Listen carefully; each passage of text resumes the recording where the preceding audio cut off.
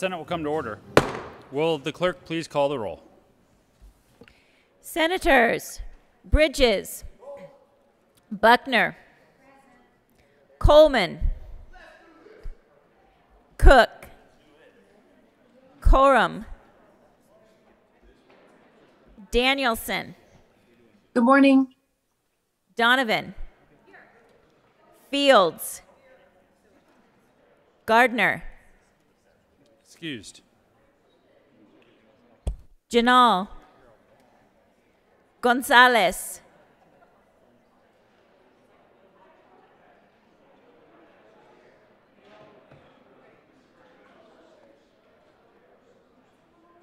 Gonzales, Hansen, Hinrichsen, Hisey,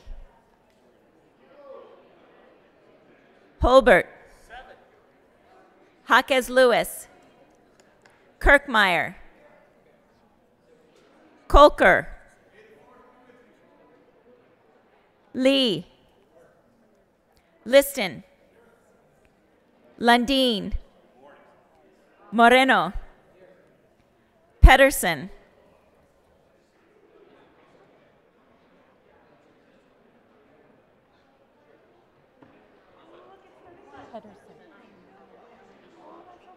Pettersen.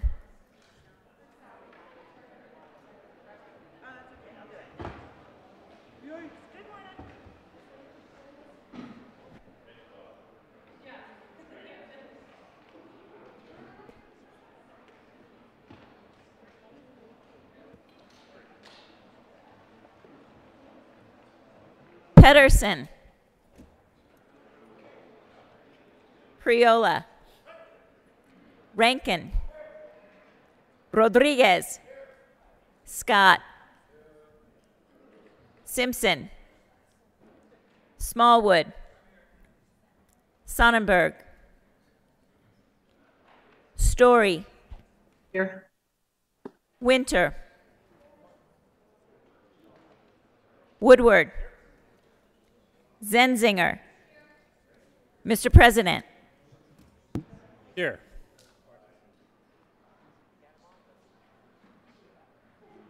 The morning roll call is 34 present, zero absent, one excused. We do have a quorum. Will the good senator from Loveland please lead us in the Pledge of Allegiance? Colleagues, please stand and join me in the pledge. I pledge allegiance to the flag of the United States of America and to the republic for which it stands, one nation under God, indivisible, with liberty and justice for all. Approval of the journal. Senator Zenzinger. Senator Zenzinger.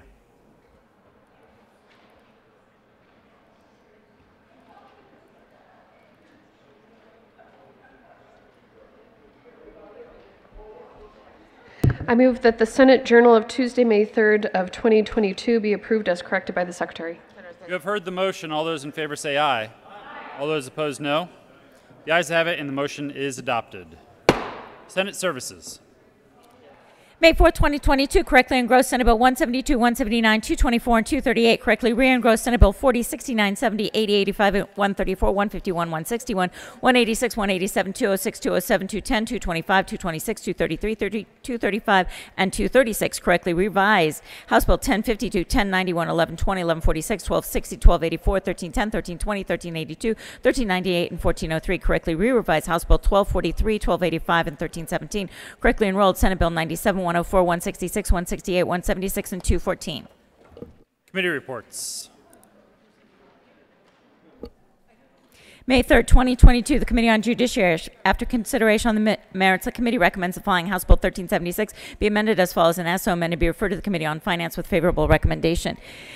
House Bill 1383 be referred to the Committee of the Whole with favorable recommendation. House Bill 1131 be referred to the Committee on Appropriations.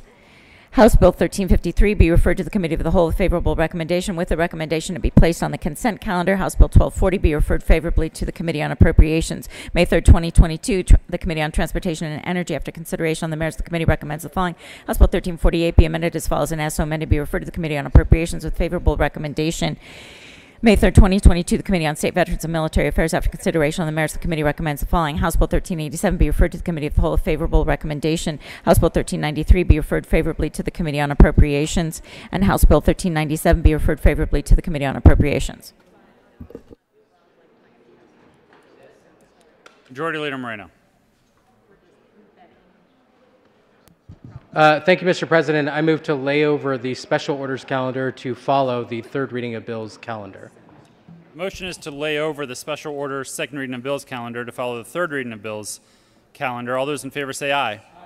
All those opposed, no. The ayes have it, and the motion is adopted. Minority Leader Holbert.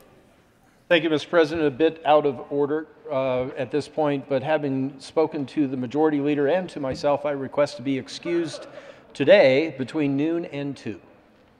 Minority Leader will be recorded as excused uh, from noon to 2 today. Third reading of bills, consent calendar. Will the clerk please read the titles to all of the bills on the consent calendar? House Bill 1403, Representative Judah, Senator Buckner, concerning a three-month delay in the implementation of healthcare billing requirements for indigent patients established in House Bill 211198. Senate Bill 172, Senators Winter and Rankin, Representatives Roberts and Ridge, concerning an in- initiative to increase the number of healthcare professionals practicing in Colorado rural areas and in connection therewith making an appropriation. House Bill 1052, Representatives McLachlan and McKean, Senators Priol and Moreno, concerning promoting behavioral health crisis services to school-age students and in connection therewith making an appropriation. House Bill 1091, Representatives Soper and Weissman, Senators Gardner and Bridges, concerning the online availability of opinions issued by Colorado courts and in connection therewith making an appropriation. House Bill 1120, Representatives Van Winkle and Neville, Senators Woodward and Bridges, concerning the recreation of the school security disbursement program to provide funding for local education providers to implement school security improvements to prevent incidents of school violence. House Bill 1146, Representatives Larson and McCluskey, Senators Lundeen and Kirkmeyer, concerning the investment of money in the public school fund. House Bill 1260, Representative Froelich, Senator Simpson and Fields, concerning ensuring students have reasonable access to medically necessary services in schools. House Bill 1284, Representatives Esgar and Catlin, Senators Gardner and Pettersen, concerning updates to state surprise billing laws to facilitate the implementation of surprise billing protections and in connection therewith aligning state law Federal No Surprises Act and making an appropriation. House Bill 1310, Representatives Larson and Kemp, Senators Bridges and Woodward, concerning the alignment of the state income tax deduction for contributions to a 529 account with the changes in federal setting up every community for retirement enhancement act of 2019 that allows tax-free distributions for eligible apprenticeship programs. House Bill 1320, Representatives Kipp and Larson, Senators Zenzinger and Woodward, concerning the Achieving a Better Life Experience Able Savings Program for Individuals with Disabilities and in connection therewith modifying who may create and control an ABLE program account preventing the state from filing certain claims against an ABLE program account upon the death of the designated beneficiary and allowing contributions to an ABLE program account that are withdrawn for qualified disability expenses to be deducted from a taxpayer's federal taxable income for purposes of determining the taxpayer's state taxable income and making an appropriation. House Bill 1382, Representative McCluskey and Catlin, Senator Donovan concerning the designation and promotion of dark sky locations in Colorado. House Bill 1398, Representatives Bird and Holtorf, Senators Kolker and Liston concerning the designation of registered agents by insurance companies for the purpose of receiving service of process and in connection therewith requiring the Commissioner of Insurance to maintain a list of such registered agents and describing circumstances when service of process may be made on the Commissioner rather than an insurance company's registered agent. Majority Leader Moreno.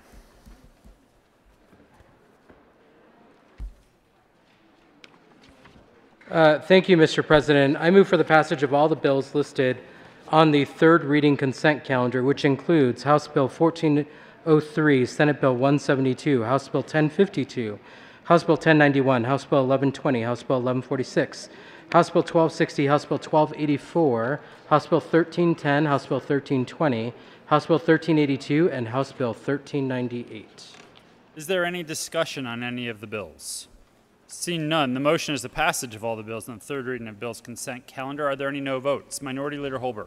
Thank you, Mr. President. With all due respect to the good senators from Westminster and Carbondale, I ask to be recorded as a no vote on Senate Bill 172. Minority Leader will be recorded as a no vote on 172. Senator Lundeen. Good morning, Mr. President. I request to be recorded as a no vote on Senate Bill 172 and House Bill 1382. Thank you, Mr. President. Senator Lundeen will be recorded as a no vote on 172 and House Bill 1382. Senator Smallwood. Uh, Thank you, Mr.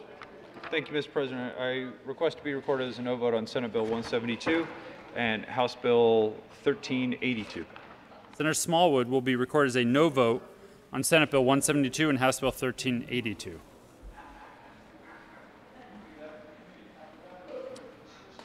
Senator Liston.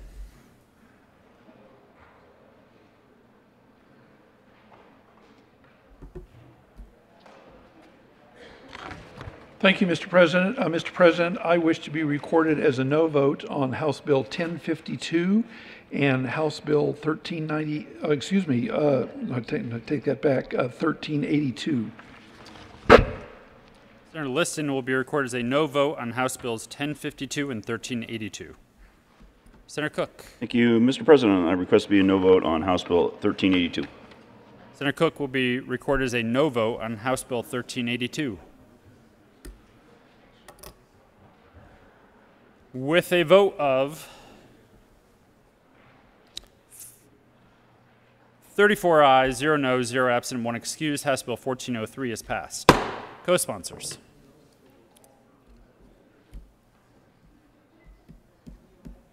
With a vote of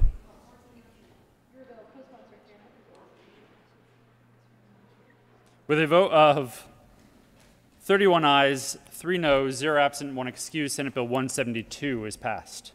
Co-sponsors, Senators Kolker, Hinrichsen, Fields, Majority Leader Moreno, Sonnenberg, Coram, Jaquez Lewis, Bridges, Rodriguez, Ginal, Simpson, Donovan, Story, Hisey. Please have the president. With a vote of 33 ayes, 1 no, 0 absent, 1 excused, House Bill 1052 is passed. Co-sponsors, Senators Kolker, Hinrichsen, Rodriguez, Donovan, Gonzales, Ginal, Lee, Hansen, Pettersen, Jaquez Lewis, Woodward, Smallwood, Bridges, Buckner, Zenzinger, Story,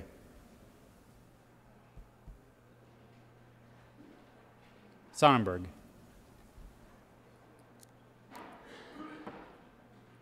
Please have the president. With a vote of 34 ayes, 0 no, 0 absent, 1 excused, House Bill 1091 is passed. Co-sponsors, Senators Minority Leader Holbert, Majority Leader Moreno, Hansen, Lee, Pettersen, Liston, Smallwood, Priola, Rankin, Lundeen, Gonzales, Story, Donovan, Fields, Buckner, Winter, Rodriguez, Woodward. Please have the president.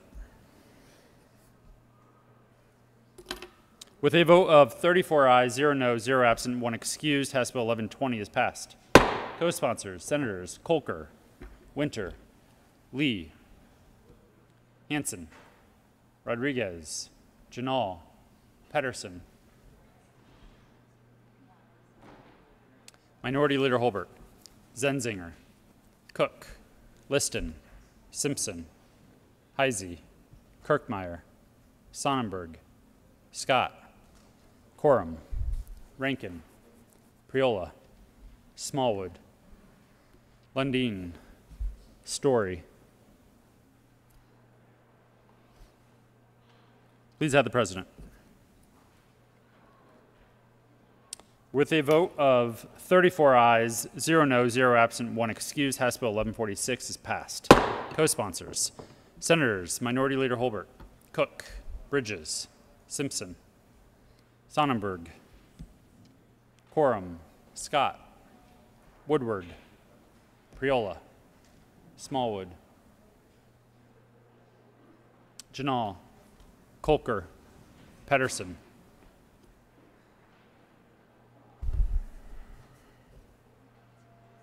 Buckner.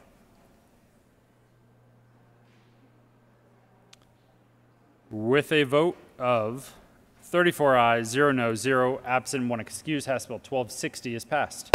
Co-sponsors, Senators Gonzales, Winter, Lee, Ginal, Minority Leader Holbert, Rodriguez, Buckner, Donovan, Pettersen, Kolker, Majority Leader Moreno, Danielson, Liston, Fields, Sonnenberg, Coram, Rankin, Priola, Scott,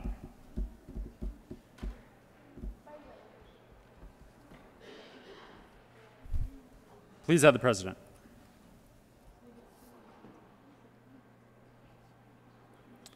With a vote of 34 ayes, 0 no, 0 absent, 1 excuse, House Bill 1284 is passed. Co-sponsors. Senators Hansen, Hinrichsen, Rodriguez, Ginal, Winter, Lee, Donovan, Kolker, Gonzales, Majority Leader Moreno, Bridges, Buckner, Story, Minority Leader Holbert, Lundeen, Jaquez Lewis, Hisey, Sonnenberg, Coram, Rankin, Priola, Smallwood, Woodward. Please have the president. And Senator Zenzinger.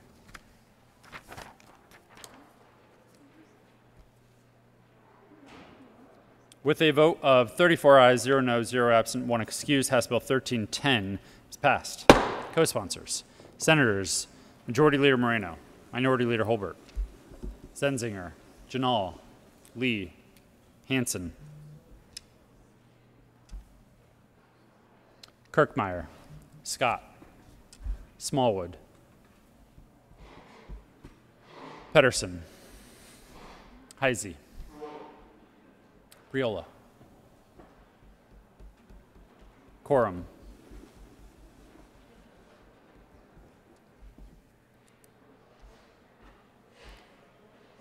With a vote of 34 ayes, 0 no, 0 absent, 1 excused, House Bill 1320 is passed. Co-sponsors.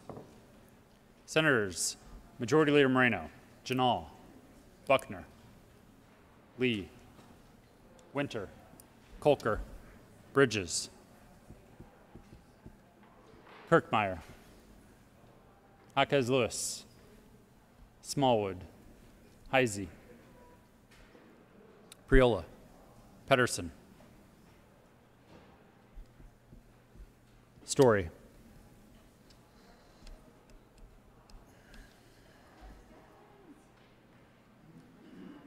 With a vote of 30 ayes, 4 noes, 0 absent, 1 excuse, House Bill 1382 is passed. Co-sponsors. Senators Gonzales, Bridges, Story, Majority Leader Moreno, Hansen, Rodriguez, Pettersen, Jaquez Lewis, Priola, Rankin, Ginal, Danielson, Lee,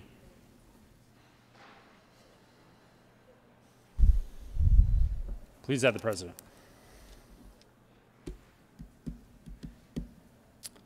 With a vote of 34 ayes, 0 no, 0 absent, 1 excused, House Bill 1398 is passed.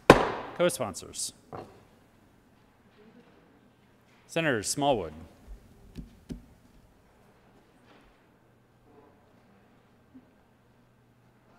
Kirkmeyer, Woodward, Coram,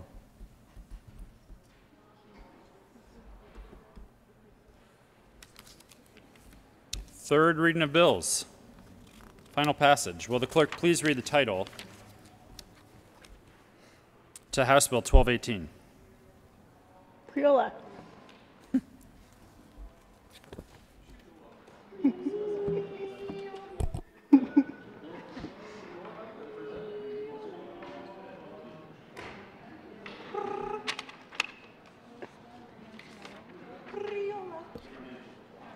House Bill 1218, Representative Valdez, Senators Winter and Priola concerning resource efficiency related to constructing a building for occupancy. Senator Winter.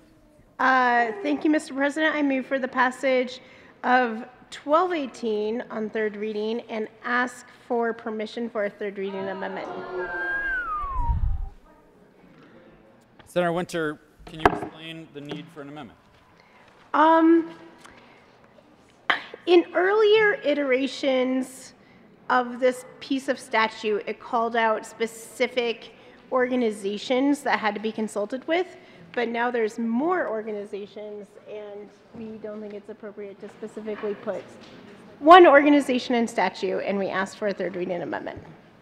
Question before the body is Senator Winter's request for permission to offer a third reading amendment. All those in favor say aye. Aye. Opposed, no. The ayes have it, and permission is granted. Will the clerk please read Amendment L17? Amendment L17 by Senator Winter. Thank you. I move Amendment L17. Is there any discussion? Seeing none, the motion is for the adoption of L17 to House Bill 1218. Are there any no votes? With a vote of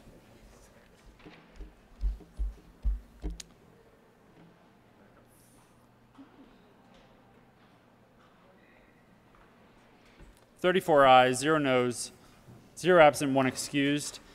Amendment L17 is passed. To the bill, Senator Winter. I unfortunately have to ask for an additional third reading amendment. This is outrageous. Please explain Um, yourself. This one is a specific request from BOMA and those that own commercial properties and is reasonable and important, and I ask for permission. Senator Priola. Thank you, Mr. President. Members, this is a good amendment because it allows counties to waive, uh, which they do in other development situations, and not, not all um, situations of remodel be a one-size-fits-all. So it's a good amendment. Question before the body is permission to offer a third reading amendment. All those in favor say aye. Aye. Opposed, no. The ayes have it, and permission is granted. Will the clerk please read amendment Amendment L016 by Senator Winter, amend revised bill, page 14, before line 1, insert section 3 in Colorado. Thank you, Mr. President. I move L016. Is there any discussion? This allows commercial properties to get waivers during um, renovations, do not have to abide by these, which is important. The motion is for the adoption of L16 to House Bill 1218. Are there any no votes? With a vote of 34 ayes, 0 no, 0 absent, 1 excused, L16 is adopted. Senator Priola. Uh, Thank you, Mr. President. I move House Bill 1218 on third reading and final passage. Motion is the passage of House Bill 1218. Are there any no votes?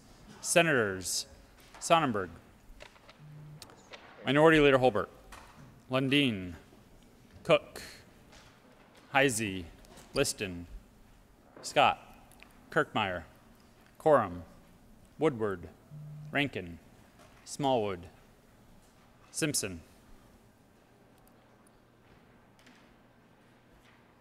Hinrichsen. With a vote of 20 ayes, 14 no, 0 absent, 1 excused, House Bill 1218 is passed. Co-sponsors. Senators. Majority Leader Moreno. Jaquez Lewis. Pettersen. Hansen. Story.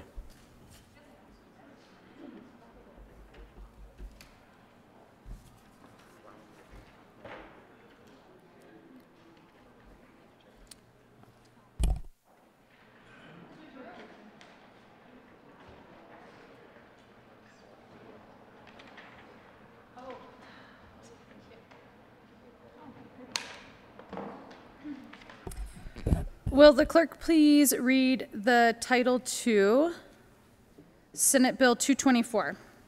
Senate Bill 224, Senators Fenberg and Gardner, Representative Tipper and Soper, concerning the creation of the Donor Conceived Persons and Families of Donor Conceived Persons Protection Act. Uh, President Fenberg, Thank you, Madam President. I move Senate Bill 224 on third reading and final passage. is there any further discussion? Minority Leader Holbert. Thank you, Madam President, and thank you, Mr. President.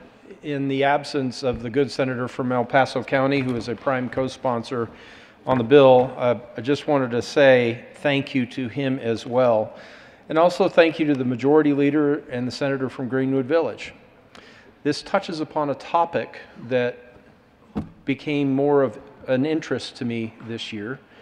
Different bill, committee, but the technology that is available to help people who want kids who can't have them, and then the rights of those people, especially regarding privacy, have become a fascinating discussion, debate. Maybe not so much debate because I think this one might pass unanimously. And that's fascinating. Thank you, Mr. President, and the good senator from El Paso County for Senate Bill 224, one of the more interesting bills and interesting votes that I will cast in 12 years in my last week. Thank you, Madam President. Further discussion. Seeing none, the motion before the body is the passage of Senate Bill 224. Are there any no votes? With a vote of 34 ayes, 0 noes, 0 absent, and 1 excuse, Senate Bill 224 is passed. Co-sponsors on Senate Bill 224, Minority Leader Holbert, Majority Leader Moreno. Senators Liston, Sonnenberg, Jaquez Lewis, Ginal, Buckner, Pettersen, Gonzales, Lee, Fields, Hinrichsen, Rodriguez, Hansen, Kolker, Bridges. Danielson, Story. Please add me.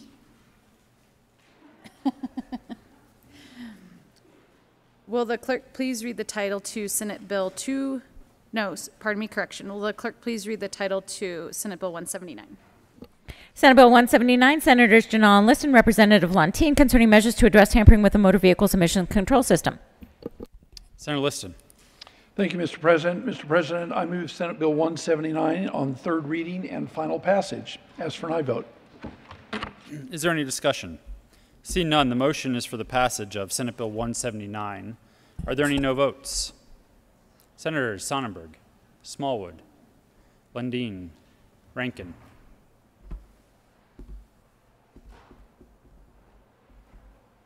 With a vote of 30 ayes, 4 noes, 0 absent, 1 excused, Senate Bill 179 is passed. Co-sponsors. Senators Minority Leader Holbert, Hinrichsen, Hansen, Zenzinger, Gonzales, Majority Leader Moreno, Pettersen, Story, Danielson, Scott, Jaquez Lewis, Priola, Donovan, Buckner. Will the clerk please read the title to Senate Bill 238? Wrong.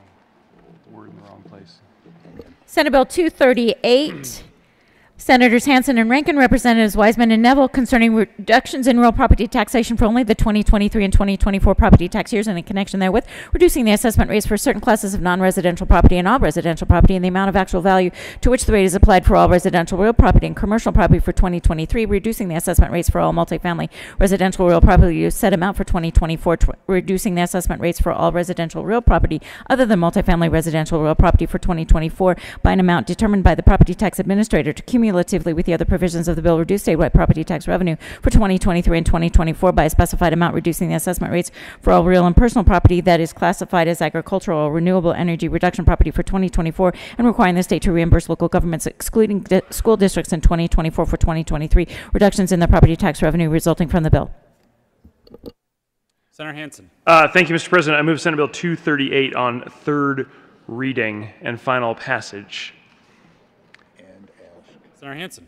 Uh, thank you, Mr. President. And I ask for the body's permission to offer a third reading amendment. Senator Hansen, would you wish to explain the need? Uh, Thank you, Mr. President. Uh, And just as a preview, I believe there are three that are going to be offered. Only one of them is mine, though, and it was because of uh, a transposition of one word, which was treasurer and assessor, and the drafter brought this to me this morning, uh, realizing that he needed to make uh, the switch between those two words uh, on page 9, line 4. Uh, we had the wrong word in the wrong place. We need to strike treasurers and put in assessors, and I humbly ask for your permission to make that correction. Question before the body is Senator Hansen's request for permission to offer a third reading amendment. All those in favor say aye. Opposed, no. The ayes have it, and permission is granted. Will the clerk please read the please read Amendment L006 to Senate Bill 238. Amendment L006 by Senator Hansen, amended gross bill, page 9, lines.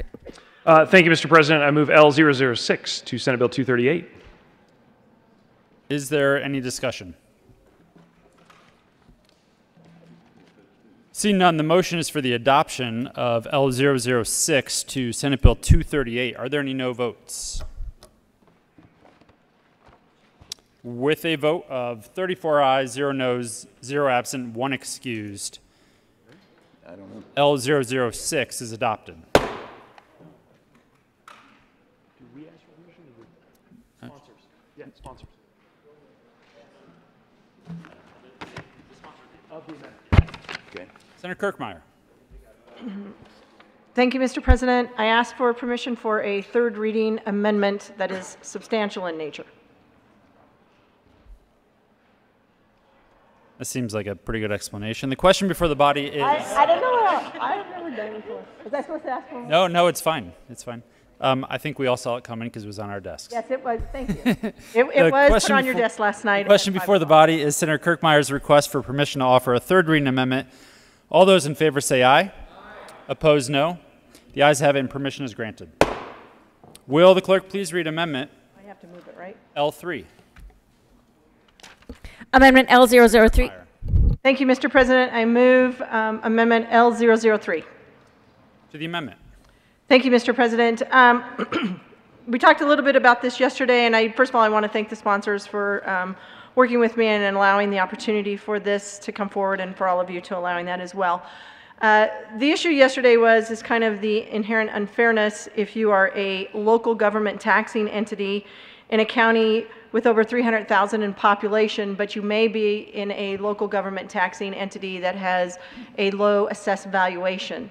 In which case, the way the bill is set up right now is, is that if you're in a population of over 300,000, um, even though you would be in a low wealth, low assessed value taxing entity, um, you would only get backfilled at 65%. Um, but if you're in other counties um, under 300,000 in population, you could get backfilled either at 90% or even up to 100%.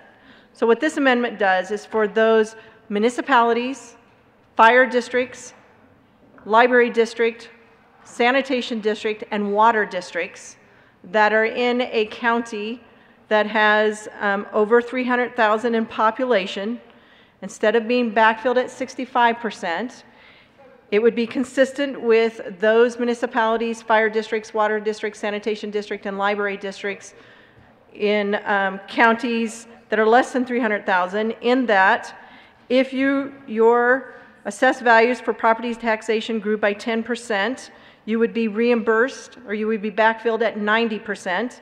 And if they grew by less than 10%, you would be um, backfilled at 100%.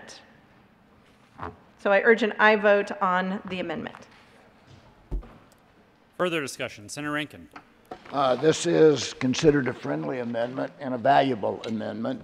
It uh, fills a, a need that I have been quite concerned about, particularly in some of our far-flung rural parts of the state where we may have, for example, a small fire district whose uh, tax basis could be quite different from, certainly from the state as a whole on average, but also from the county in which it exists. So uh, I, I urge a yes vote on the amendment. Further discussion. Senator Hansen. Uh, Thank you very much, Mr. President. Um, I also urge an an aye vote on L003. I think uh, we had a great discussion yesterday. I appreciate the quick work uh, by the good senator uh, from Weld County and, and uh, the staff to really pull this together in a, in a uh, quick way, but in a, in a very uh, methodical, thoughtful way. Um, I think I just want to point out this does change, if we accept this amendment, this does change the amount of the Tabor surplus that will be used for backfill in the, uh, out of the 2023 Tabor surplus, moving it from approximately 200 up to approximately 227, I believe, uh, 200, around 225. Uh, so I just want to make sure everyone's aware of that and the implications uh, on the, the, uh, the Tabor limit and our Tabor situation for the 23 tax year. Uh, and with that, I urge an aye vote on L3. Further discussion. The motion is for the adoption of Peacemaker Kirkmeyer's Amendment L03 to Senate Bill 238. Are there any no votes? With a vote of 34 ayes, 0 no, 0 absent, 1 excuse, Senate Bill, or sorry, L003 is adopted. Senator Kirkmeyer. Thank you, Mr. President. Um, I wish to request a third reading amendment. This is a very technical in nature amendment, just to add in words like the and fire in front of district, changes witches to that, a witch to a that. Um, there's some other grammatical errors. We had to do this very quickly yesterday. We had to have the substantial amendment on your desk by 5 o'clock. The drafter, thank God he was there at 2 o'clock talking with us because he wasn't able to get out of committee till like quarter to 5. So we were in a rush. We didn't have the opportunity to review it again. So again, it's just technical, making sure that we have the um, fixing some drafting errors and they're technical and grammatical in nature. Uh, the question before the body is Senator Kirkmeyer's request for permission to offer another third reading amendment. All those in favor say aye. aye. Opposed, no. The ayes have it and permission is granted. Will the clerk please read Amendment L7? Amendment L007. Thank you, Mr. President. Again, I um, move L007. This is just a technical cleanup and a grammatical error and would appreciate an aye vote. Further discussion. Senator Hansen. Uh, thank you, uh, Mr. President, and uh, I urge an aye vote on L7. Uh, having reviewed the changes, uh, I think it, it essentially just cleans up uh, the amendment that we just, just passed. So please say yes to L7. The mo- further discussion. The motion is for the adoption of Amendment L7 to Senate Bill 238. Are there any no votes? With a vote of 34 ayes, 0 noes, 0 absent, 1 excused, L7 is adopted. Senator Lundeen. Thank you, Mr. President. I request permission to offer a third, re- offer a third reading amendment. Senator Lundeen, will you please explain the need? I'm looking at this amendment. It sure looks technical in nature. Terrific. The question before the body is Senator Lundeen's request for permission to offer what appears to be, but may not be, a technical amendment. All those in favor say aye. Opposed, no? Whew. The ayes have it and permission is granted. Thank, thank you, Mr. President. will the I move Amendment read- L004. Will the clerk please read Amendment 4? Amendment L004 by Lundeen. Senator. Thank you, Mr. President. I move L004. Uh, Mr. President, upon further examination, although appearing technical in nature, this is fairly substantial. This amendment, um, although it is many ins and outs and backs and forths and doesn't really say anything specific, what it would do is, is it would have the effect of making sure that that $200 million we were talking about just a few minutes ago that became 230 or 229 million, that is money that would go to the taxpayers as part of the Taxpayer Bill of Rights refund, that that money would in fact come from the general fund. Now you say, but what, wait, wait, wait. The long bill has been closed. The money's been spent. We can't possibly do that. But as recently as yesterday, it was the will of this body in committee to add $58 million back into the, the funds we have. Clearly, we have the ability to make these changes at these late dates and these last moments. Um, when the paid family and parental leave relief bill that was going to provide some paycheck relief to the taxpayers was killed in committee, $58 million flowed back into the coffers. So I simply argue that we could, if we chose, come up with this money to give back to the taxpayers direct, directly and then also provide the relief that would come through the counties indirectly, but that would be funded through general fund money. That is the effect, colleagues, of Amendment L004, and I urge your support of support for the taxpayers directly into their pocketbooks. Further discussion. Senator Hansen. Uh, thank you very much, Mr. President. And I would love to ask the sponsor, the good senator from Monument, which of the schools in El Paso County should we close to pay for this amendment? Senator Lundeen. We wouldn't close any of them. I would never deign to rise to that sort of bait. It would, uh, would, would not be any of the schools, as you recall. I'm the guy who ran the bill that said pay off the budget stabilization factor in full. Senator Hansen. Uh, thank you very much, Mr. President. Well, just to be clear with everyone in the room, uh, there is no pathway to paying off the budget stabilization factor if we accept this amendment. Let's just be crystal, crystal clear about that. Uh, we all share that goal. We made a major stride forward this year. If we accept L4, uh, there is no pathway to that goal. So please reject L004. The motion is for the adoption of L004 to Senate Bill 238. Are there any no votes?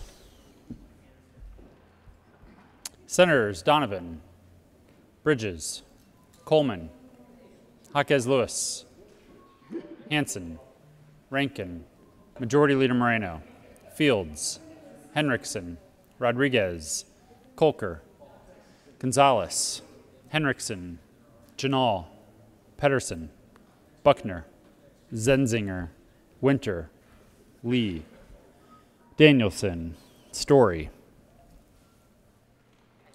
Please add the president.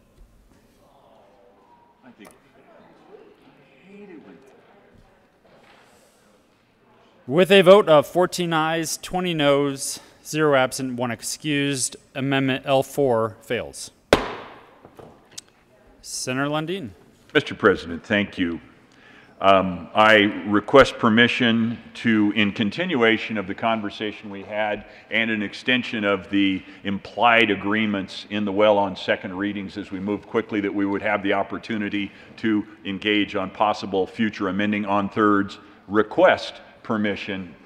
How many dependent clauses were in that sentence? Question. It wasn't a sentence, it was a question. Um, I request permission for a third reading amendment. The question before the body is Senator Lundeen's additional request for permission to offer a third reading amendment. All those in favor say aye. aye. Opposed, no? No. The ayes have it, and permission is granted. Will the clerk please read Amendment L05? Amendment L005. Senator Lundeen. Senator Lundeen. Thank you, Mr. President. I move L005. To the amendment. This does not look at all technical. It looks substantive in nature. It actually is peripheral, peripheral to the bill itself, but fundamental. It's an underlying piece. It's an amendment that says let's look more broadly at how we choose to tax ourselves. The amendment isn't quite exactly as I would have crafted it, but we're moving quickly. Um, the idea is we need to consider the three big categories of taxation tax on wealth or, or property, tax on wealth as a form of income, and tax on wealth as a form of uh, sales tax. We should consider more carefully those elements. This amendment simply prods an existing commission that is looking into these sorts of things to look more broadly at uh, that array of different taxes as we try and find a tax policy for Colorado that in fact generates greater economic activity and reduces some of the frictions and drags we have on the, co the economy currently as a form of the taxation we have chosen. Thank you, Mr. President. Senator Hansen. Uh, thank you, Mr. President. And to continue the discussion on L5, I'm going to very respectfully ask for a no vote on L5 because uh, as a member of the Legislative Oversight Committee concerning tax policy, I want to assure you that uh, we are already doing this. Uh, this was a very big part of our discussion this year, in particular, the property tax related to short term rentals, uh, which in our discussion, we were able to really uh, hone in on that as well as refer that issue over to the advisory committee uh, of tax policy experts. There's 21 members. Uh, including uh, the chair, Henry Sobanet, who um, I'm guessing everyone in the room knows, uh, who ably led that group in giving us feedback on things uh, concerning property tax, concerning sales and income taxes. So I, I, don't disagree with this sentiment, um, but I don't think L5 is necessary because the Legislative Oversight Committee already has this well within our scope of the, uh, from the existing legislation, and so I'd ask for a no vote on L5. Senator Rankin. Thank you, Mr. President. Well, I would just like to assure ourselves that the charter of that of that committee, of which my uh, co-prime is a member, will actually address the issues in this amendment because we need to avoid this discussion every year. This is not a discussion that ought to, and I said this earlier, that ought to occur in this chamber. Property taxes ought to be a local issue. I mean, that's where they should be managed, that's where they have effect, and I just, uh, you know, I'd like some assurance that that committee really will take up this issue uh, in the interim because I understand the spirit of this amendment exactly. It's, it's to take up the long-term issue of taxation, uh, in, which affects property taxes, sales taxes, and income taxes. So I, I hope that we can look forward to this committee and its advisory committee to really address this broader issue. The motion is for the uh, Senator Kirkmeyer. Thank you, Mr. President.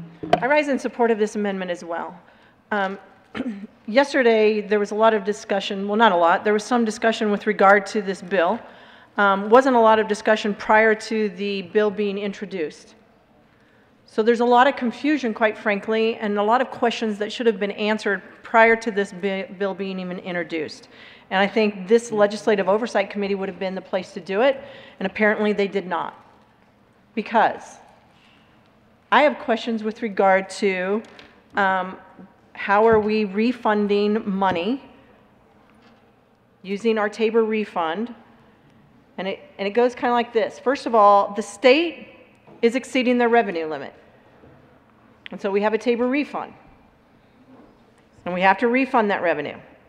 The state does not collect property taxes as a source of revenue. We have income tax and sales tax. So they have no property tax to refund. We are, in effect, in this bill, reducing local government's property tax and not refunding the payers of state taxes. Rather, we are backfilling government taxes. The backfill to the local governments is essentially an expenditure of the state, not a refund. So it has a, there's a question here because then the Constitution, the basic question is, how does the state refund excess revenue that they don't even collect? For example, how are we refunding the state property tax revenue to local governments that we are not collecting? How is that even allowed under Tabor to do that? Tabor requires that we refund excess revenues, our excess revenues, back to the taxpayers who paid it in. Yet we're treating it essentially almost like an expenditure. So I think this committee would be vitally important so that they can help work through those questions and work through what we're actually doing with regard to refunds, Tabor refunds from a state level, and essentially trying to address a property tax issue that should be addressed and is addressed typically at the local government taxing entity.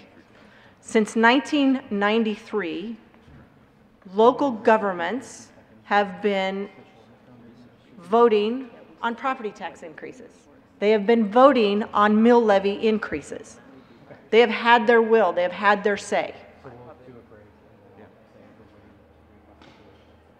And they, I believe they know what they're doing. And if they don't, that's up to the local government.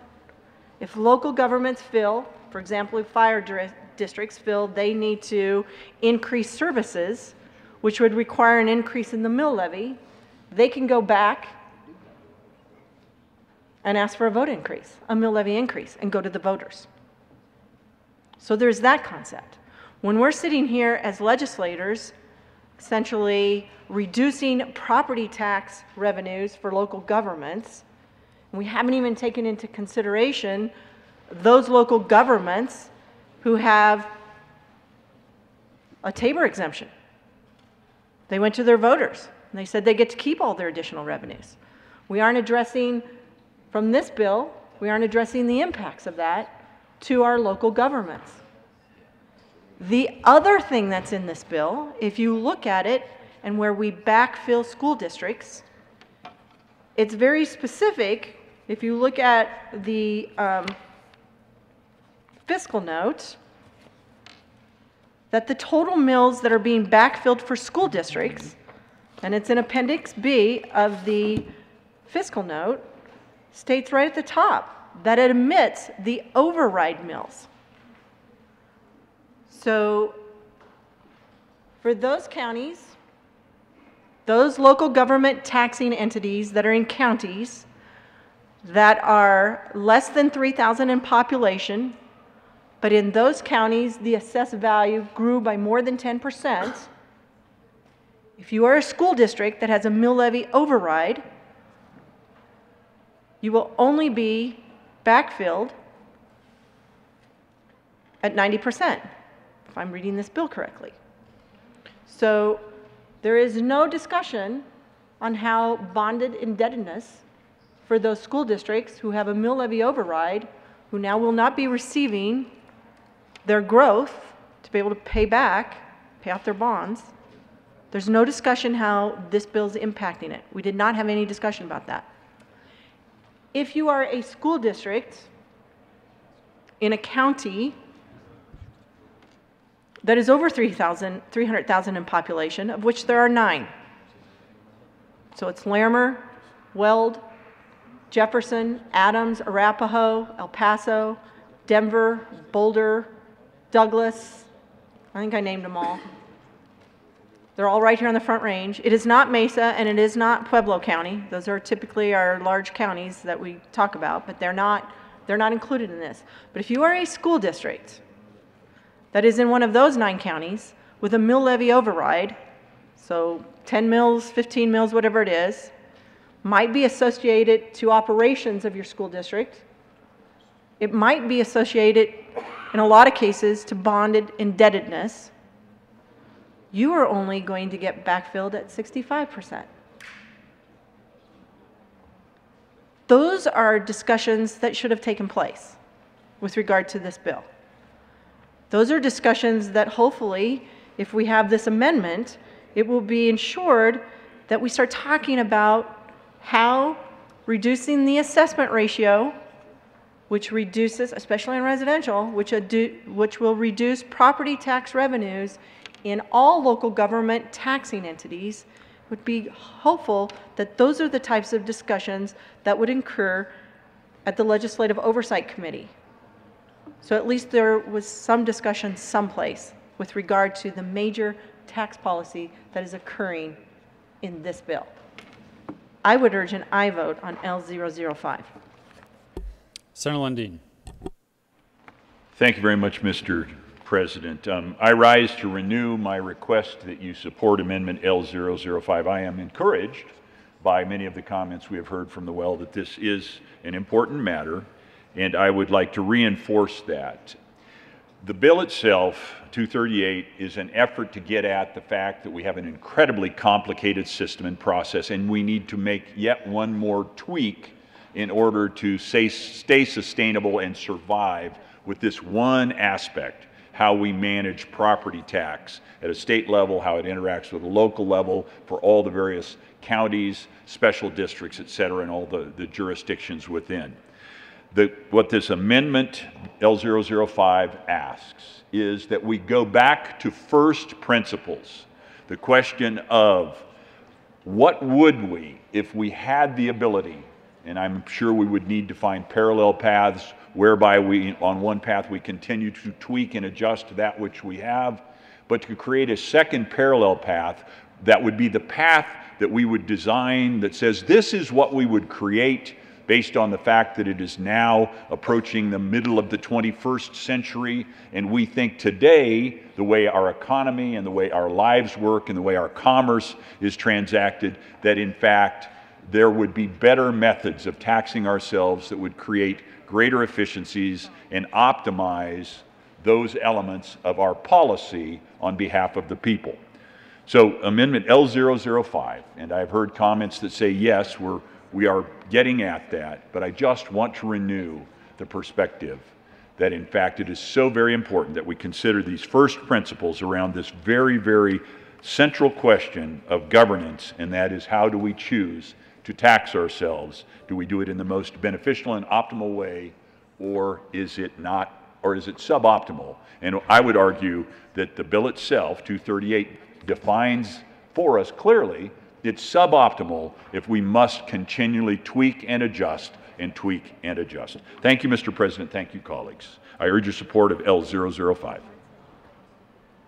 Senator Uh, Thank you very much, Mr. President. Just a quick closing comment.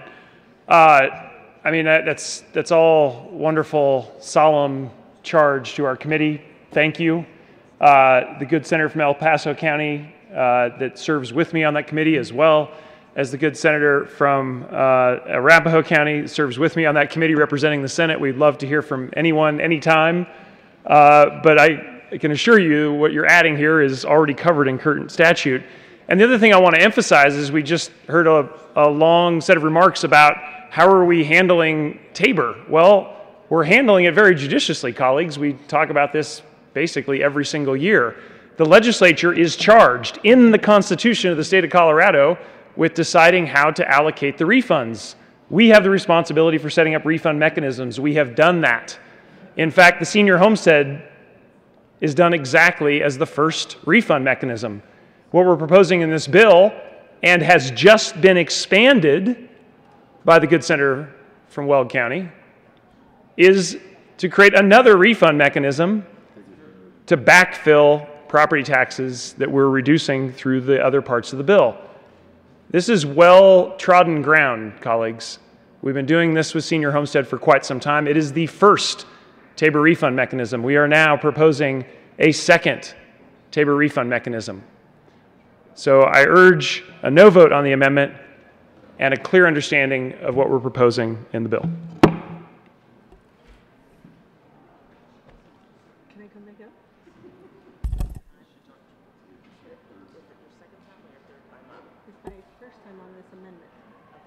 Senator Kirkmeyer. It would be my second time on this amendment, I'm sorry. Senator Kirkmeyer. Thank you, Mr. President. Very interesting discussion that we're having here with regard to refunds and Tabor, which is exactly why this amendment should pass, so that these discussions should be taking place in the Legislative Oversight Committee, but they also should be taking place right here in this chamber. Because the nexus between why we could refund, why the state can refund based on the senior homestead exemption, at least there's a nexus because there is an obligation in the Constitution, even though we can zero it out, even though the General Assembly can zero it out, there still is at least a nexus in the Constitution between an obligation of the state of the General Assembly.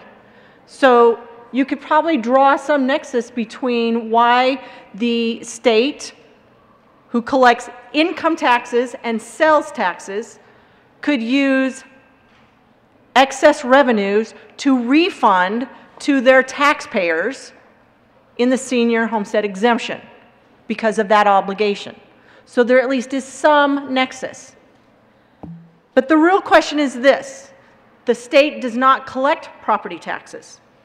So the basic question is how can the state refund state revenues from income tax and sales tax? So, how can the state refund their excess revenue that they do not collect, that we're trying to collect, say here? We don't collect property taxes. So, how is the state refunding excess revenue from property taxes? How does that meet the constitutional requirements in Tabor or the limitations in Tabor? How can the state refund money back to a local government? Because that's what's going on with the backfilling. That's the question that I would like answered. I don't know if I'll get it today, but I would like that answer at some point um, to understand. Thank you. The motion before the body is the adoption of L005 to Senate Bill 238. Are there any no votes? Senators Donovan, Jaquez Lewis, Major- Majority Leader Moreno, Rankin, Bridges, Coleman, Hansen, Hinrichsen, Gonzales, Kolker, Danielson, Story, Buckner, Pettersen, Zenzinger, Winter, Lee, Fields. Please have the president. With a vote of 15 ayes, 19 no, 0 absent, 1 excused, L005 fails. To the bill. The motion before the body is the adoption of Senate Bill 238. Are there any no votes? Senators Sonnenberg, Gard, uh,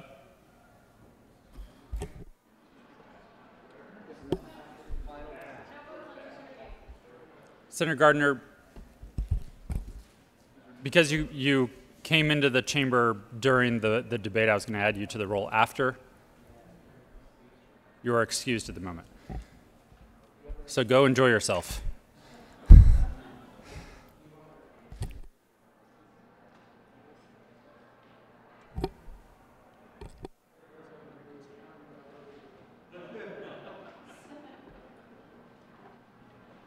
We're good, so we'll have a reconsideration on both. 224 With a vote of 33 ayes, 1 no, 0 absent, 1 excused, Senate Bill 238 is passed.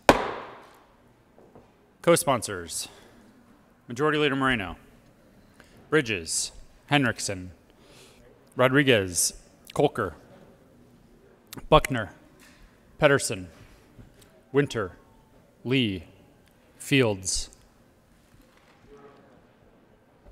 Story, Danielson, Jaquez Lewis. Please have the president.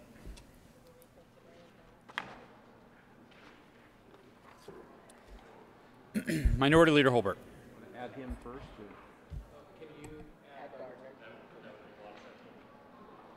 Will the clerk please add Senator Gardner to the roll?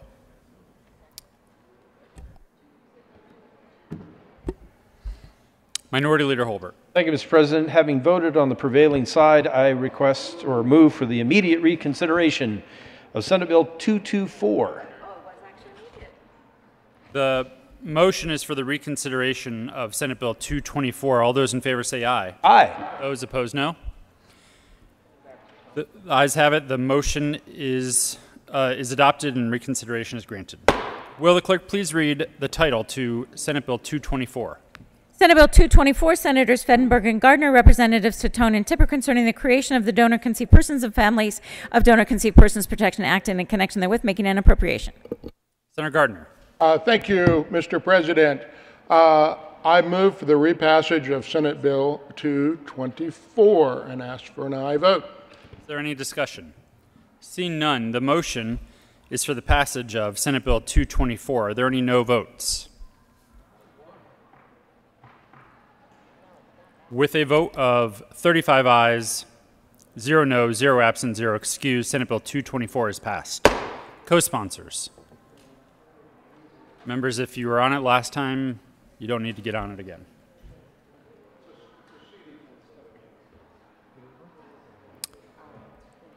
Minority Leader Holbert. Thank you, Mr. President. I move for the reconsideration of Senate Bill 238. The motion is for the reconsideration of Senate Bill 238. All those in favor say aye. Opposed, no.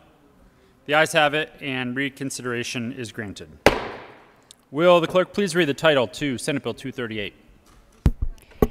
Senate Bill 238 by Senators Hansen and Rankin, Representatives Weissman and Neville concerning reductions in real property taxation for only the 2020, 23, and 2024 property tax years and in connection therewith, reducing the assessment rates for certain classes of non-residential property and all residential property and the amount of actual value to which the rate is applied for all residential real property and commercial property for 2023, reducing the assessment rates for all multifamily residential real property to set amount for 2024, reducing the assessment rates for all residential real property other than multifamily residential real property for 2024 by an amount determined by the property tax administrator to cumulatively with the other provisions of the bill reduce statewide property tax revenue for 2023 and 2024 by the specified amount, reducing the assessment rates for real and personal property that are classified as agricultural or renewable energy production property for 2024 and requiring the state to reimburse local governments excluding school districts in 2024 for 2023 reductions in their property tax revenue resulting from the bill. Senator Hansen. Uh, thank you, Mr. President. I'm so glad we got to hear that title one more time. I move for the repassage of Senate Bill 238 on third reading and final passage. Is really? Is there really discussion? Really? Senator Kirkmeyer.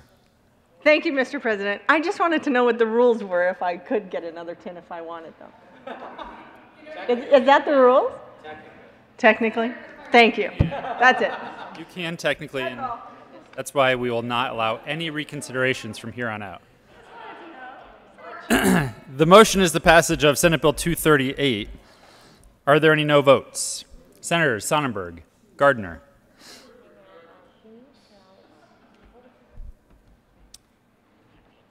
With a vote of 33 ayes, 2 noes, 0 absent, 0 excused, Senate Bill 238 is passed. Co-sponsors.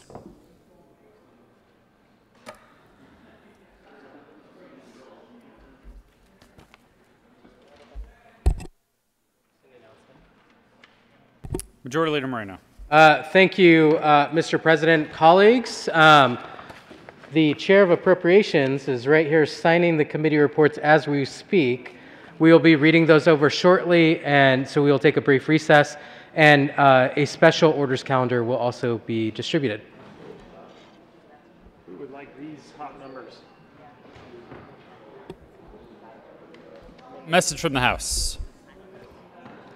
May 4th, 2022, the House has passed on third reading and transmitted to the Revisor of Statutes House Bills 1230, 1151, 1391, 1358, and 1026, amended as printed in House Journal May 3rd, 2022. The House has passed on third reading and transmitted to the Revisor of Statutes House Bill 1388 and 1064, amended as printed in House Journal May 3rd, 2022, and amended on third reading as printed in House Journal May 4th, 2022. The House has passed on third reading and transmitted to the Revisor of Statutes Senate Bill 9, amended as printed in House Journal April 11, 2022.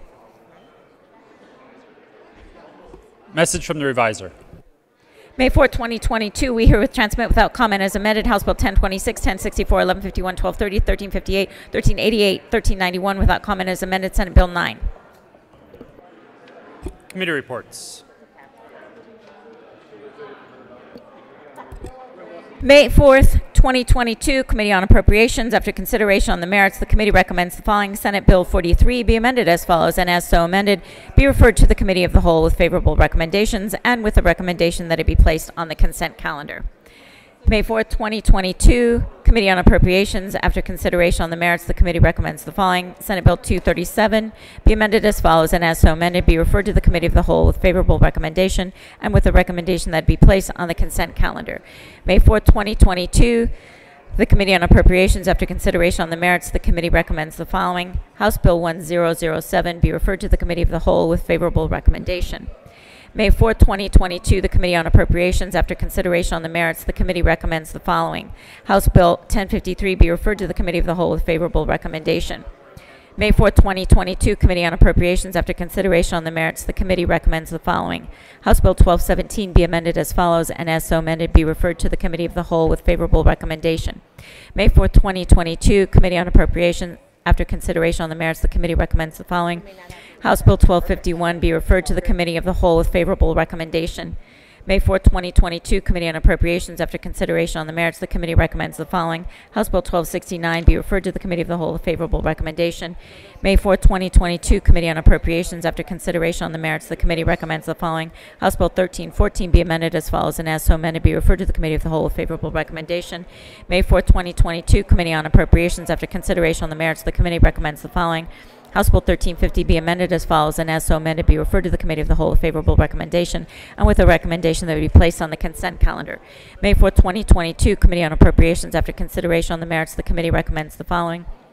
House Bill 1364 be amended as follows, and as so amended, be referred to the Committee of the Whole with favorable recommendation. May 4, 2022, the Committee on Appropriations, after consideration on the merits, the committee recommends the following.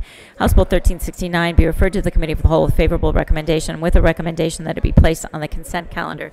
May 4, 2022, Committee on Appropriations, after consideration on the merits, the committee recommends the following. House Bill 1375 be referred to the Committee of the Whole with favorable recommendation.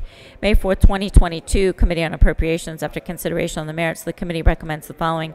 House Bill 1394 be amended as follows, and as so amended, be referred to the Committee of the Whole with favorable recommendation. May 4, 2022, Committee on Appropriations, after consideration on the merits, the committee recommends the following.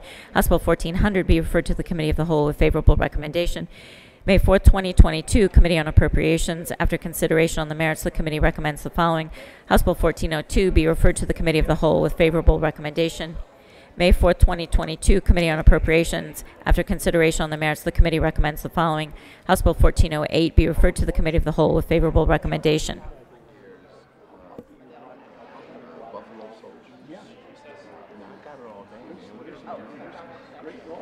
I'm ready. I'm ready, sir. I'm ready. Here's the good news. The good news is I'm gonna be up here checking the crowd while you and Julie are debating the amendment on thirteen oh four. It just works. The Senate will stand in a brief recess.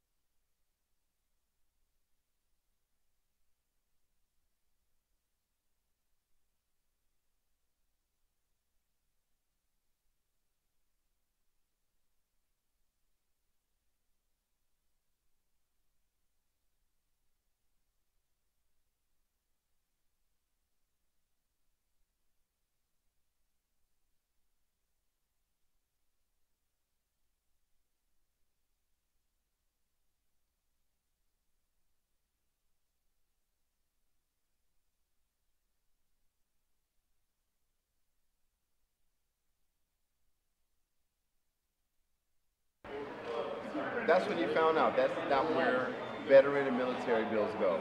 That's where all bills go. That is. Majority Leader, are you ready? What's that? The Senate will come back to order. Majority Leader Moreno. Uh, Thank you, Mr. President. I move that the Senate take up House Bill 13, oh. Across reports. I move that the Senate take up House Bill 1372, Senate Bill 43, House Bill 1350, and House Bill 1369 on special orders consent calendar at the hour of 11:34 a.m.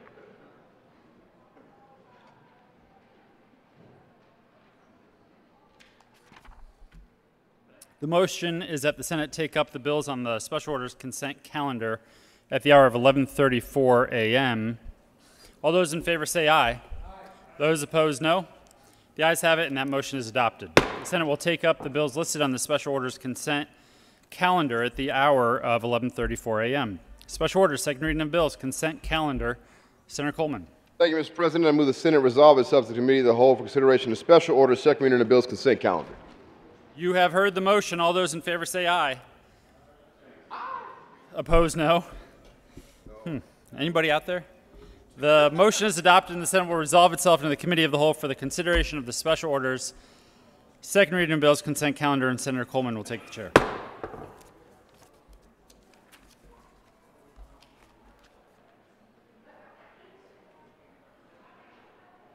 The committee will come to order and the court rule is relaxed. Would the clerk please read the title of all the bills in the special order second reading of the bill's consent calendar? House Bill 1372, Representative Carver, Senators Gardner and Fields, concerning an exemption from air emission limits for the use of a stationary engine to support critical infrastructure in emergencies. Senate Bill 43, Senator Cooke, uh, concerning enhancing restitution services for victims. House Bill 1350, Representative McCluskey and Rich, Senator Bridges and Lundeen, concerning the creation of a grant program to meet workforce needs throughout the state. House Bill 1369, Representative Sirota and Pelton, Senator Story and Sonnenberg, concerning support for children's mental health programs and in connection therewith, making an appropriation. Majority Leader Moreno. Uh, Thank you, Mr. Chair. I move for the passage of all the bills on the special orders consent calendar and their associated committee reports, which includes House Bill 1372, Senate Bill 43, and the associated Judiciary and Appropriations Committee reports, House Bill 1350 and the associated Business, Labor, and Technology and Appropriations Committee reports, and House Bill 1369. Any discussion on the committee reports? Motion for the body is the adoption of all the committee reports in the special order second reading of the bill's consent calendar. All those in favor say aye. Opposed, no. The ayes have it. All the committee reports are adopted. Any discussion on any of the bills on the consent calendar? Motion for the body is the adoption of the bills in special order second reading of the bill's consent calendar. All those in favor say aye. Opposed, no. The ayes have it, and the bills are adopted. Majority Leader Moreno. Thank you, Mr. Chair. I move the committee rise and report. Motion for the committee to rise and report. All those in favor say aye. Opposed, no. The ayes have it, and the committee will rise and report.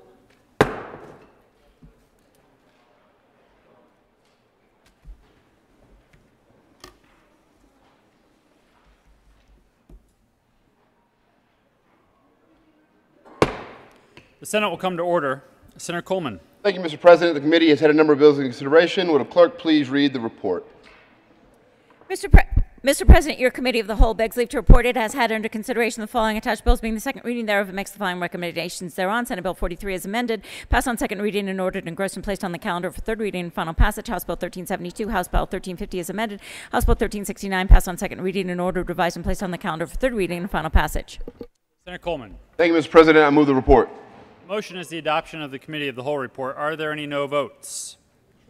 With a vote of 35 ayes, 0 noes, 0 absent, 0 excused, the Committee of the Whole report is adopted. Senate Bill 43 is amended, passed on second reading and ordered engrossed and placed on the calendar for third reading and final passage. House Bills 1372, 1350 is amended, 1369 passed on second reading and ordered revised and placed on the calendar for third reading and final passage. Majority Leader Moreno. Thank you, Mr. President. I move that the Senate take up Senate Bill 234, Senate Bill 237, House Bill 1354, House Bill 1399, House Bill 1014, House Bill 1042, House Bill 1056, House Bill 1215, House Bill 1220, House Bill 1235, House Bill 1267, House Bill 1278, House Bill 1289, House Bill 1290, House Bill 1304, House Bill 1318, House Bill 1325, House Bill 1349, House Bill 1352, House Bill 1359, House Bill 1159, House Bill 1010, House Bill 1365, House Bill 1007, House Bill 1053, House Bill 1217, House Bill 1251, House Bill 1269, House Bill 1314, House Bill 1364, House Bill 1375, House Bill 1394, House Bill 1402, and House Bill 1408 on special orders at the hour of 11:39 a.m. The motion is that the Senate take up the bills listed on the special order second reading of bills calendar at the hour of 11:39 a.m. All those in favor say aye. All those opposed no. The ayes have it. That motion is adopted. The Senate will take up those bills listed on the special orders calendar at the hour of 11:39 a.m. Special orders second reading of bills. Senator Coleman. Thank you, Mr. President. I move the Senate resolve itself into the Committee of the Whole for consideration of special orders, second reading of bills. You have heard the motion. All those in favor say aye. aye. All those opposed, no. The motion is adopted, and the Senate will resolve itself into the Committee of the Whole for the consideration of the special orders, second reading of bills, and Senator Coleman will take the chair.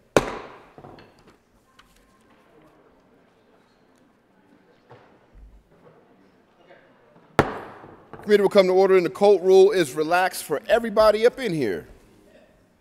Would the clerk please read the title to House Bill, Senate Bill 234? Senate Bill 234, Senators Hansen and Rankin, Representatives Ortiz and Snyder concerning unemployment compensation. Senator Hansen. Uh, thank you very much, Mr. Chair. I move for the passage of Senate Bill 234 on second reading. Seeing no further discussion, Senator, there's a member at the desk. Will the clerk please read L 16? Amendment L01. Senator Hansen.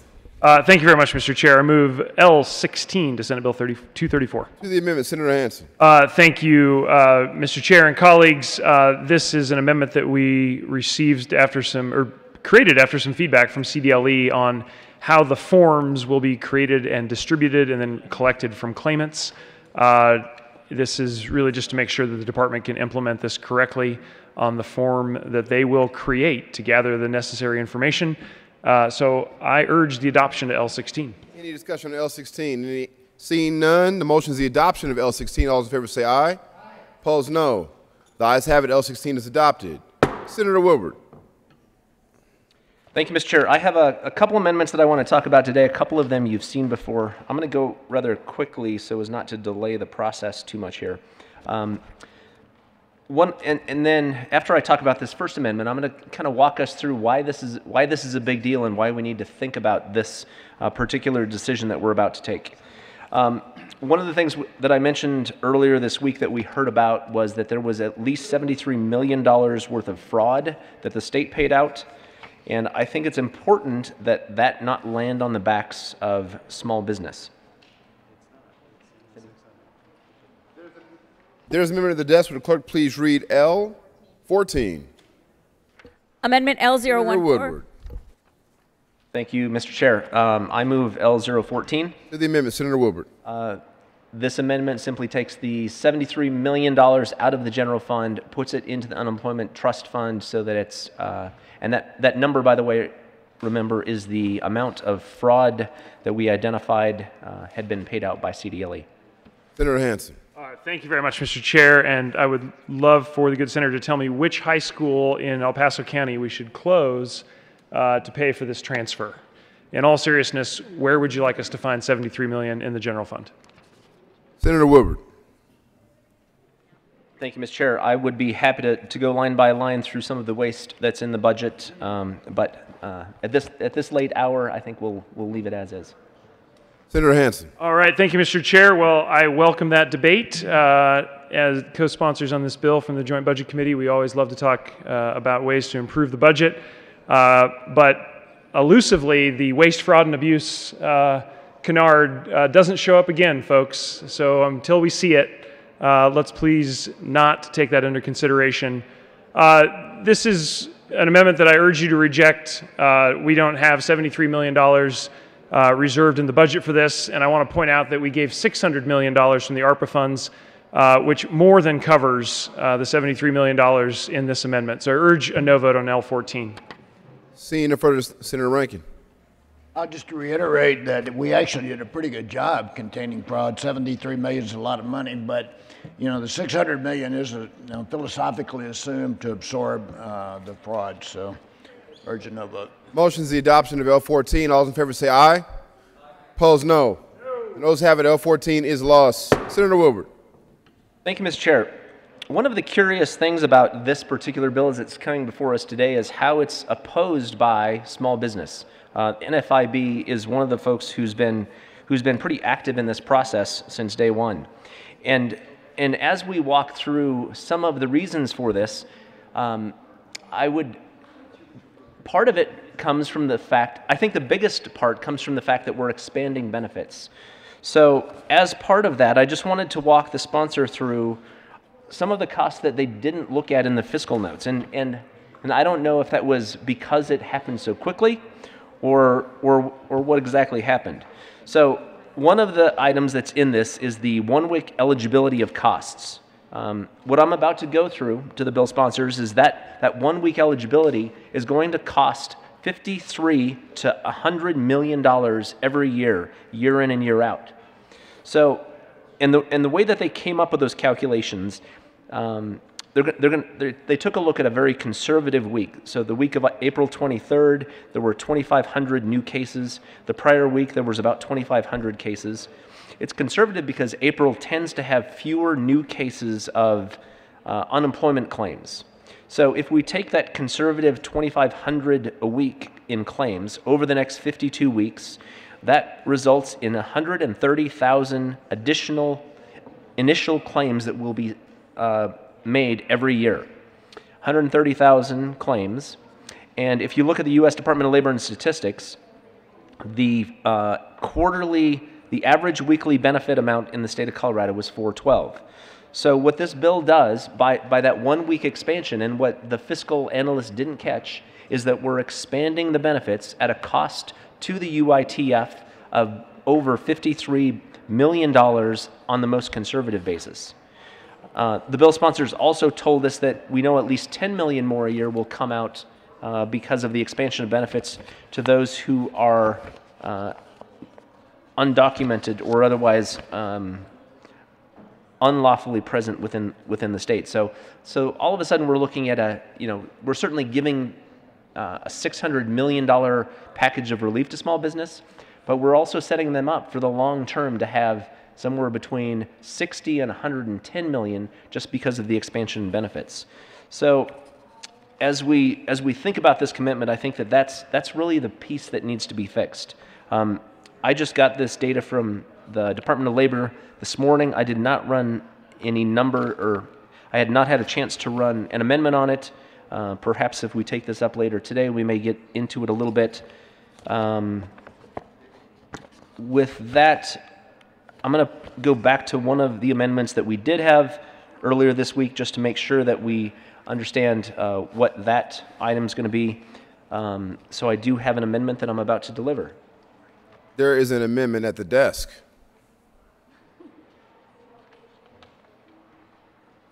Will the clerk please read Amendment L 11? Amendment L011 by Senator Senator Woodward. Woodward. Thank you, Mr. Chair. I move Amendment L011. To the amendment, Senator Woodward. Thank you, Mr. Chair. And again, uh, this gets at uh, opening up uh, a, a new benefit that will further drain the UITF and put uh, more uh, burden on the backs of uh, employers, job creators, and small business. Strikes strikes a line on page seven and replaces it with that if you are if you want to be eligible, you have to be lawfully present within the state.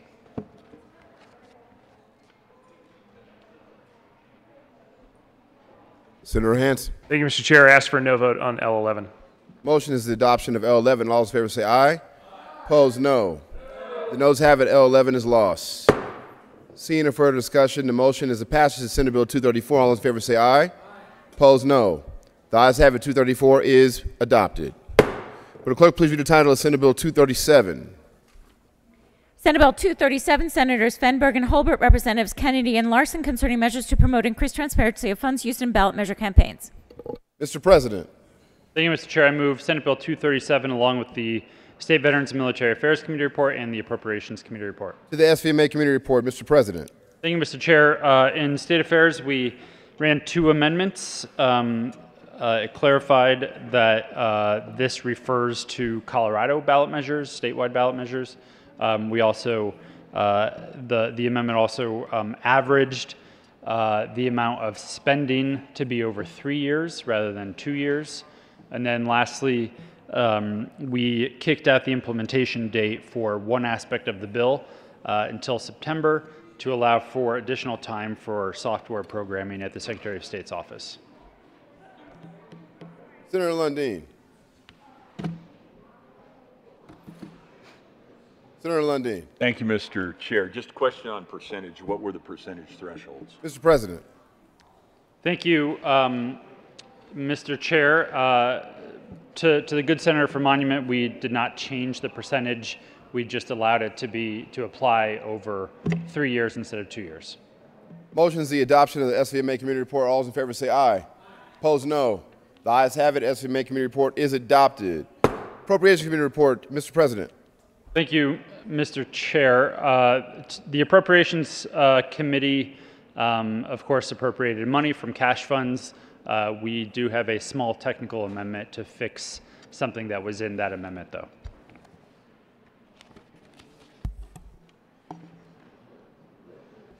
The motion is the adoption of the Appropriations Committee uh, Report. All those in favor say aye. Opposed, no. The ayes have it, and the Appropriations Committee Report is adopted. There is an amendment of the desk. Would the clerk please read L four? Amendment L004, Mr. Senator President. Fenberg. Thank you, Mr. Chair. I move L4. L four, Mr. President. Thank you, Mr. Chair. This uh, simply uh, fixes uh, an error in the J amendment in appropriations this morning and sends the money to the correct line items uh, for the cash funds. Uh, It was sent to the wrong line items. Motion is the adoption of L four. All those in favor say aye. Opposed, no. The ayes have it. L four is adopted. To the bill, Mr. President. Thank you, Mr. Chair. Uh, members, this is a, a, bill that came out this morning on the consent calendar. Um, obviously, we needed to take it off to do that one fix. Um, this is uh, a bill that I think provides more clarity for organizations, for those who participate in ballot measures, uh, to, to ensure that folks know what the rules are and how things are going to be calculated so they stay within the lanes of, of what is legal and, and, and also to provide uh, transparency to voters and folks who are receiving some of these communications to know where that spending and that money is coming from and urge, urge an I vote. Motion is the adoption of 237. All those in favor say aye. Opposed, no. The ayes have it. Senate Bill 237 is adopted. Clerk, please read the title of House Bill 1354. House Bill 1354, Representatives Lindsay and Michaelson Jenet, Senator Winter concerning mental health and workers' compensation cases. Senator Winter. Thank you, Mr. Chair. I move for the passage of House Bill 1354 And the Business, Labor, Technology Committee report. and the Business, Labor, and Technology Committee report. To the BLT Committee report, Senator Winter. In BLT, we made sure that uh, employers had the information they need to abide by safety standards. Motion is the adoption of the BLT Committee report. All those in favor say aye. Opposed, no. The ayes have it, and 13 uh, Business, Labor, Technology Committee report is adopted. To the bill, Senator Winter. Uh, Thank you. This just ensures that um, your mental health records, when it's related to workers' comp, are not uh, given to your employers so that they are kept confidential as they should be. Motion is the adoption of 1354. All those in favor say aye. Opposed, no. The ayes have it, 1354 is adopted. Would the clerk please read the title of the House Bill 1399? House Bill 1399, Representatives Ortiz and Basin Acre, Senator Ginal concerning consumer protection, consumer protection relating to music therapy services. Senator Ginal. Thank you, Mr. Chair. Um, I move uh, House Bill 1399. There are no committee reports. To the bill, Senator Ginal. Thank you, uh, Mr. Chair. Uh, House Bill 1399 is about title protection for music therapists. Music therapists work with our most vulnerable populations. These include those with intellectual and developmental disabilities, autism, patients with Alzheimer's disease, as well as um, patients with um, um, Parkinson's and other uh, types of uh, sensory impairments. They work in a variety of settings. They work in schools and in general hospitals, in rehab facilities, in hospice, in behavioral health facilities, child development centers, private practice, and many, many more areas. Uh, music therapy is even billed frequently under Medicaid. And this bill represents the first step in ensuring that Coloradans have the access to safe, quality, compassionate care by ensuring that only those who are appropriately credentialed are allowed to call themselves music therapists.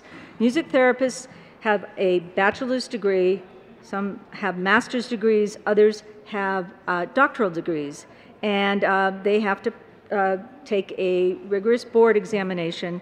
So they just want title protection as music therapists, and um, so that someone can't profess that uh, they are a music therapist unless they have been properly credentialed by the Certification Board for Music Therapists. Uh, CSU has a wonderful program for music therapists.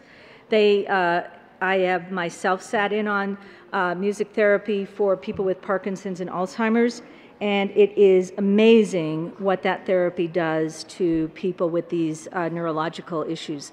So um, I ask for your support on uh, House Bill 1399 and allow the uh, uh, making sure that music therapists are properly con- credentialed. Motion is the adoption of 1399. Senator Lundeen. Thank you, Mr. Chair. Um, I appreciate so very much the, the good senator bringing the bill. Um, as, as, I read the bill and contemplated the bill, um, I engaged first kind of in a public safety um, set of filters in my mind. Um, is, does, is there a potential risk of abuse? Um, could someone, someone perhaps with uh, intellectual disabilities, something of that nature, could they find themselves in a situation where they are being abused? I was trying to determine in my mind the need for the bill because the bill creates a crime. I mean, uh, there is a deceptive trade practice, which is a crime. We're talking about creating new criminals should people run afoul of this. And so started thinking through.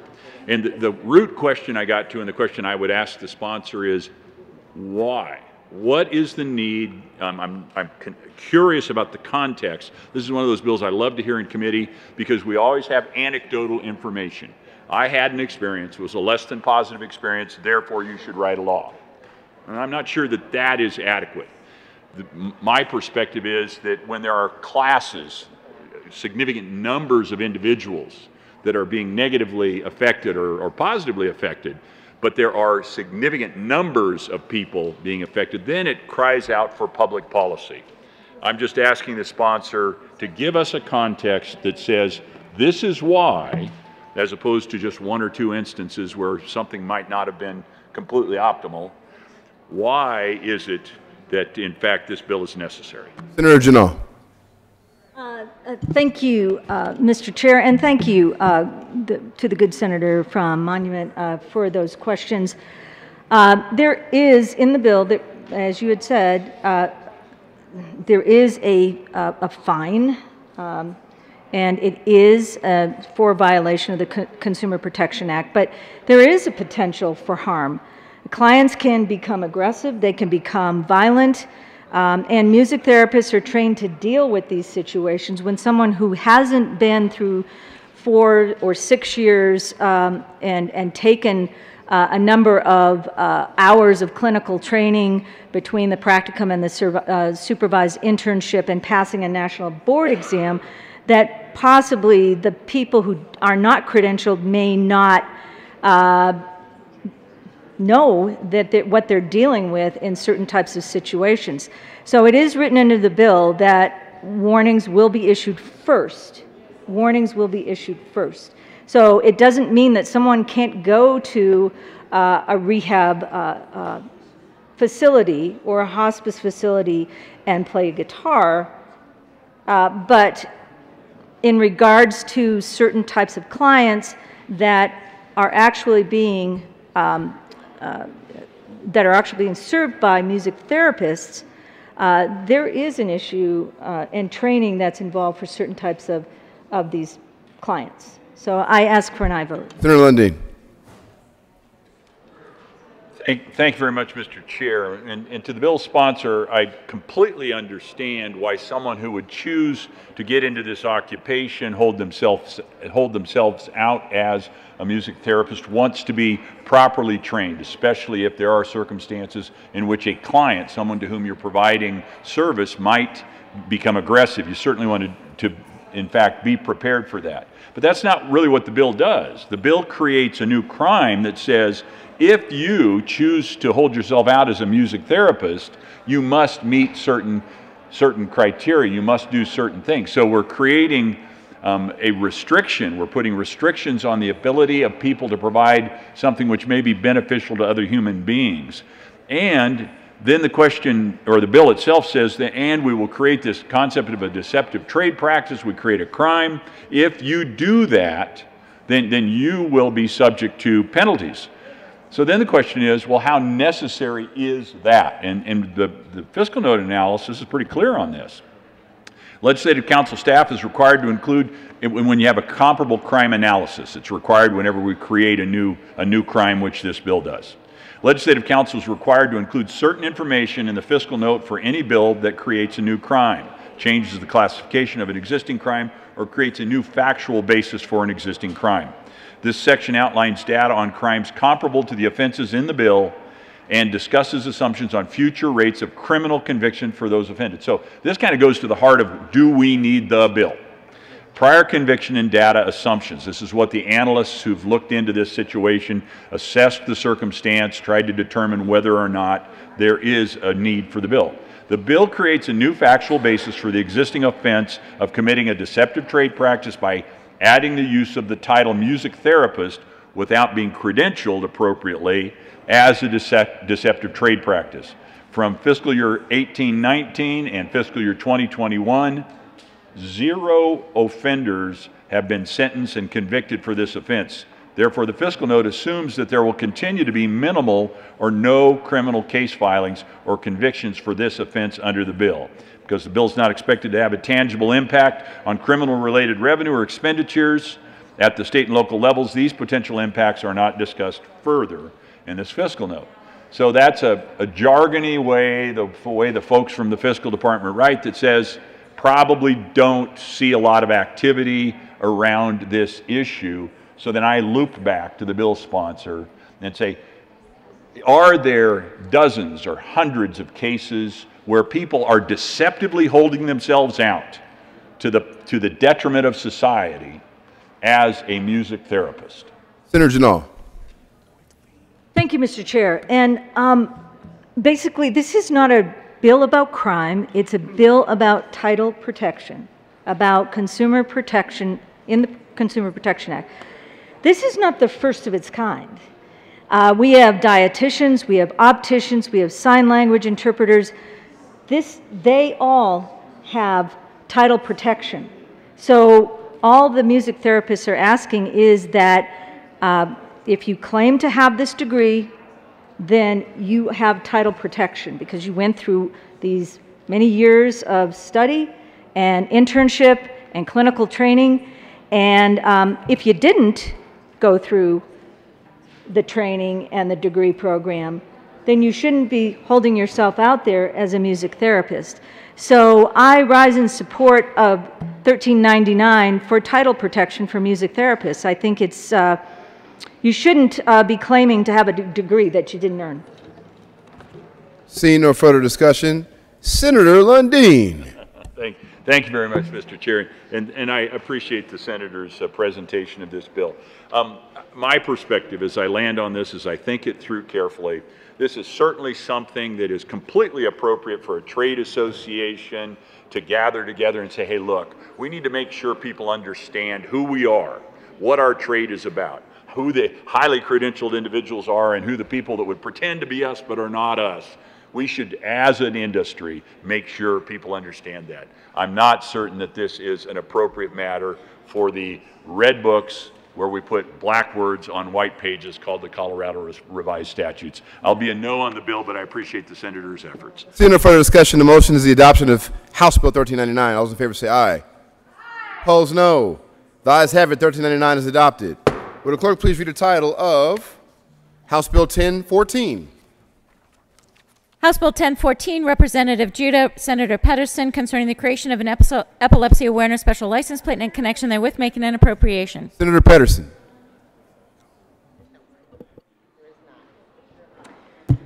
Thank you. I move House Bill 1014. To the bill, Senator Pettersen.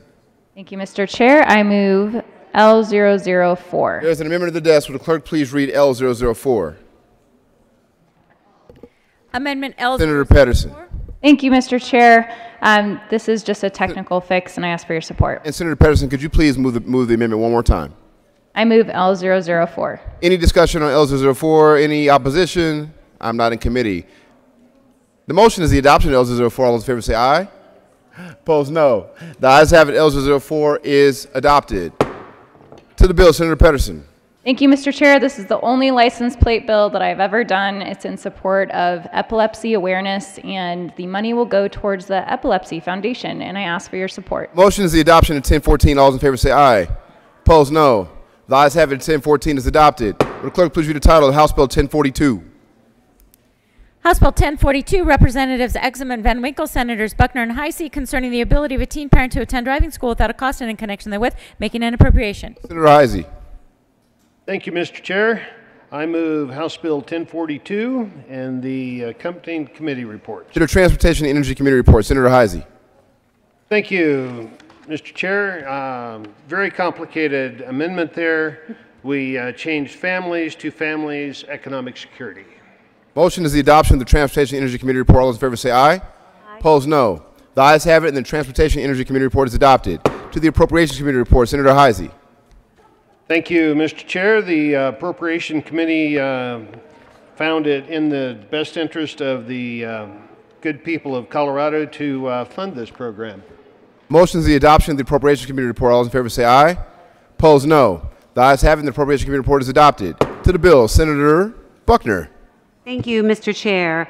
Um, I am pleased to co-sponsor this bill with my dear senator um, because this is concerning the ability of teen parents to attend driving school without having to pay.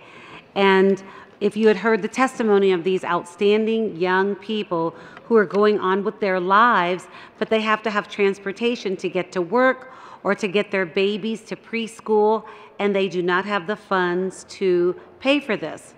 I told Senator Hisey that I wish I were a philanthropist and that I could provide cars for these young people as well, but maybe we can do that at some other time. But this is an outstanding bill hel helping teen parents be responsible in getting their driver's license without having to pay for it or without having to pay for driving school. So I'm asking for a aye vote on this important piece of legislation. Any further discussion? Senator Hisey. Thank you, Mr. Chairman. Uh, as we know, the, the um, responsibility largely falls to the mother. Uh, this bill does include uh, either parent, and as one of the young ladies uh, told me later, that the, the father of her baby uh, was the one responsible and took the responsibility to get her to and from school so she could graduate. Urge and I vote. Motion is the adoption of 1042. All those in favor say aye. Aye. Opposed, no. The ayes have it. 1042 is adopted. Will the clerk please read the title of House Bill 1056?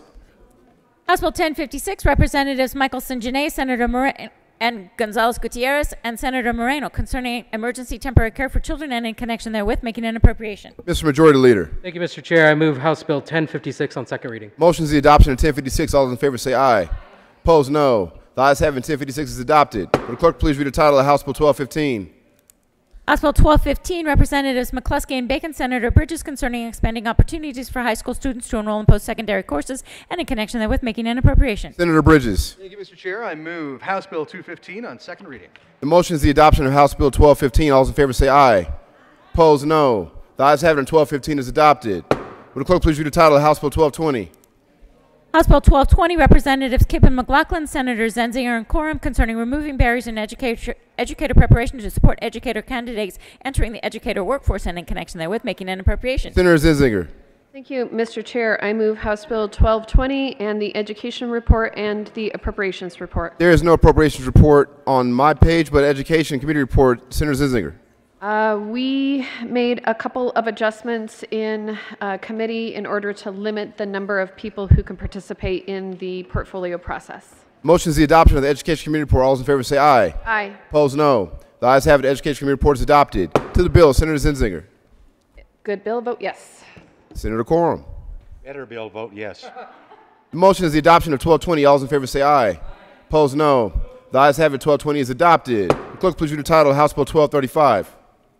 House Bill 1235, Representatives McCormick and Catlin, Senator Ginal, concerning the continuation of the regulation of veterinary practice by the State Board of Veterinary Medicine and in connection therewith implementing the recommendations of the 2021 Sunset Report on the Colorado Veterinary Practice Act by the Department of Regulatory Agencies, adding registration requirements for veterinary technicians, adding veterinary technicians to the State Board of Veterinary Medicine, allowing certain unlicensed individuals to administer rabies vaccinations, and making an appropriation. Senator Ginal.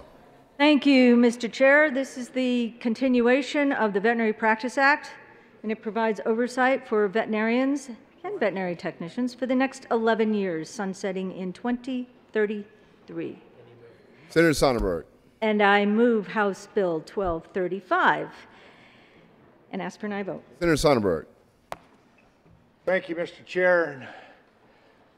Although I love my veterinarians, this process needs changed, and this sunset did not change that process. This process that we have now gave us Ellen Kessler, gave us radicals, quite frankly, that have no business serving on a vet board. This whole process, not only for this sunset, for a number of these appointments, need changed. And it needs change so we take the activists out of this process and allow people that actually have skin in the game or understand this process to be a part of it. This sunset continues the same appointments, the same board members. I would argue that we should reject this. And quite frankly, if I remember correctly, it doesn't sunset until 23. I may not, I may not have that right. And bring it back next year with some proper thought and consideration. Do not follow the, regu- uh, the recommendations uh, from the state and come up with our own process. Ask for a no vote. Motion is the adoption of 1235. All those in favor say aye. Opposed, no. The ayes have it. 1235 is adopted. Will Clerk, please read the title of House Bill 1267. House Bill 1267, Representatives Valdez A. and Basenaker, Senators Ginal and Fields concerning culturally relevant training available to healthcare professionals and in connection therewith making an appropriation. Senator Ginal, when she comes back to the well for House Bill 1267.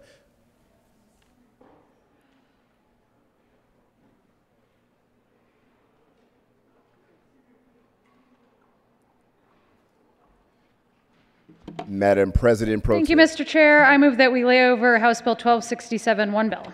Motion is to lay over House Bill 1267 on one bill, for one bill. All those in favor say aye. Opposed, no. The ayes have it. In 1267, we laid over one bill. Will the clerk please read the title of House Bill 1278?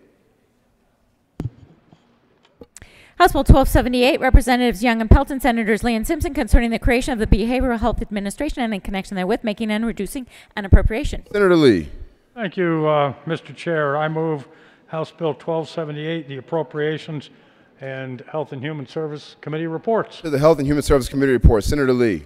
The Health and Human Services Committee had an extensive hearing. They made 10 amendments on the bill, all of which um, were passed and accepted to make the bill better, clarifying responsibilities, um, resolving conflicts, and making some technical corrections. Move for adoption of the HHS report. Motion is the adoption of the HHS report. All those in favor say aye. Aye. Opposed, no. The ayes have it, and the Health and Human Service Committee report is adopted. To the Appropriations Committee report, Senator Simpson. Thank you, Mr. Chair. So the appropriations report did have a sponsor amendment uh, to eliminate the authorization of the opioid and other substance use disorders study committee to allow it to, to wait one more year before they engaged in that and also did the traditional appropriation of the appropriate amount of appropriate money to support the BHA. The motion is the adoption of the Appropriations Committee report. All those in favor say aye. Aye. Opposed, no. The ayes have it, and the Appropriations Committee report is adopted. To the bill, Senator Lee. Uh, Thank you, Mr. Chair. The Behavioral Health Administration bill implements the recommendation from a year ago to create a behavioral health administration in Colorado to provide um, uniform care, consistent care, available care for um, behavioral health, substance abuse disorders statewide, so that people in all areas of the state have access to behavioral health. It uh, sets up a crisis system and enables participation by uh, populations throughout the state to, again, to access care. Senator Simpson. Thank you, Mr. Chair. So, the Behavioral Health Administration, House Bill 1278 is, uh, follows um, suit as my, the good senator from El Paso County referenced, years of work. It's a culmination of years of engagement and planning from stakeholders, behavioral health experts, and the legislature. It really started in September of 2020 with the Behavioral Health Task Force report, which detailed recommendations about how about the need and the necessity for improving behavioral health care in Colorado.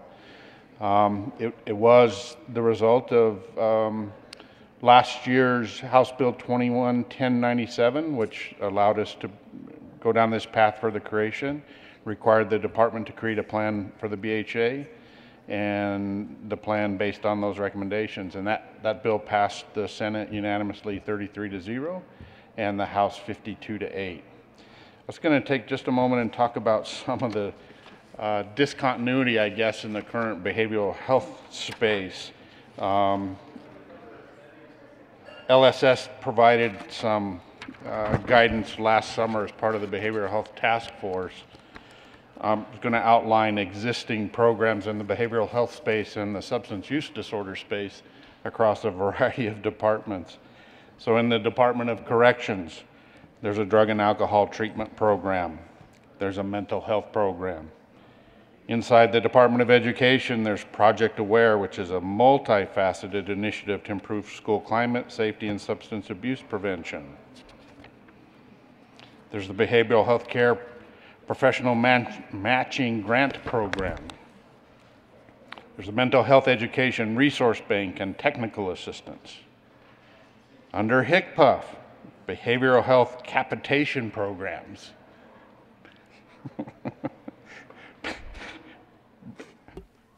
The motion Sorry.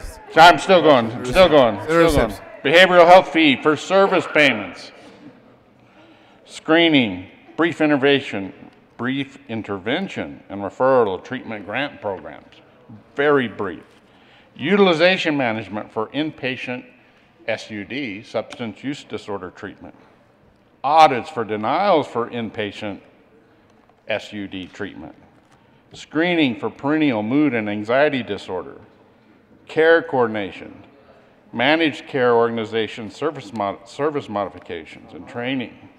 Then on, the Department of Higher Education has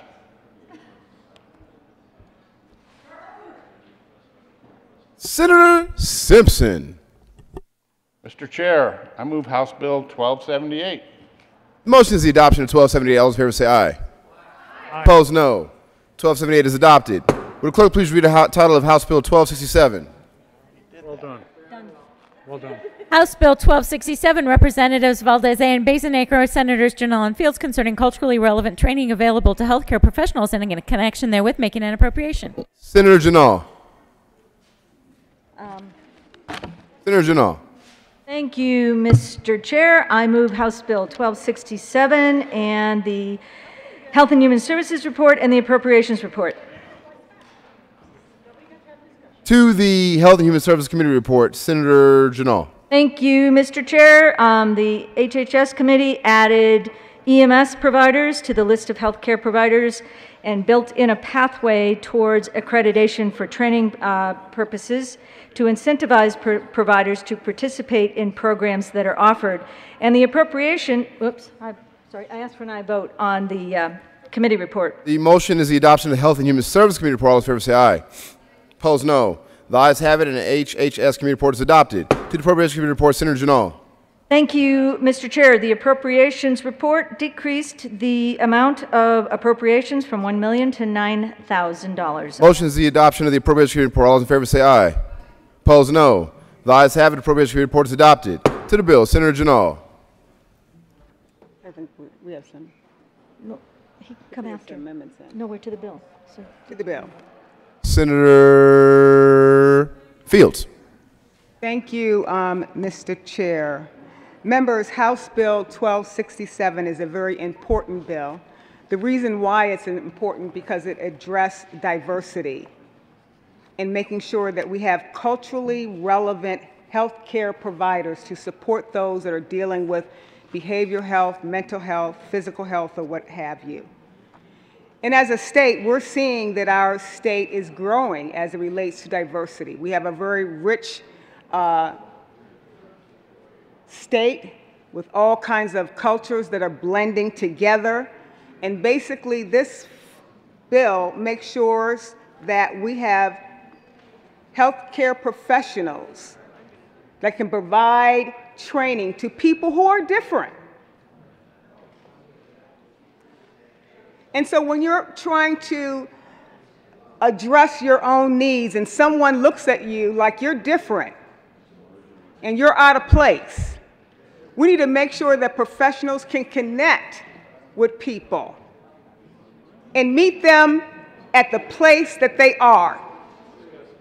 That means that we need providers to be open and receptive to put their biases somewhere else when they're having a face-to-face discussion and conversation about the issue that someone is bringing to them. So if you are a black woman, an Asian woman, and the list goes on and on and on, then you need to be able to meet them where they are.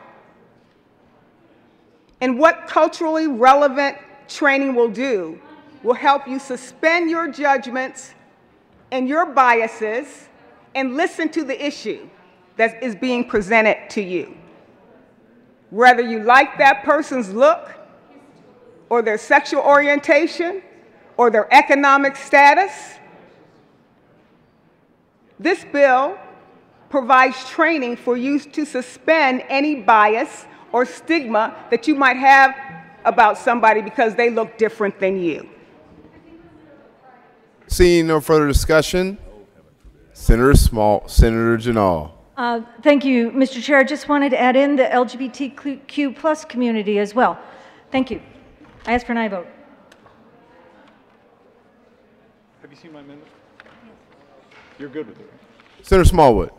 Um, thank you, Chair. Uh, thank you, Mr. Chair. Thank you, colleagues. So, um, really interesting um, discussion about uh, this bill. And there's several pieces in here where I um, really support the bill.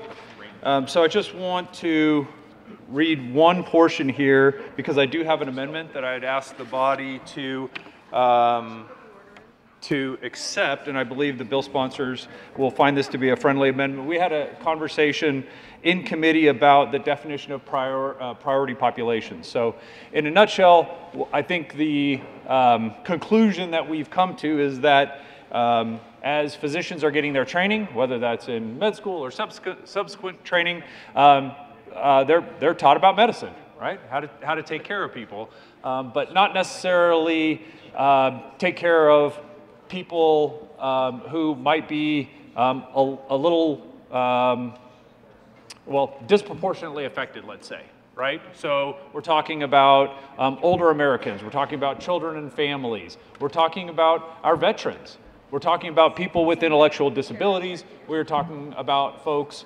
um, regardless of their uh, gender identity and sexual orientation. So because, um, again, not everybody is the same, making sure that there are resources there to um, have those providers trained in a broader spectrum, I think is a good thing. Um, so one question that I had in committee and that I've been speaking with the bill sponsors about is um, one term, which I believe is becoming antiquated, which is people of color. Um, and wanted to know if we might want to hone in on that term and perhaps uh, modernize it. Um, secondly, is um, specifying um, people who are lesbian, gay, bisexual, transgender, queer, or questioning. And as you know, in that category, that's a definition that we see um, expanding um, almost every year, certainly every few years. So with that, I would introduce Amendment 11. There's an amendment of the desk. Would the clerk please read L 11? Senator Smallwood.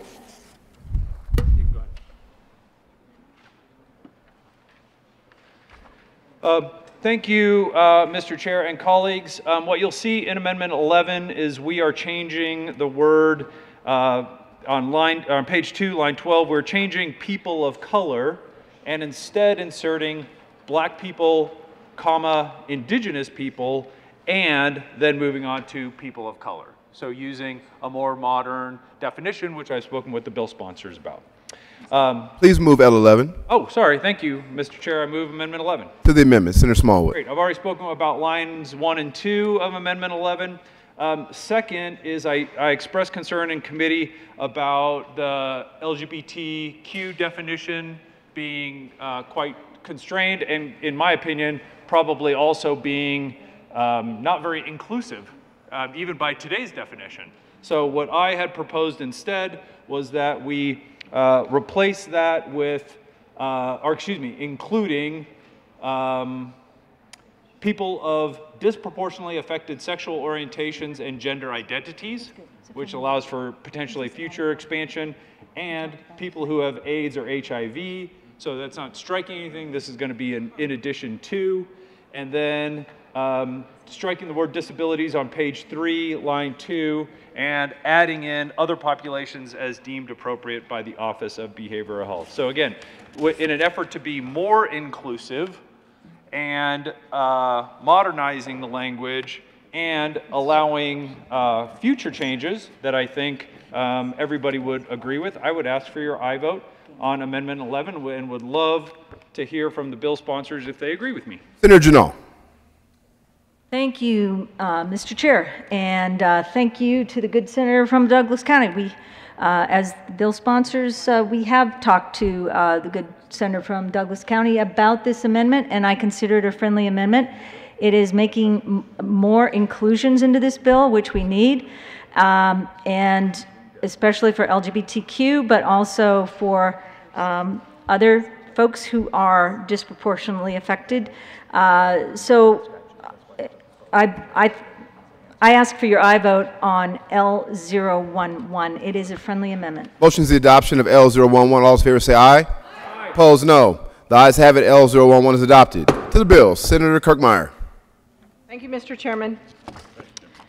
Um, I rise in opposition to this bill, and I get it, and I appreciate some of the changes that have been made, um, especially with the definition regarding priority populations, because originally it just said means priority populations identified by the Office of Behavioral Health in its 2020 Behavioral Health Needs Assessment, which nobody really knew what that was.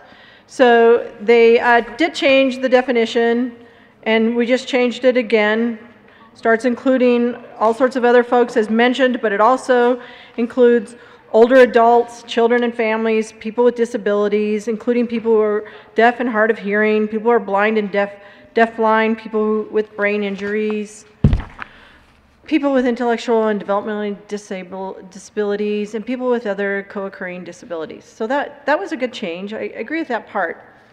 Here's, here's why I rise in opposition to the bill, though. And we heard that this is an important bill. And I'm sure it is for some people, but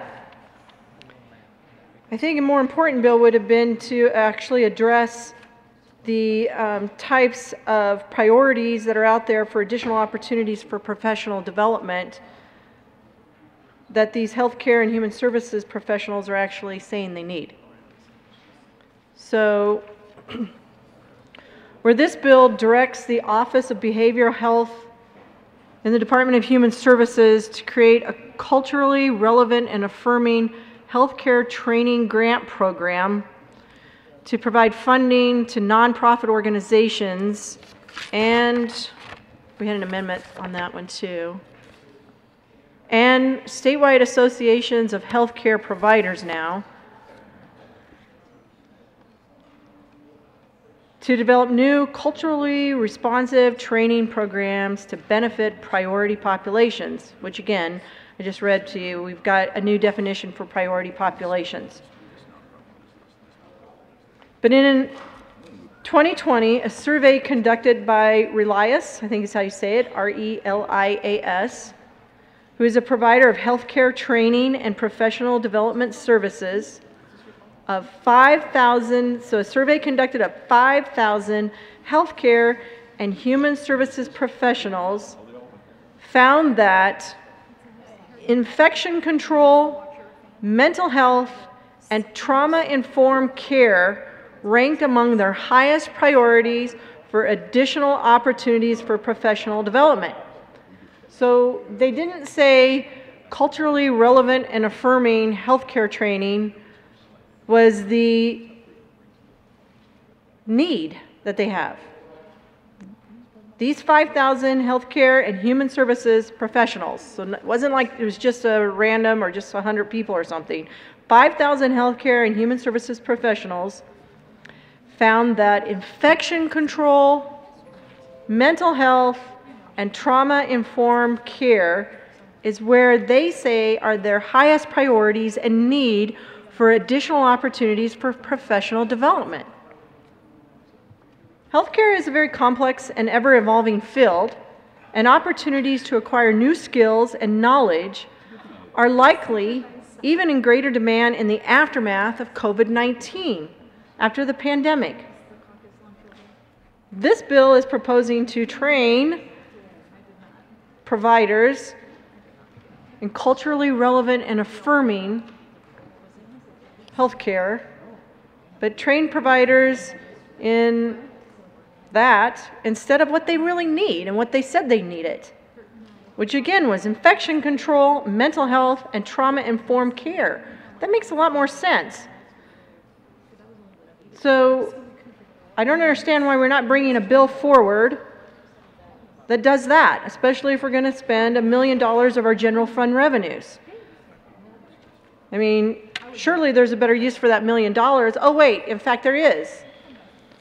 The good senator from Denver kept asking us where do we get the money for some of the questions and things that were proposed this morning related to unemployment or related to backfill. So, well, here's the first million. Here's where we can get the first million dollars, right here. This is the bill that can start us down the pathway of finding the money we need for other important programs or important programs that we actually have within the state, that we actually have an obligation to fund, that actually meets what are some of our highest priorities. So I'm a no vote on this bill because, again, we're creating a training grant program for a million dollars to define and develop new programs for culturally relevant and affirming healthcare training when what the healthcare and human services professionals are asking for is infection control, mental health, and trauma informed training as their highest priority. I ask for a no vote. Senator Lundeen. Thank you very much, Mr. Chair, and I believe that uh, the super able um, assignables clerks are grabbing me a copy of the amendment that just got on. Um, I, it's a, I wanted to speak to that uh, simply because it feeds into the broader question I have, which, and here it is. Thank you very much, Madam Secretary.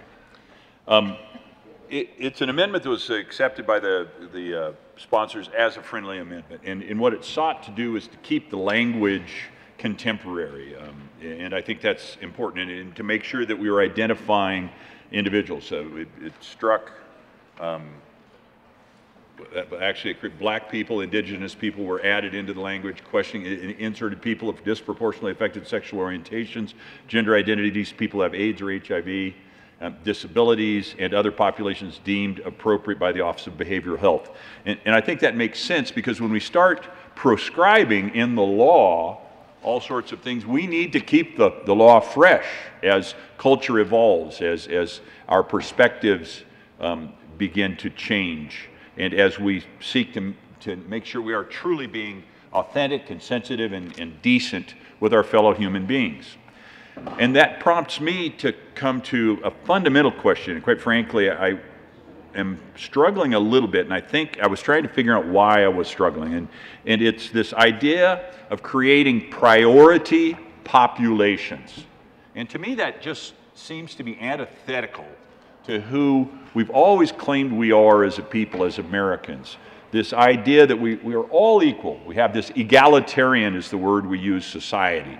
We, we all, no matter who we are or how we present or where we come from, we always want everyone to have an equal opportunity. We call it a meritocracy.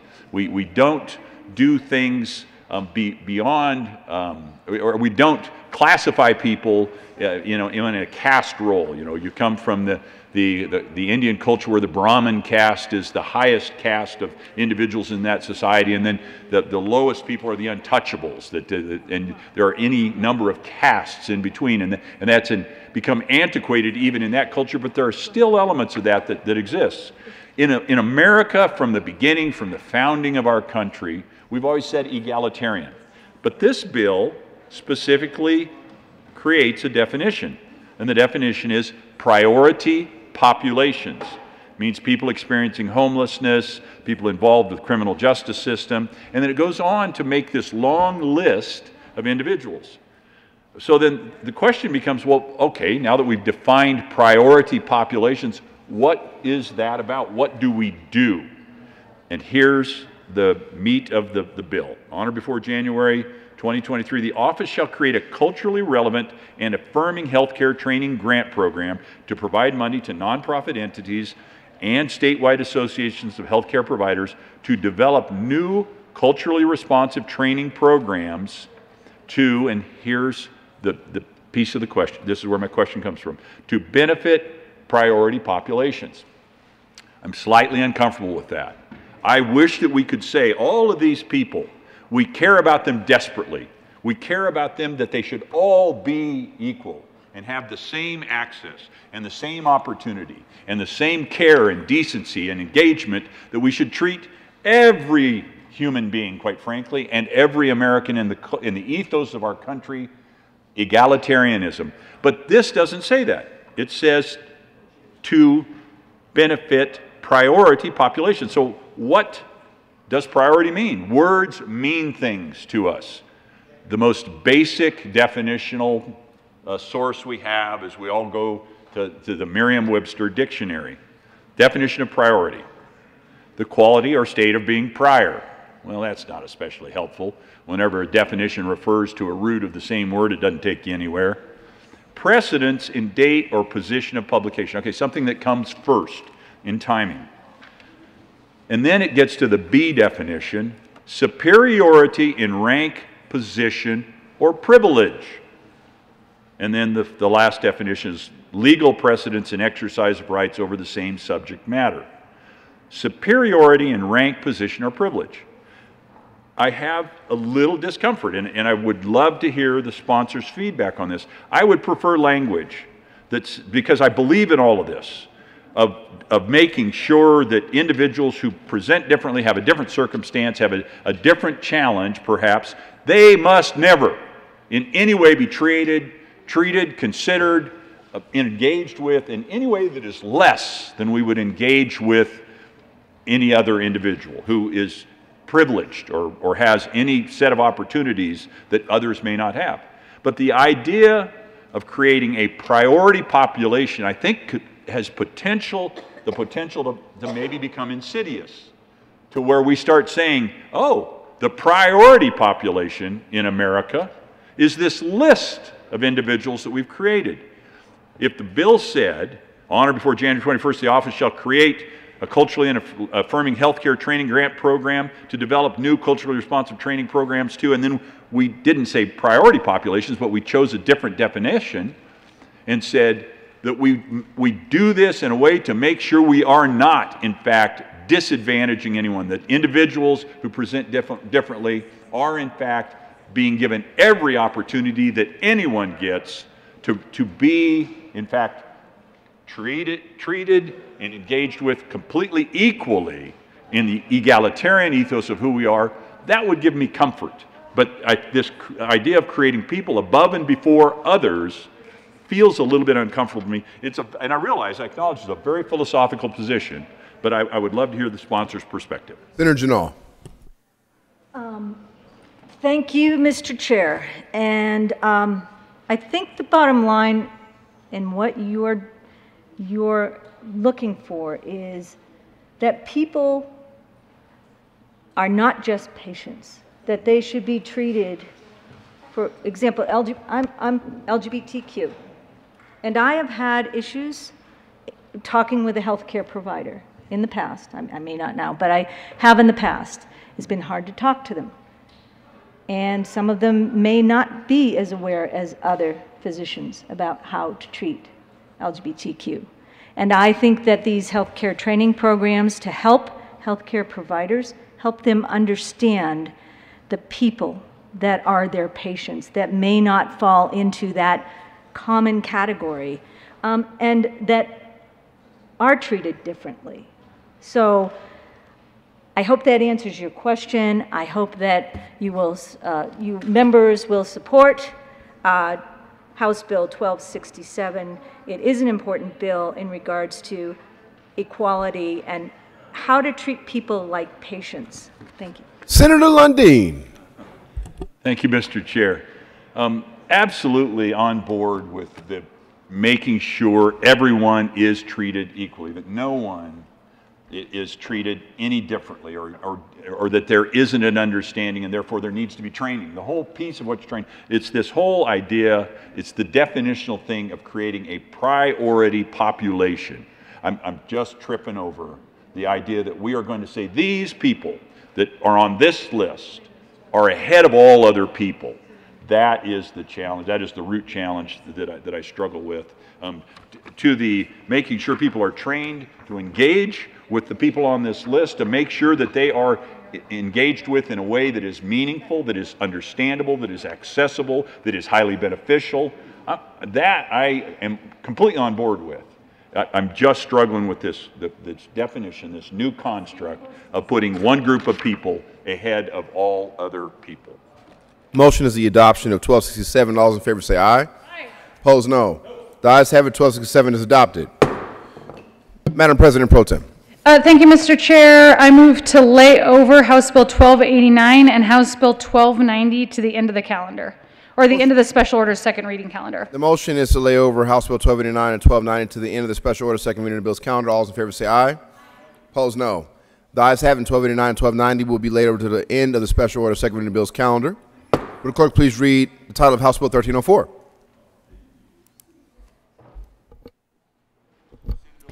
House Bill 1304, Representatives Roberts and Bradfield, Senators Coleman and Gonzales, concerning state grants for investments in affordable housing at the local level and in connection therewith creating the Local Investments in Transformational Affordable Housing Grant Program and the Infrastructure and Strong Communities Grant Program to invest in infill infrastructure projects that support affordable housing and making an appropriation. Senator Gonzales.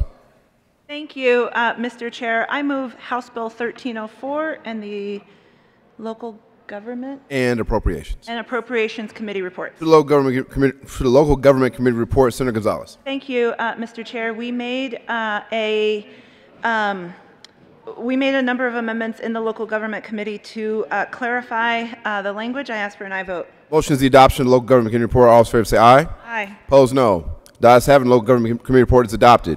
To the appropriation committee report, Senator Gonzales. Thank you, Mr. Chair. In the Appropriations Committee, we appropriately appropriated the bill. Motion is the adoption of the Appropriations committee report. All those in favor say aye. Aye. Opposed, no. The ayes have it. The appropriation committee report is adopted. To the bill, Senator Gonzales. Thank you. I ask for an aye vote. Senator Lundeen. Thank you very much, Mr. Chair. House Bill 1304. Yeah? 1304? Uh, We're moving so fast, I want to make sure I was on the right bill. The bill proposes to spend almost $178 million provided to the state through the Federal American Rescue Plan, the ARPA money. So this is part of the multiple billions we're spending um, in this session on housing and infrastructure projects. The lack of affordable housing in the state has indeed reached a crisis point. According to a study by the Common Sense Institute of Housing Development in Colorado, the state has over 175,000 fewer housing units than needed to restore its historical population to housing ratio, and the history of that ratio is established between 1986 and 2008. So between 1986, four years after I graduated, five years after I graduated from college, until just before the Great Recession, we established a ratio. X number of people, Y number of houses. That's what we found to be reasonably comfortable in Colorado, or at least it was sustainable at that point. We are 175,000 housing units short of that to get that ratio back at least to that level, which probably did have some discomfort to it. To close this deficit and account for projected population growth, the state will need to add over 54,000 housing units a year through 2026. The local investments and transformational affordable housing grant program could be a solution to the housing deficit. However, however, we must ask if the preferences built into the bill for rigidly defined income thresholds will catalyze the increased level of home building necessary to do so. To build a home and sell a home is a pretty risky proposition. It takes a willingness to deploy capital, to invest capital, frequently to take on debt. These projects are so big, a home for any of us is so big we just don't write the check out of the checking account to buy a house. You mortgage it, there's debt involved. It's a big proposition. And there are rigid income categories created. For the, as for the Infrastructure and Strong Communities Grant Program, it is a little bit unusual to see a proposal to invest more dollars in infrastructure development after the passage of Senate Bill 21 260 and rulemaking in the Department of Transportation that could shift some $6.7 billion by 2050 away from road and highway construction necessary to support the demand for these housing units. Instead of new grant programs, perhaps we simply should use our transportation funding as it's intended to be built, used to build roads, bridges, and highways, because if you can't get to the homes and people can't come and go, then the construction of those homes becomes superfluous or not meaningful in the marketplace. Um, I rise in opposition to this bill. Senator Liston. Um, I have to ask the chair before I leave and say thank you as the chair changes. Will we be moving with alacrity, sir? As always. Thank you, Mr. Chair. Senator Liston. Thank you, Mr. Chair. Uh, members, um, uh, we heard this bill in local government here a couple of weeks ago, and I appreciate the intent and the desire of the good senators from Denver and Denver. Um, uh, and as I was listening to the bill, and you look at the fiscal note and the discussion on the bill, is uh, you know certainly uh, it's well known that Colorado has a housing problem, and it's also an affordability problem. And in fact, just today, in the local Gazette newspaper uh, in my community, Colorado Springs, uh, real estate prices, home prices have escalated even more so. In fact, I think the figure is $60,000 more than what they were a year ago. Uh, so, you know, and that's true all up and down the front range. It's true in many parts of Colorado. And, you know, um, as I've said repeatedly, you know, I, I can appreciate the fact that we're wanting to uh, encourage people uh, uh to uh, be able to have their housing and so forth. But you know, uh, owning that, uh, buying the house is the easy part.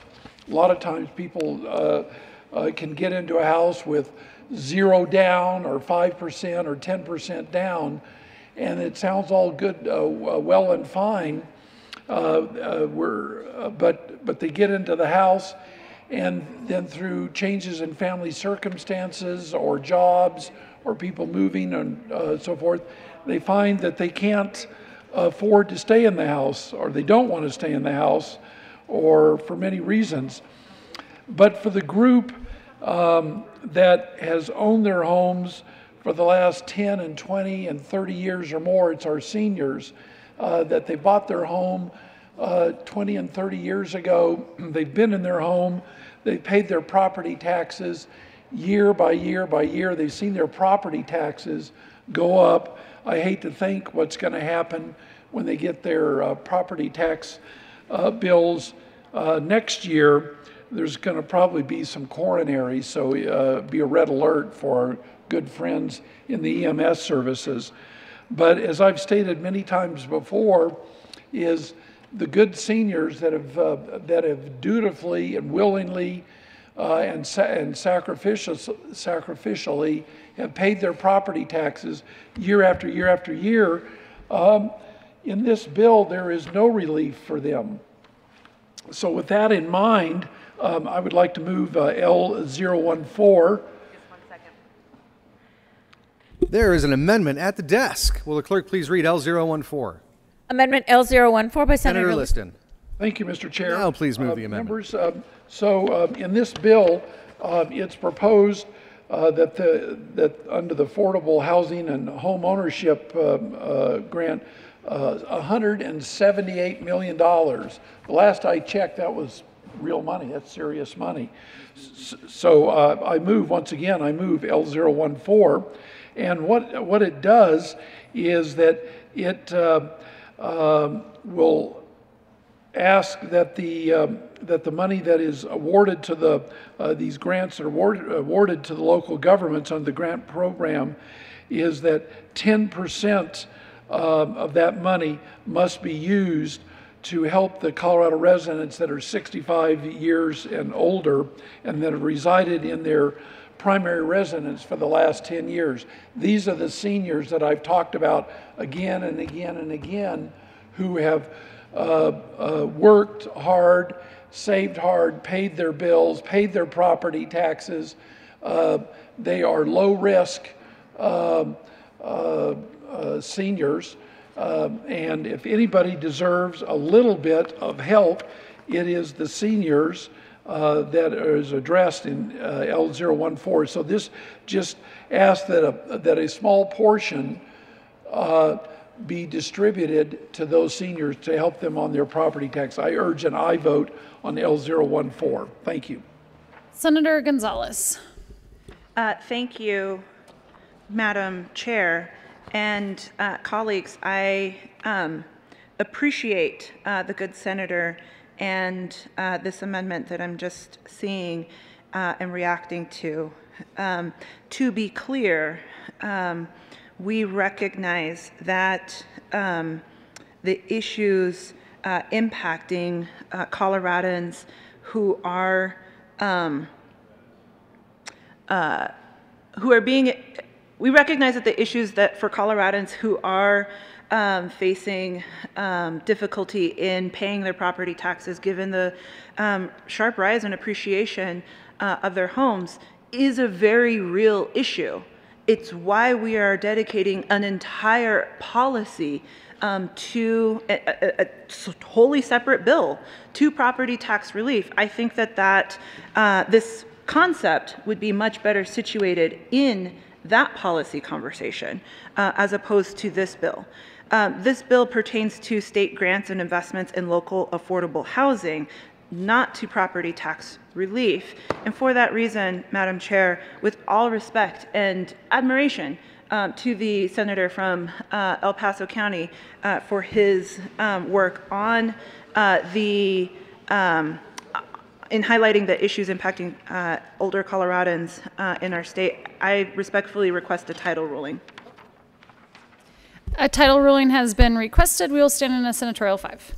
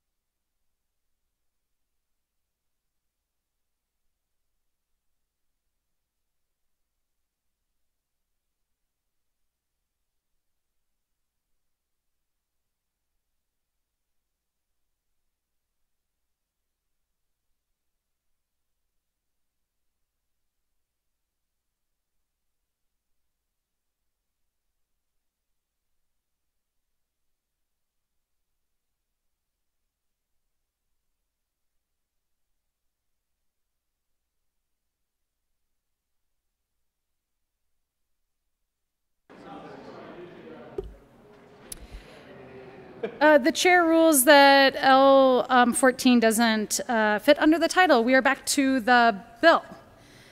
Seeing no further discussion, Senator Lundeen to the bill. Right? Actually, I really, no, I'll, I'll go. Thank you. Okay, so without seeing any further discussion, the motion before the body is the adoption of House Bill 1304. All those in favor say aye. Opposed, no? No. The ayes have it, and 1304 is passed. Will the clerk please read the title to 1318? House Bill 1318, Representative Benavides and Senator Fields concerning the extension of the Law Enforcement Public Safety and Criminal Justice Information Sharing Grant Program deadline. Madam President Pro Tem, Thank you, Mr. Chair. I move the bill lay over one bill. we move House Bill 1318 lay over uh, one bill. All those in favor say aye. Those opposed, no. The ayes having 1318 will lay over one bill. Will the clerk please read the title of House Bill 1325? House Bill 1325, Representatives Kennedy and Caraveo, Senator Ginal concerning alternative payment, payment models for primary care services and in connection therewith making an appropriation. Senator Ginal. Uh, Thank you, Mr. Chair. I move House Bill 1325 and the Health and Human Services Report, as well as the Appropriation Report. The HHS Committee Report, Senator Ginal. Thank you, Mr. Chair. Um, The committee just uh, added that, uh, change that providers and carriers are included in the stakeholder process, and that there is confidential and proprietary information, and that remains confidential, and I ask for an aye vote. Motion is the adoption of the HHS Committee Report. All those in favor say aye. Opposed, no. The ayes have it, and the Health and Human Services Committee Report is adopted. To the Appropriations Committee Report, Senator Ginal. Thank you, Mr. Chair. Um, I move the appro- appropriations report, and the appropriations is basically a technical change in the appropriations report to change uh, to the Department of Personnel, and I ask for an aye vote. Motion is the adoption of the Appropriations Committee Report. All those in favor say aye. Opposed, no. The ayes have it, and the Appropriations Committee Report is adopted. There's a member of the desk. Would the clerk please read L17? Amendment L017, Senator Amendment L017, Senator Ginal, amend the Health and Human Services Committee. Senator Ginal. Uh, Thank you, Mr. Chair. I move L017. To the amendment, Senator Ginal. Thank you, Mr. Chair. What L017 does is it makes minor technical changes and wording that was requested by the Division of Insurance. It also makes uh, DOI uh, sure that they can accurately implement the bill, and it also makes sure that stakeholders, insure, insurers, and providers, both of them, have been consulted and, and are in agreement with the changes. I ask for your support for L017. Senator Lundeen. Oh, Senatorial 5 has been requested. And we'll take a Senatorial 5.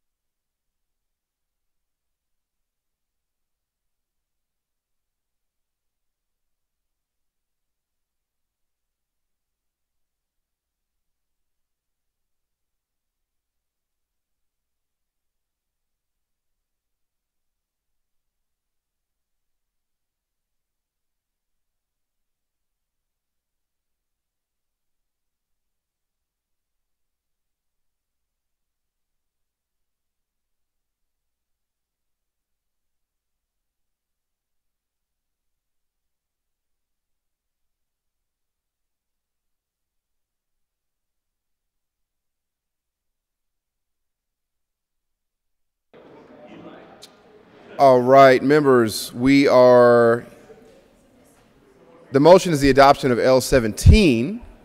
All those in favor say aye. Opposed, no. The ayes have it, L17 is adopted. Any further discussion on House Bill 1325? Senator, Senator Ginal. Uh, Thank you, Mr. Chair. I move House Bill 1325. Uh, What this does is it continues the same great payment reform work that was done about three years ago with the creation of the Colorado's Primary Care Payment Reform Collaborative. The collaborative is a group that includes providers, it includes patients, and health insurance plans, and is facilitated by the, Depart- the Division of Insurance. They've been studying ways to improve Colorado's outdated fee-for-service payment system and improve pr- primary care, and this is the next step in payment reform conversations. I ask for an aye vote. Senator, Small, Senator Lundeen. Thank you, Mr. Chair. Um, So 1325 requires the Division of Insurance to collaborate with the Department of Health Care Policy and Financing, the Department of Personnel, and the Primary Care Payment Reform Collaborative to develop and create rules for alternative payment model parameters for primary care in the commercial health insurance market, which will be effective um, out in 2025, January of 2025 uh, but uh, it would be only on plans issued and renewed at that point. The division is also required to develop and periodically update a set of core behavioral health performance monitoring system, comprehensive behavioral health safety net system, regionally based uh, behavioral health administrative service org- organizations, and the BHA as the licensing authority for all uh, behavioral health um, entities and the BHI Advisory Council to provide feedback to the BHA on the behavioral health system in the state. The bill transfers to the Department of Public Health and Environment a responsibility for community prevention and early intervention programs previously administered by the department. And um, for me, the most interesting aspect of the bill is exactly that last piece, the, the uh, devolution to the local um, previously state-held activities and, and efforts. Um, I, I'm, I have challenges, questions about the bill, um, but I am not as expert as perhaps others, um, so I'll just register for the record. This is a, a lukewarm no from me. Thank, thank you, Mr. Chair. Senator Smallwood. Um, Thank you, Mr. Chair, and colleagues, this is, this is such an interesting topic. So um, I, I have to be honest, I really, really did not like this bill as introduced, um, which is only unfortunate because conceptually I really like it. Um, it- But like what we do here so often, the devil is often in the details.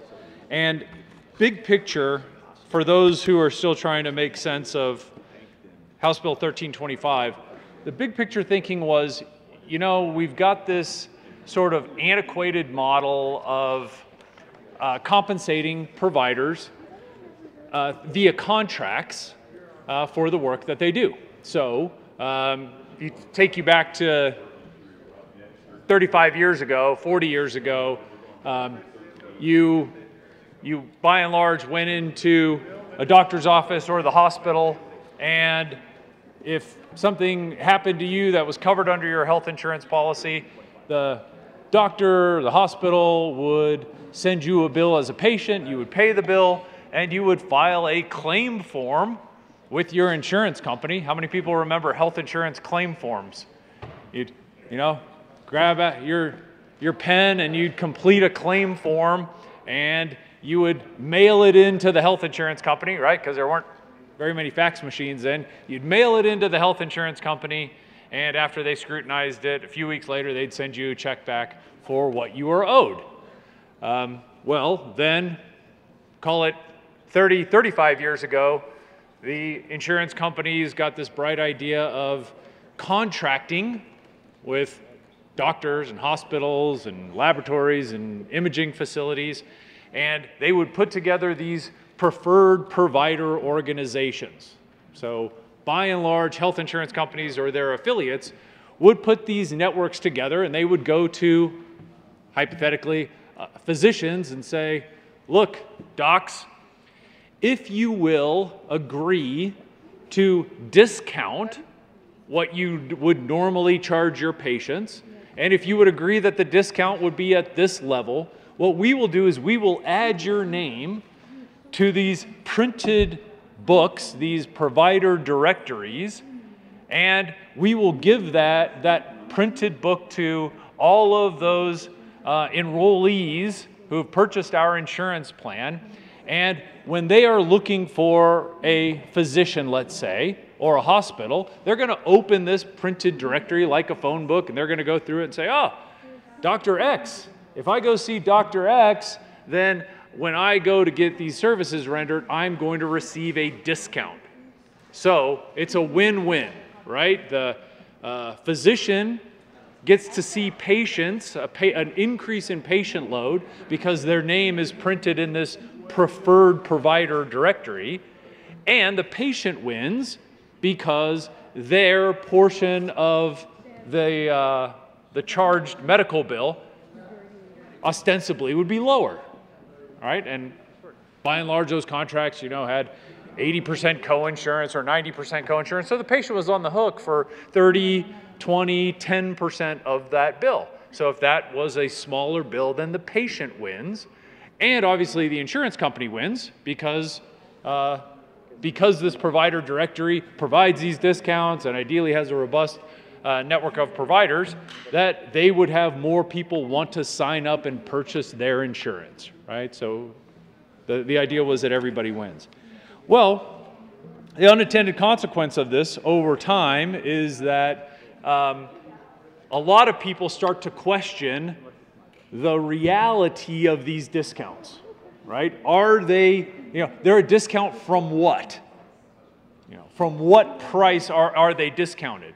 And what we've heard from patients now for years, if not the last couple of decades, is, you know, these discounts aren't really all that they're cracked up to be because physicians, let's say, or hospitals are just artificially inflating the non discounted number so that the discounted number is really the number that they feel it should have been all the time. And there is now this perceived disincentive of providers being perhaps encouraged to provide maybe even unnecessary work.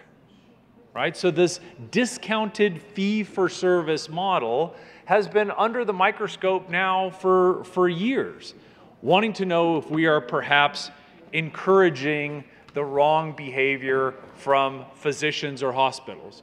And as a slight aside, colleagues, who would blame them? Who would blame a physician in our litigious society when faced with a binary choice of either providing too much care maybe that extra lab test, maybe that extra scan, maybe that extra scope, maybe one more visit to the specialist, right? This is the kind of stuff that if I was a physician, I would certainly think to myself, hey, if I want to protect myself from a medical malpractice lawsuit, it's probably a good thing for me to better be safe than sorry and perhaps order these tests. And oh, by the way, I get paid extra every time I do that. So not only do I have money coming in the front door if I order that extra test, order that extra scanner scope, but I'm also protecting myself, my practice, my partners, my employer, potentially from medical malpractice lawsuits. So, colleagues, what we've done is we've built this system under discounted fee for service where now the question is is it win win? Does anybody win under a, under a situation like this? So that's where this concept really intrigued me is saying what a lot of insurance companies have figured out over the last few decades is maybe discounted fee for service isn't the right way to go, and we should be looking at these alternative payment methods. I think the best example would be uh, the only group model HMO in our state. It's been around for, what, 70 or 80 years now. Where they instead said, look, we're going to only contract with one group of doctors. We might not own them, they might not actually work for us, but what we're going to do is try to create some alignment between making sure that we're delivering good care with high patient satisfaction while at the same time not putting these um, misguided financial incentives in for providers where they have to worry about should I order this extra test, should I order this extra scan. And lo and behold, because the model worked, it wasn't too long afterwards that other insurance companies said, hey, maybe we will go to the doctors that we've contracted with and go to them to say, look, why don't we build a different way of compensating you? Something maybe focused on preventive care, for example. So if physician A, physician B can prove to, in this case, let's say the health plan, that hypothetically speaking, the patients that they see have very high levels of mammography, completion of pap tests, completion of prostate screenings.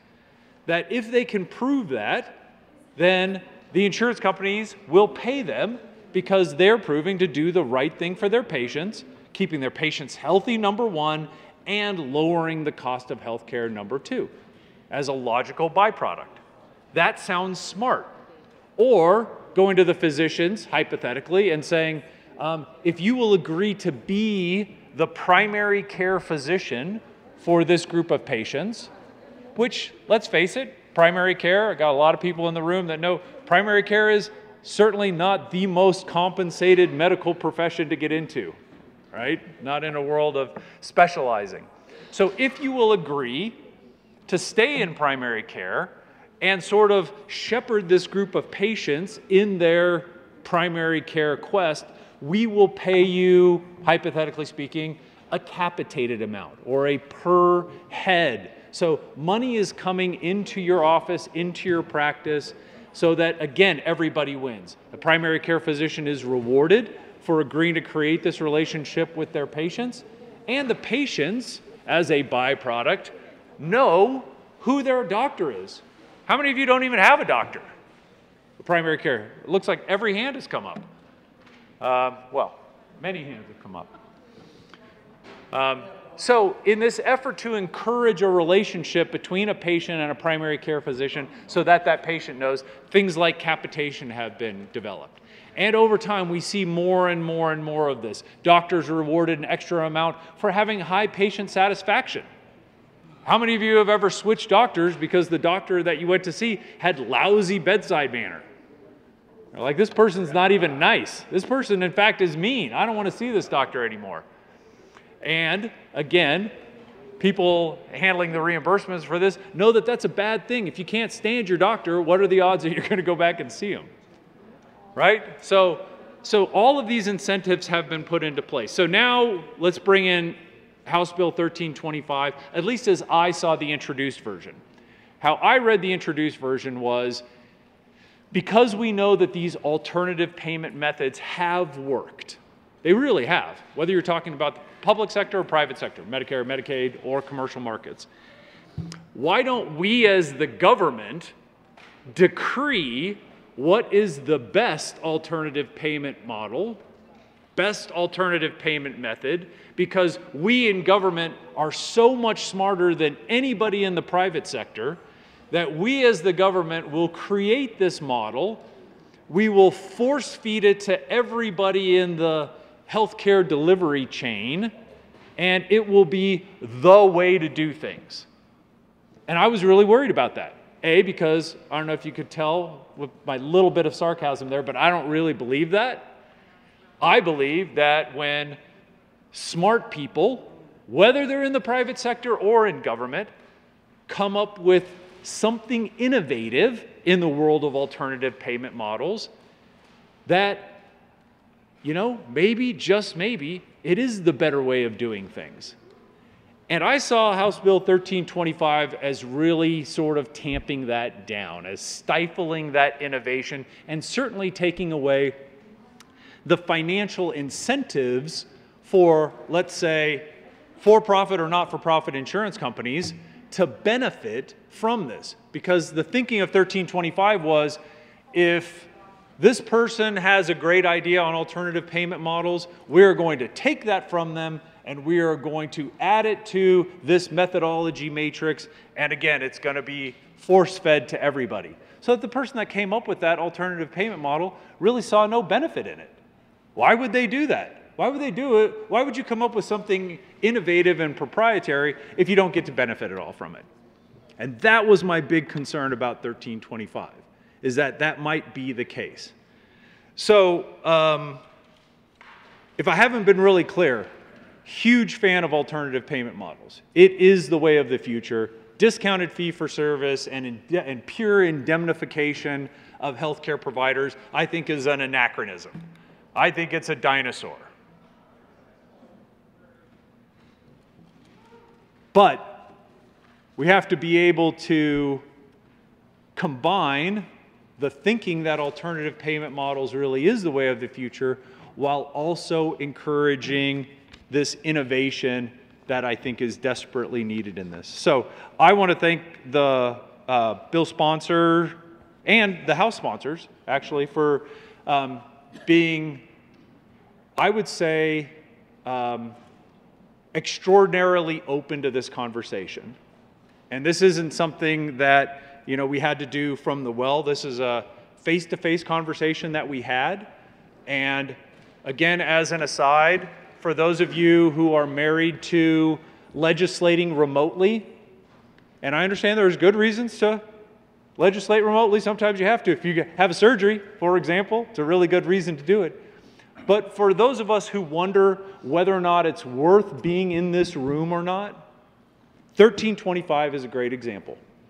Because we were in this chamber, people from both houses and both sides of the aisle, sitting in this chamber talking about good ideas as it relates to this bill. And candidly, colleagues, like I said when we first started deliberating uh, remote uh, legislation, that, that is my fear of this body, is that the conversation that we had might not happen three years from now or five years from now if I'm looking across an, an, empty room and we need to have a conversation where we get people from the House and the Senate and both sides of the aisle together.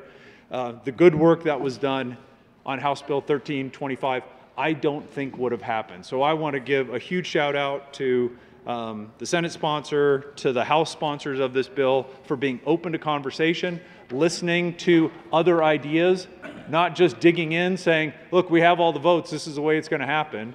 Um, I think much better legislation was created here. Now, what I'm worried about is that this will somehow get um, undone, right? Because we've made changes. It's got to go back to the got to go back to the other chamber, um, where it might not be viewed as uh, necessarily as necessarily as positively as I think all of us here have.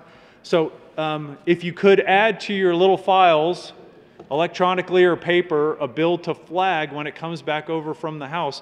1325 will be one of those bills. The sponsors worked, I think, very hard to get this bill into a into what I feel is a really good place. I didn't get everything I wanted, right? That's that's for sure. Um, and I don't know if uh, if the folks on the other side of the aisle did as well. Um, but with the amendments, assuming they stay, I don't really see a reason to do anything other than support 1325 um, don't know for sure that it's necessary, but I really like, like the, the place that the bill is at today. And again, just want to spend a minute on the mic, making sure that the sponsors know that I appreciate their statesmanship in this. Thank you, Mr. Chair. Senator Lundeen to the bill. Thank you very much, Madam President Pro Tem, Madam Chair. Um, so earlier you saw there were an, an array of students. Uh, there were probably 40 or 45 students here that were fifth graders. And frequently we all get an opportunity to have students come in and visit with us. So I'm always glad when they are. And we explain a little bit typically of the process to them. Um, and, it, and it is Byzantine. I mean, if you don't watch the process, participate in it, you don't understand it. But I explained to them that every bill gets three readings um, in each chamber if it's going to succeed. And then if it passes through both chambers and gets rationalized between them, it goes on to the governor for signature. Um, because most people think that this, this second reading, um, as we know it, is the, the, legislating. Most people don't understand that the first reading's perfunctory. It's a read, a read across the desk, bills read across the desk, and assigned to committee where the hearings are held, the discussions happen, and, and the first life, the first uh, challenges, quite frankly, the first um, improvements of legislation come in committee. But the second reading debate is incredibly important as well. Because even though we do an enormous amount of the work of our body in committees, and we each develop expertise in our committees and therefore our areas of specialty and expertise, it's important that each of us develop skills across all of the elements of policy that we deal with, if we in fact do deign to be, endeavor to be better legislators. Well, healthcare is one of those places where I know I need to become a better legislator because it's a critically important policy matter that is generally driven by government. There's a lot of other things that happen in healthcare that are fundamental, that are incredibly important. You know, you've got your basic interaction between a, a doctor and a patient, between a hospital and a patient, between other caregivers and the patient. But um, there we are. The specialists are over there. I'm, I'm going to vamp for a second here as I'm sure to get their attention because I want to learn from them as I seek to be a better legislator with regard to healthcare policy. Healthcare policy is interesting. Um, it's a triangle as I see it. You've got quality, you've got access, and you've got price. And we're always trying to drive the cost down, cost down, cost down. But when you do that, you have an impact on the other two elements of the triangle. You either, as you drive the cost down, get a lower quality, or you get less access. And that's challenging. So that's one of the functional dynamics of healthcare. Another of the functional dynamics of healthcare, people say, well, we, we want to make sure everybody has access to healthcare.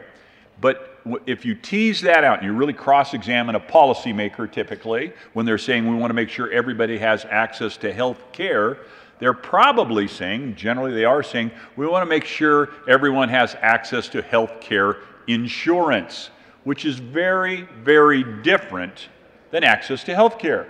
Just because you have insurance doesn't mean you can actually get into the doctor. I've got a daughter in law who is a native Canadian. She's got a green card now.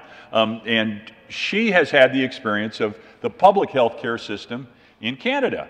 And she would describe the circumstances. Yes, you can always get an appointment. Now, an appointment for your first you know, uh, OB-GYN appointment after pregnancy, maybe 10 months later, but um bum. The, the, the, inherent irony in that is your first, there we go. The first appointment with your OB-GYN when you're pregnant at month 10, you've already delivered the child a month ago, probably not. It's not hopefully that extreme, but the point is you can wait a long time. So access. Here's, I've got the bill sponsor's attention now, I think. I thought I had the bill sponsor's attention.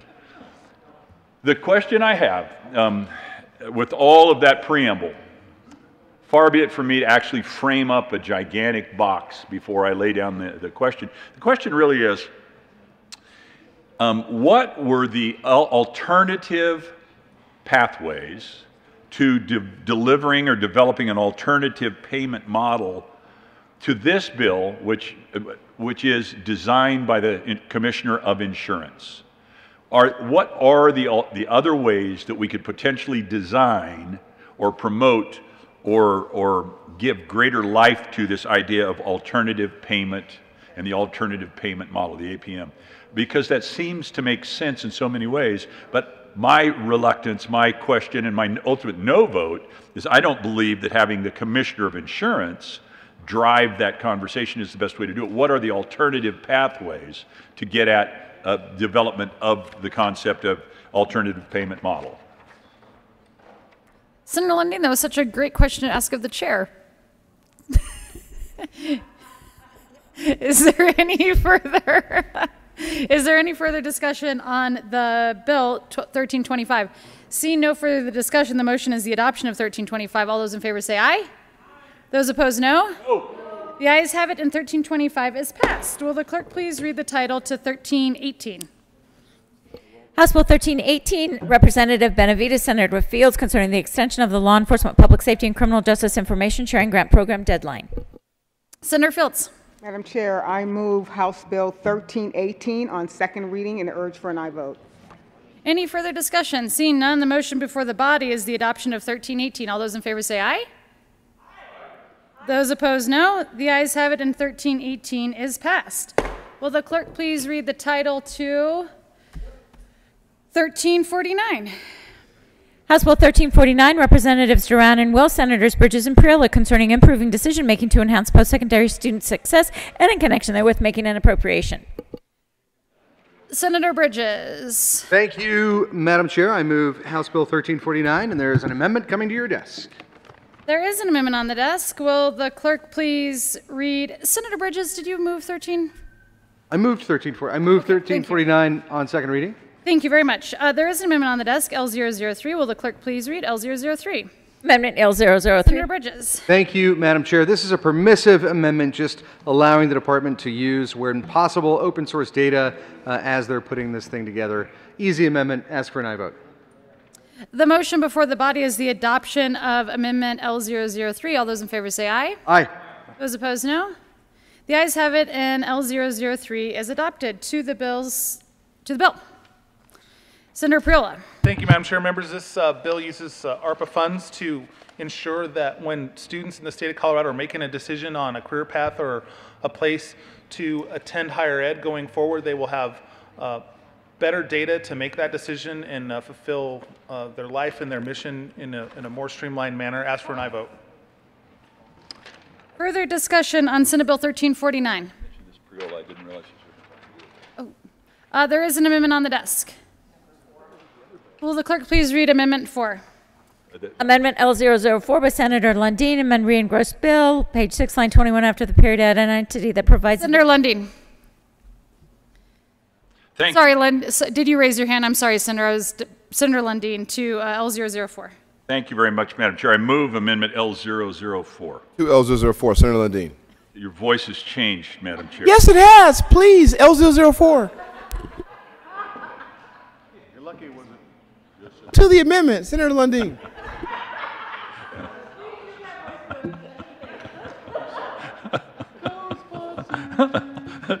I'm sorry. I'm gathering myself here. Um, colleagues, um, years ago, um, the first major piece of legislation I ran as a very young legislator, I ran with a House colleague um, who was a representative from Denver. He's now the Speaker of the House. Um, he and I had shared concerns around the protection of student privacy. The, the reality is, um, we increasingly are defined as individuals by the digital footprint that we leave behind because um, everything we do creates now a digital trail. And it is especially so for students. They take all these actions and we gather information on them. We, being school districts, schools, school districts, the state um, Department of Education, the federal Department of Education. And that information can be used appropriately, obviously, and I believe inappropriately for um, by both big government and big tech or big business. What this amendment seeks to do is make sure that we are providing clear protection for those students um, as we gather information, and, and, this bill has a fairly significant uh, data gathering component to it. So the amendment, if you, if you scroll or flip, depending on whether you're a digital, see here I am, I'm the guy who's the data hawk, and I'm, I'm scrolling because I want to make sure that, that those who watch my metadata, metadata know that I, Lundeen's a quick scroller. He can scroll through the pages real fast.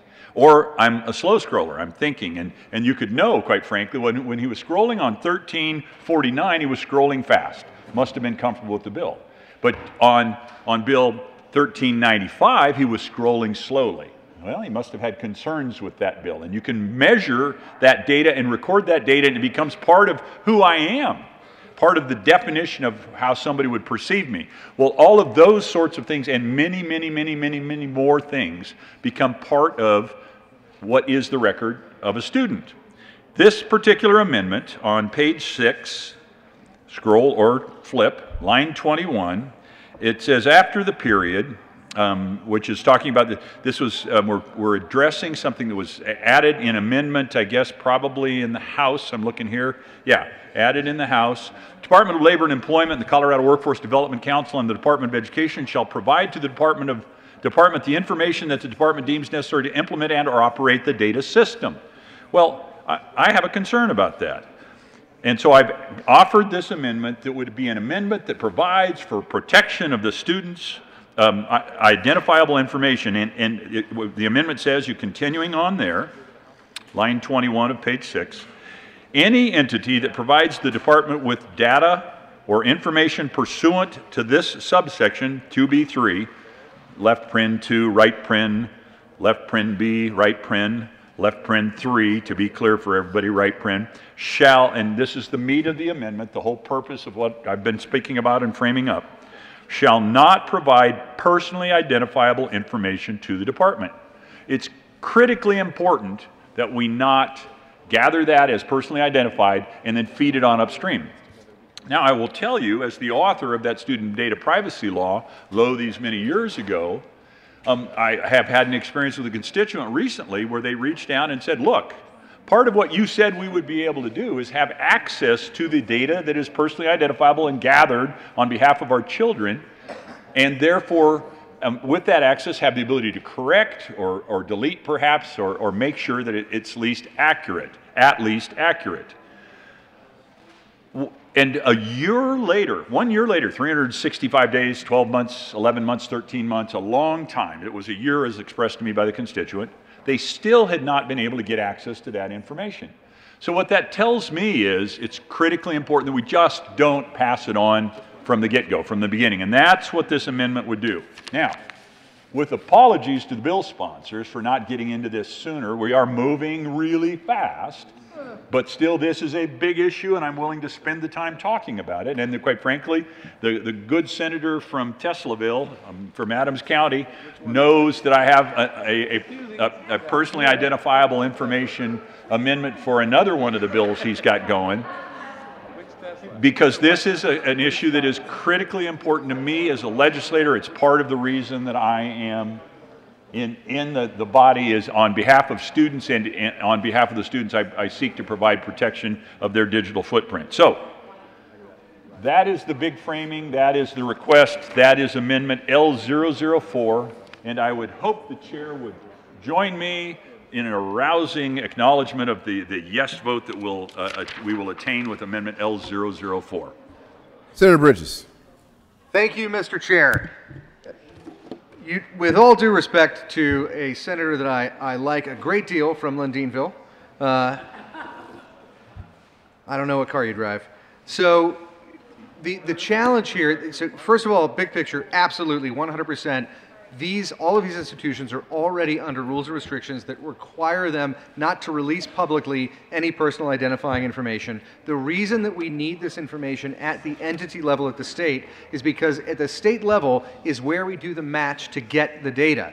We have information from students, there's information from the IRS and from other sources that we use to figure out what the, the return on this investment is one year, five years, 10 years out. If we don't have some of that data at the state level. We can't make that match. We can't produce the data. We can't know which programs are resulting in meaningful improvements to people's lives. That is the entire purpose of this bill, to ensure that our higher education system aligns with what it is that is needed in our communities. Uh, I, I, completely, very much appreciate where this amendment is coming from, but do not believe that it actually accomplishes uh, what it is that this bill sets out to accomplish would undermine it. I ask for a no vote. Senator Lundeen.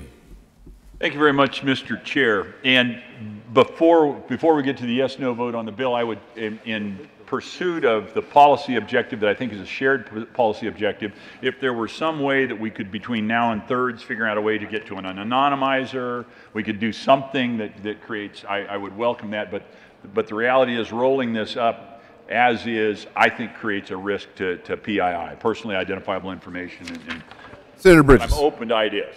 Thank you, Mr. Chair. I'm open to ideas too. I, again, my concern is that because that match happens at the state level, you have to know who the person is. You've got to have personally identifiable information in it at the state level in order to match other information. So happy to continue talking between now and thirds. Uh, not sure if we're just full transparency, not sure we're going to be able to get there because of the work that is done at the state level, um, but happy to continue talking about that.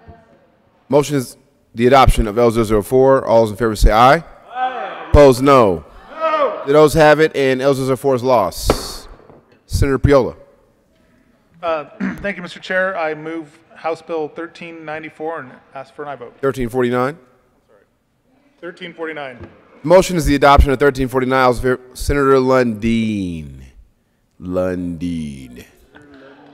So I'm just coming back to put a pin in the prior conversation. I just want to make sure that we find time to actually dig into this. Uh, This is a matter of, I I think, significance, and so uh, I'm getting commitments, got commitment, looking for. Yes. Thank you, Mr. Chair. I'll work on this off the mic. Thank you. Senator Bridges. Thank you, Mr. Chair. Yes, committed to uh, making sure we have that discussion with the folks at the agencies that handle this information, that do that matching, and see if there is a way to reduce the amount of PII that is collected. But fair warning, I don't know that there is that way. So we will have that conversation. We'll make sure that the folks, the relevant folks at the agencies are in touch. Uh, I think now, during seconds, would be an excellent time for you to step out of the chamber and, and have those conversations. And I look forward to that happening. That's excellent. Uh, Motion ask is for an aye the vote. adoption of third, Senator Lund, motion is the adoption of 1349. All those in favor say aye. Opposed, no. The ayes have it and 1349 is adopted. Clerk, please read the title of 1352. House Bill 1352, Representative Mullica, Senator Jaquez Lewis, concerning a stockpile of essential materials that may be utilized in the event of a declared disaster emergency and in connection therewith, making an appropriation. Senator Jaquez Lewis. Thank you, Mr. Chair. I move House Bill 1352. Any discussion? Senator Jaquez Lewis. Seeing none, the motion is adoption of 1352. All those in favor say aye. Aye. Opposed, no. The ayes have it, 1352 is adopted. Would the clerk please, would the clerk please read the title of 1359? 59. Bill 1359, Representatives Bacon and Snyder, Re- Senator Rodriguez concerning the creation of the Colorado Household Financial Recovery Pilot Program and in connection therewith, making an appropriation. Senator Rodriguez. Thank you, Mr. Chair. I move House Bill 1359 in the Finance Report. To the Finance Committee report, Senator Rodriguez. Thank you, Mr. Chair. In the Finance Committee, we put an amendment on to limit the allocation of the funds to uh, the Colorado, the CDFIs, because they can utilize the money quicker. Motion to the adoption of the Finance Committee report. All those in favor say aye. Opposed, no. The ayes have it, and the Finance Committee report is adopted. To the bill, Senator Rodriguez. Thank you, Mr. Chair. Um, I move for this bill to be passed. Um, this bill is a pilot program, but it's utilized in a lot of other states. This is an opportunity for the Treasury to allocate money to banks and nonprofits to do into community organizations and resources in their neighborhood. Um, it's low impact loans, low interest loans to help people not get under uh, taken uh, advantage of with high interest rates and stuff like that. So this is a good bill for local communities and nonprofits that live in their communities to allocate money for them in small amounts. Um, ask for an aye vote. Motion is the adoption of 1359. All those in favor say aye. Opposed, no. The ayes have it, 1359 is adopted. Will clerk please read the title of 1159? House Bill 1159, Representative Cutter, Senator Priola concerning waste diversion and in connection therewith creating the Circular Economy Development Center in the Department of Public Health and Environment, establishing the cost of operating the center as a permissible use of money from the Front Range Waste Diversion Cash Fund and the Recycling Resources Economic Opportunity Fund and extending and removing certain repeal dates associated with existing statutory waste diversion efforts. Senator Priola. Thank you, Mr. Chair. I move House Bill 1159. There is no committee report. To the bill, Senator Priola. Thank you, Mr. Chair. Uh, Members, this bill establishes a Colorado Circular Economy Development Center as well as it improves uh, some of the grant-making process in the old forward legislation. I ask for an aye vote. Motion is the adoption of 1159. All in favor say aye. Opposed, no. The ayes have it, and 1159 is adopted. Clerk, please read the title of 1010. House Bill 1010, Representatives Sirota and Van Beber, Senators Buckner and Kirkmeyer concerning an income tax credit for eligible early childhood educators and in connection therewith making an appropriation. Senator. Senator. What are we- Someone. Senator Buckner. Um, uh, Thank you, Mr. Chair. I move House Bill 22-1010 on second reading. And the Finance Committee report. And the committee report. To the Finance Committee report, Senator Buckner. Um, In the Finance Committee report, we talked about the financing of this amazing bill. That's what I'm talking about. The motion is the adoption of the Finance Committee report. All those in favor say aye. Opposed, no. The ayes have it. The Finance Committee report's adopted. To the bill, Senator Buckner. Yes. This is a really important bill that creates a refundable income tax credit for eligible early childhood educators. And we need educators and they need they need and deserve this tax credit. And is there an amendment by chance? You are so amazing. You just yes. hold up like this and ask Uh-huh. what it is. Yes, there is, there is an amendment to this bill, and I will now give this amendment to the clerk. There's an amendment of the desk. Would the clerk please read L? Four. Amendment L004. Senator Buckner. Thank you, Mr. Chair. This bill changes the dates. Uh, Basically, we will have this tax credit for four years before we look at it again, and that's basically what this amendment is doing. And would you please move L004? I'm going Kirkmeyer? to move L004. That's a proper motion. Senator Kirkmeyer. Yes, um, thank you, Mr. Chair. I am recommending or is asking for a no vote on this amendment. A no vote. Because, so the amendment changes the number of years for the tax credit from five down to four. And this is amendment not coming off of this floor, but coming off of the floor below us, who thinks they should get in the middle of our bill after we've gone through a couple of committees and um, only talked to one of the sponsors, which I think is rude. And here's the thing. We went through this whole process of creating this whole new department of the Department of Early Childhood. And we know as we're going through um, creating this new department, at least those of us who are in the Early Childhood Readiness Interim Committee and in the Education Committee, have a really good understanding that there's going to be a shortage, that there is a shortage already, and that there is going to be even a larger shortage of childhood educators. Hence why we're coming forth a tax credit to really try to work to get additional childhood educators. We know, for example, in this state that 80% of the centers are experiencing a staffing shortage. We know that 78% identify low wages as why recruitment and retention remain a challenge. We know that 50% are serving fewer children. 33% cannot open new classrooms. 25% have reduced operating hours. More than one third, one third of our child care centers, early childhood centers, more than one third are considered leaving the field. And that percentage is higher for minority owned programs. Colorado's recovery from the pandemic and the economic downturn hinges on ensuring parents can return to work. Colorado's ability through Colorado counties to develop the temporary aid to needy families and meet work participation rates relies on the fact that we would have the ability or ensuring parents can return to work or that they can meet their work participation rates. The largest barrier to being able to get to work, childcare.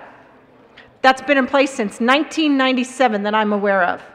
The largest barrier. We know again, 80% of our centers are experiencing a staffing shortage. And that more than one third of our early childhood educators are considered leaving the field, and the percentage is even higher in minority owned programs. There are 246,000 children in Colorado that are under the age of six, nearly two thirds of all kids, who have parents in the workforce and must depend on some form of early child care and education every day. Hence why we put this forward. The good senator from Aurora mm-hmm. and myself were willing to jump on this bill out of the Early Childhood School Readiness Interim Committee because we know there is a huge need, and this is one way to start fulfilling that need. And having someone just arbitrarily from the first floor decide that it's a good idea to delete it, to take it down from five years to four years, I just don't think that passes mustard, and I don't understand why we would agree to it. So, I'm asking for a no vote on this amendment, Senator L004. Senator Buckner. Thank you, Mis- thank you, Mr. Chair. And I am so delighted to have Senator, the senator from Weld County co-prime this bill with me because we were both on Early uh, Childhood School Readiness Commission, and I was chair of that commission. Um, and I am thrilled with the work we did. And yes, the original bill asked for five years before we look at this again, but we negotiated down to four. And to be honest, I'm happy with that four because it could have been one, it could have been two, it could have been three, but we got four years before we have to come back to look at this. And I really think at that time, we will have the Department of Early Childhood in great shape. And I think at that time we can reassess.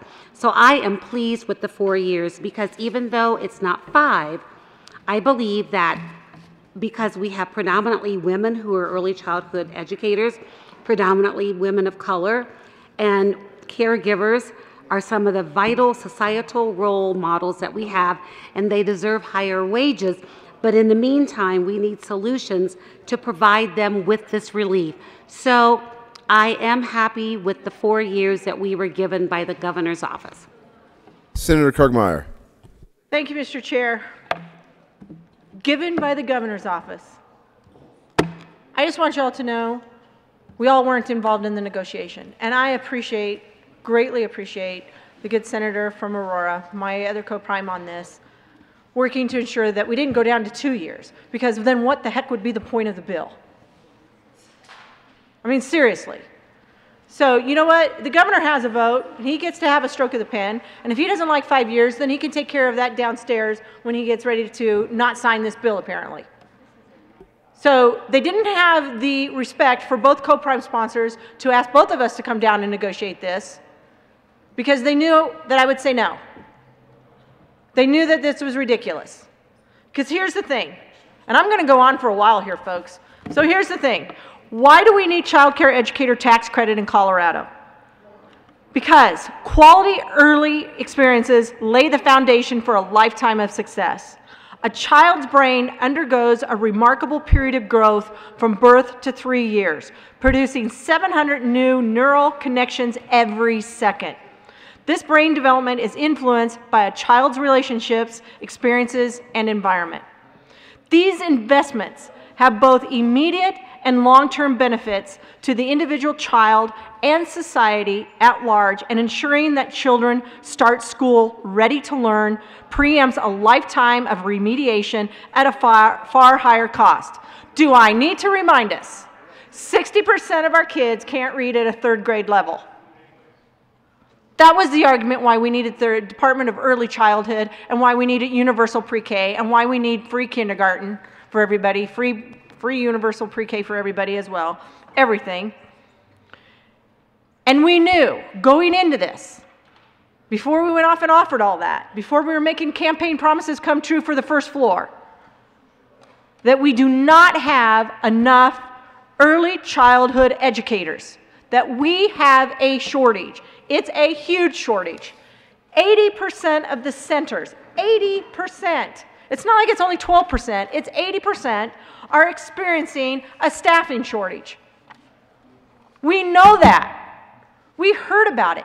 In our Early Childhood Readiness Committee, it spoke about there's a billion dollar shortfall for trying to get the number of necessary early childhood educators that we need for these 246,000 children. We are failing. We're failing our schools, we're failing our students at the school level, and we know we have a shortage. We know that this credit works. And yet, we're willing to say, no, no, we don't want to do five years because that just doesn't sound good, I guess, for election campaign promises. We're only going to do four years. We're having the governor intercede, superstep, and overstep. This is our decision. This isn't his decision. He doesn't get to negotiate it down. The negotiation should be happening here with state senators on this floor. We know that the early childhood educator tax credit works. We know it works because this program has been basically modeled after what has occurred in Louisiana and Nebraska. They've established a child care educator tax credit. So not like we just pulled this out of the air. It's not like we just said, oh, last, last fall, gosh, what do you think, five years, 10 years, 20 years? No, let's do two. No, how about we go back to five? We didn't do that.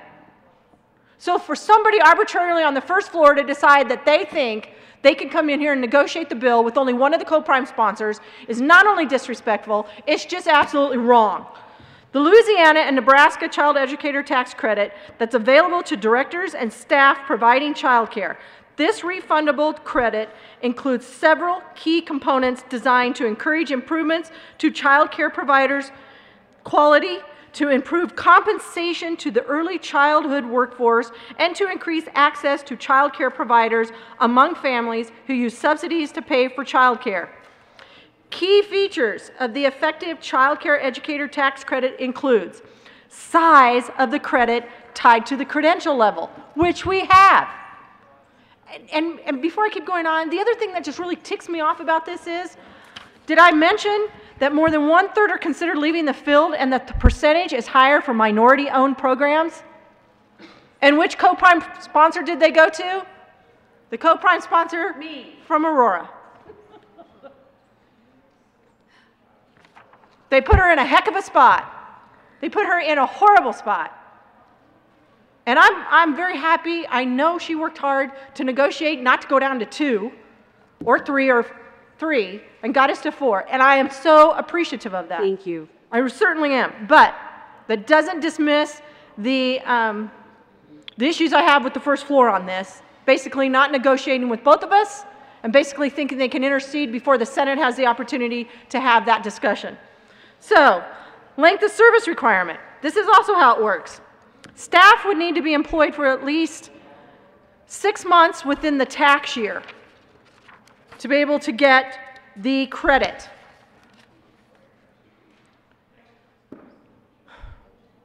So, an effective early childhood educator tax credit. They've got to go through and they've got to get their credentialing. That takes time. It's not like it's going to happen just tomorrow. That's why we made an amendment to the bill that said they just have to work six months in a year to get the credit, that they didn't have to get their credentialing and then go get the credit, because that would have interrupted it. But they have to go through a process to get their credentialing first. That takes time. Can take anywhere from six months to a year at least to start working to get their credit. But an effective early childhood tax credit encourages improvements in the provider's quality, improves compensation of the early childhood workforce. We have a shortage. We have a shortfall. We just put in a new department. We just basically made everybody's Christmas wishes on the first floor come through by saying we're going to have free universal pre K, preschool for everybody. Proposition EE didn't say that. Proposition EE said 10 hours a week. We had to go through and say, yeah, we're going to do free preschool for everybody, three and four years of age. We're messing up human services programs. We're messing up the CCAP program.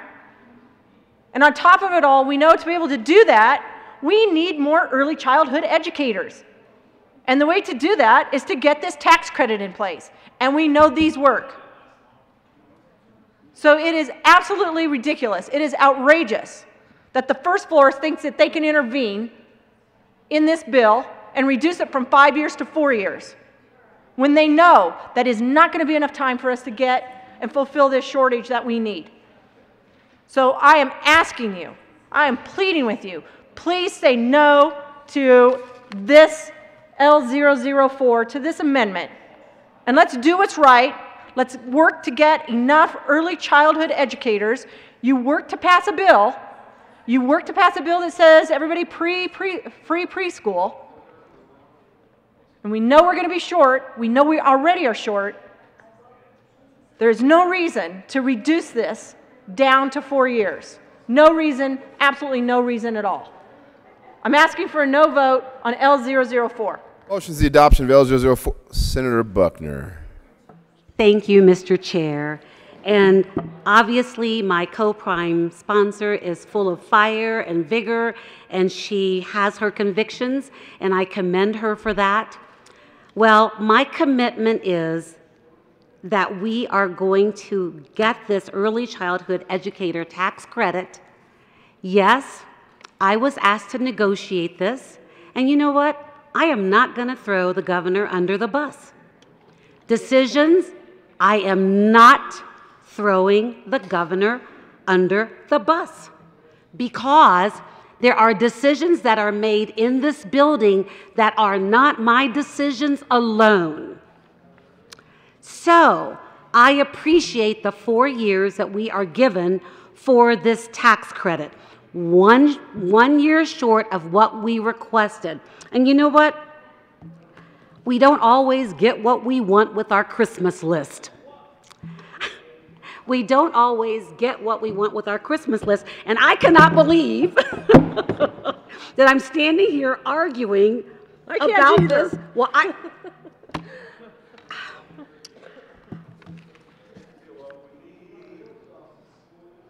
You know,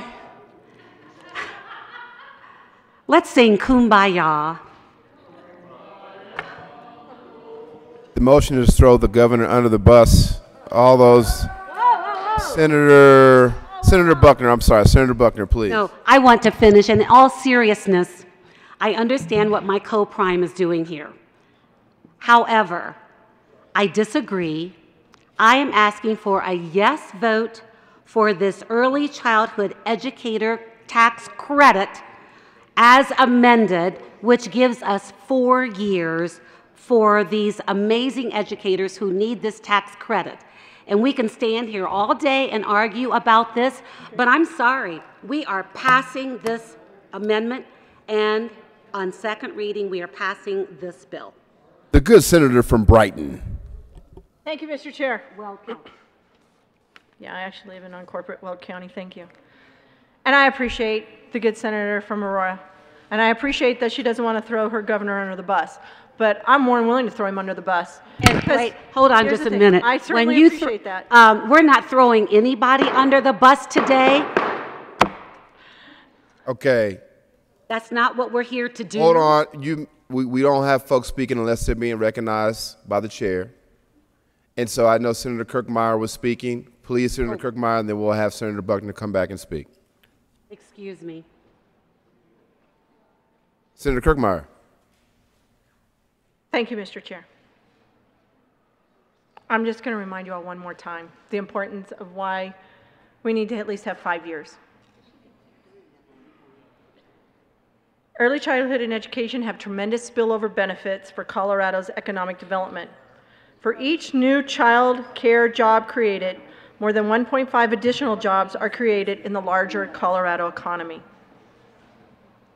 The tax credit needs to go to five years because it's not like tomorrow we're going to be able to start increasing our workforce to the amount that we need for early childhood educators. It's not like within six months it's going to occur, or even a year.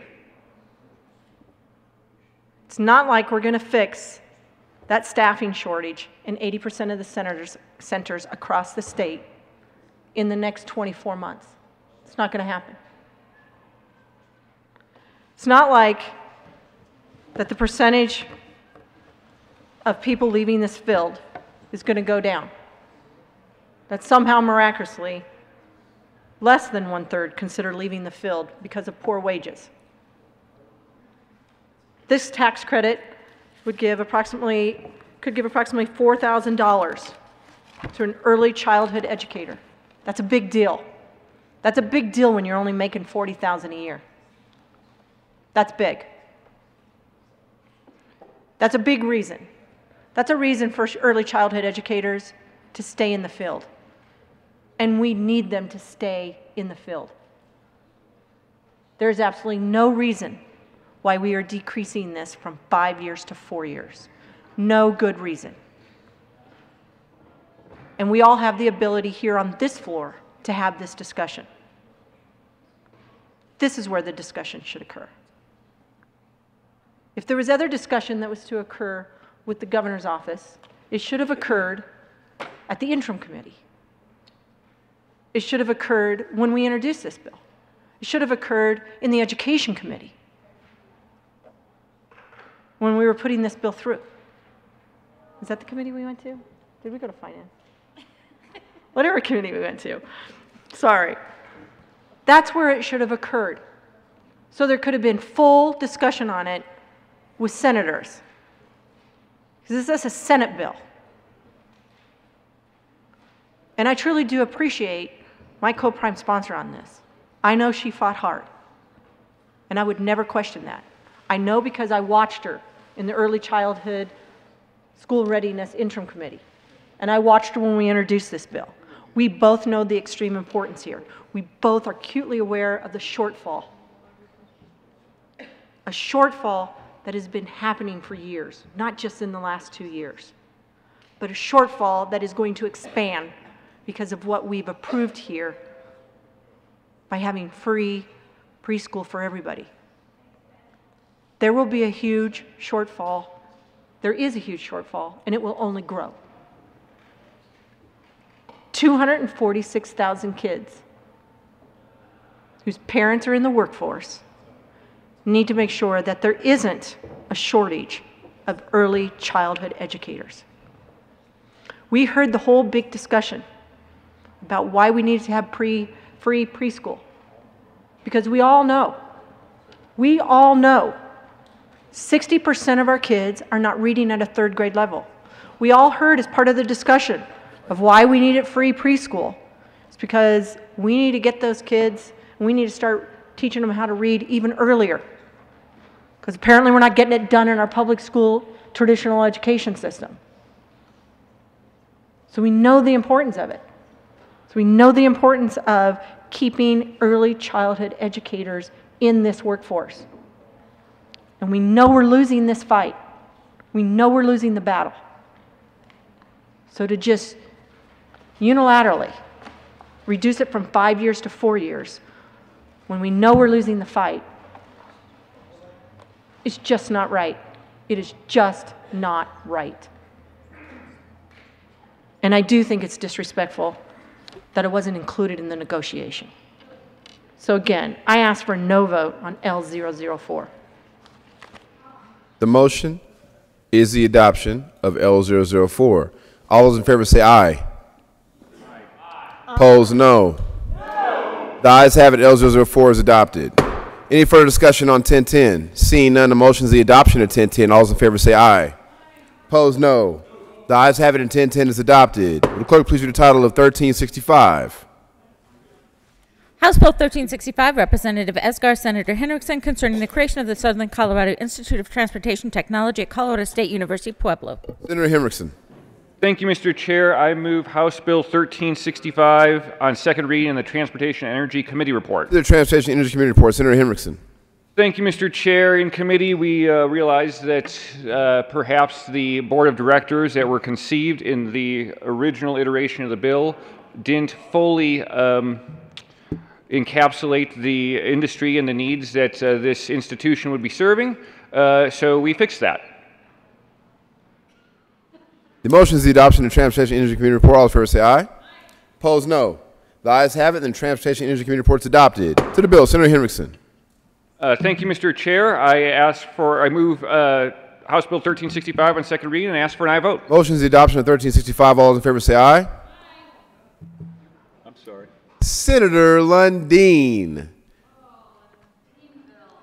Thank you, Mr. Chair. I, I'm, I'm sorry I, my presence in the well was not uh, accompanied by my hand in the air. It was on me, not on you, Mr. Chair. Thank you for recognizing me. Um, I just want to be clear, and the question that I had, not having had the opportunity to be in the Transportation Committee, this creates Southern Colorado, Colorado Institute of Transportation Technology at CSU Pueblo, specifies the role and mission of the Institute is to conduct research related to the safety, security, and innovation of railroad, ground, and intermodal transportation and general issues related to surface transportation problems in the state.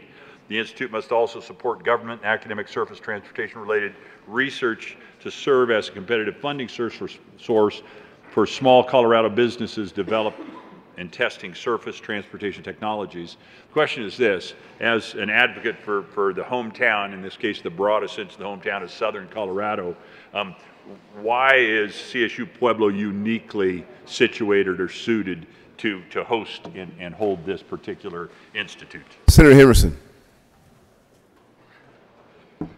Thank you, uh, Mr. Chair, uh, and thank you for the question to the good senator from Monument. I, uh, the economic forecasts and the labor forecasts for southern Colorado show a need for uh, transportation technology uh, positions and a high projected growth in those positions.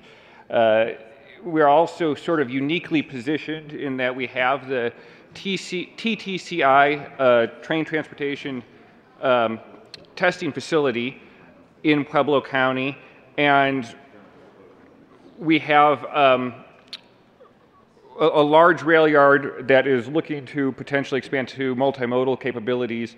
Um, it is an important part of the economy of southern Colorado, and I just don't think that this is any different than what we see with regional universities throughout the state. We see a extraordinary aerospace program uh, at UCCS, and what we're looking to do is something very similar. Seeing no further discussion, the motion is the adoption of 1365. All those in favor say aye. Opposed, no. The ayes have it. 1365 is adopted. Clerk, please read the title of House Bill 1007.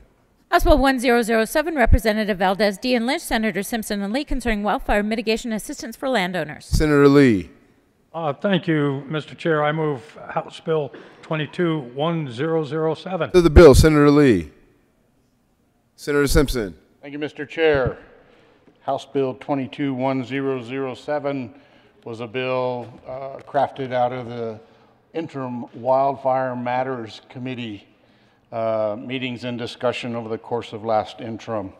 It actually was really kind of facilitated out of a bill from the 2019 interim Wildfire Matters Committee, House Bill 21004, that was uh, a victim of COVID and the pandemic. So it PI'd in um, discussion last year during the interim was to reintroduce the bill. It has a couple of different parts to it. I'm going to speak to the grant portion of the of the bill.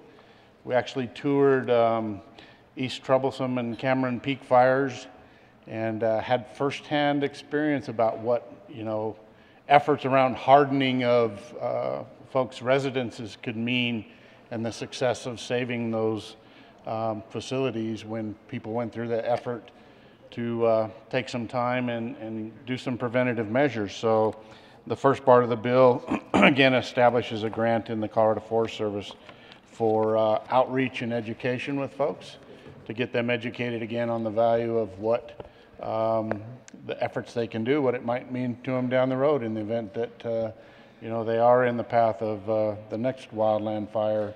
It was kind of ironic. All of these discussions happened prior to the Marshall fire.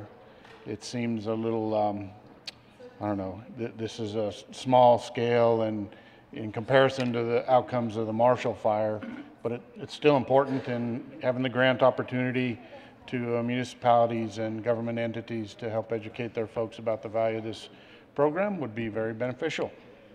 Se- Senator Lee. And Part Two of the bill provides an incentive tax credit for homeowners to do mitigation around their homes.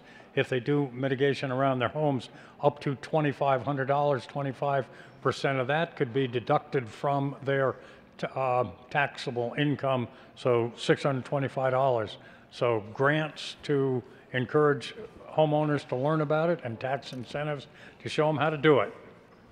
No Senator Simpson. Thank you, Mr. Chair. Now, and I'm going to try to make the connection between the Wildfire Matters Committee and the Behavioral Health Administration bill that I was speaking to earlier in the day. I'm finished. Seeing no further discussion, the motion is the adoption of 1007. All those in favor say aye. Opposed, no. The ayes have it. 1007 is adopted. Madam President Pro Tem. Uh, Thank you, Mr. Chair. I move that we lay over House Bill 1053. Motion is to lay over House Bill 1053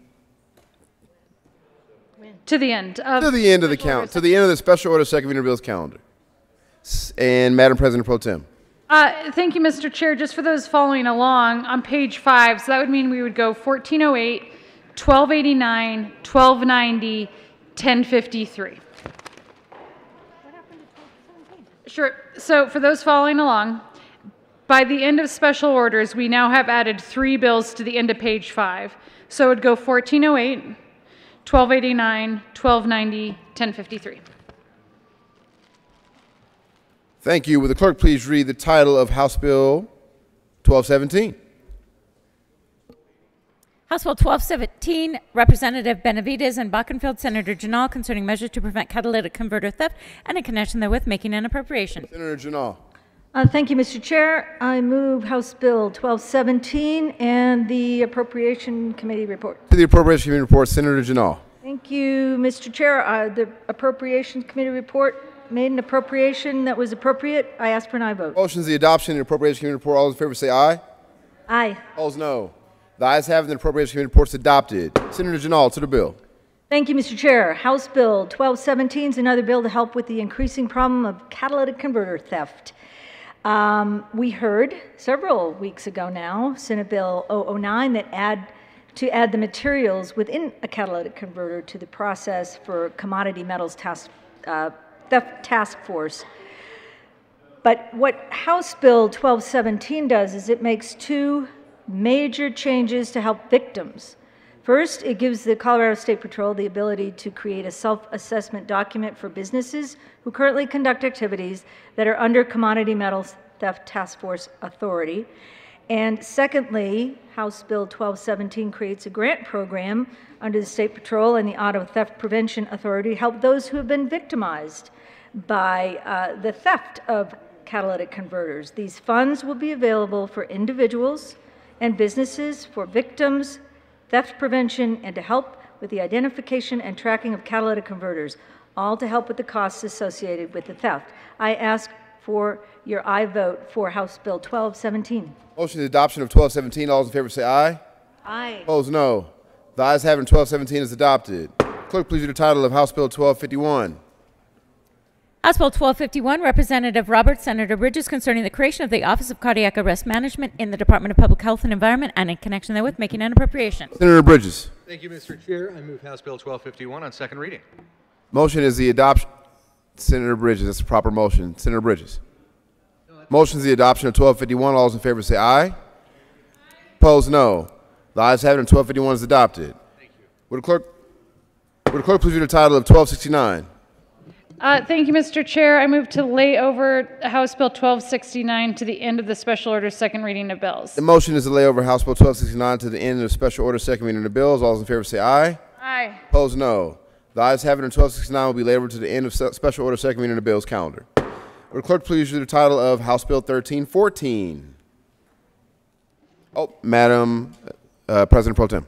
Uh, Thank you, Mr. Chair. I ask, uh, I move that we lay over House Bill 1314 until tomorrow, May 5th. The motion is to lay over House Bill 1314 until tomorrow, May 5th. All those in favor say aye. Aye. Opposed, no. The ayes have it, and House Bill 1314 will be laid over to tomorrow, May 5th. Would clerk please read the title of House Bill 1364?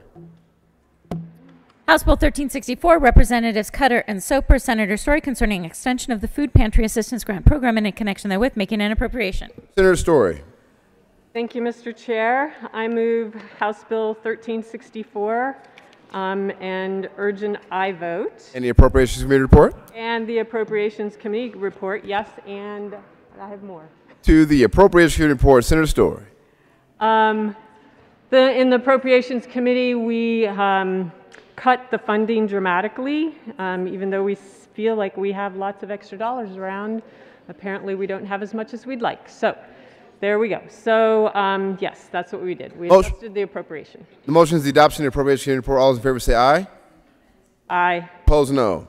The ayes have it, and the Appropriations Committee report is adopted. To the bill, Senator Story. Thank you, Mr. Chair. I have an amendment. There is an amendment now at the desk. Would the clerk please read L five? Amendment L05. Senator Story. Thank you, Mr. Chair. Um, L005 is a pretty short and quick amendment because the um, procurement code prohibits repayment to producers for the agricultural products that are identified in this bill. So we need to strike that um, section. Thank you. Please move L 5 I move L005. That's a proper. That's a proper motion. Uh, any discussion? Seeing none, the motion is the adoption of L 5 All those in favor say aye. Aye. Opposed, no. The ayes have it. L 5 is adopted. To the bill, Senator Story. Thank you, Mr. Chair. I would urge everyone to support the Food Pantry Grant Assistant Program because it's so important to ensure that we help people that are feeling very food insecure, of which we have many. I urge an aye vote on this bill. Motion is the adoption of 1364. All those in favor say aye. Aye. Opposed, no. The ayes have it, 1364 is adopted.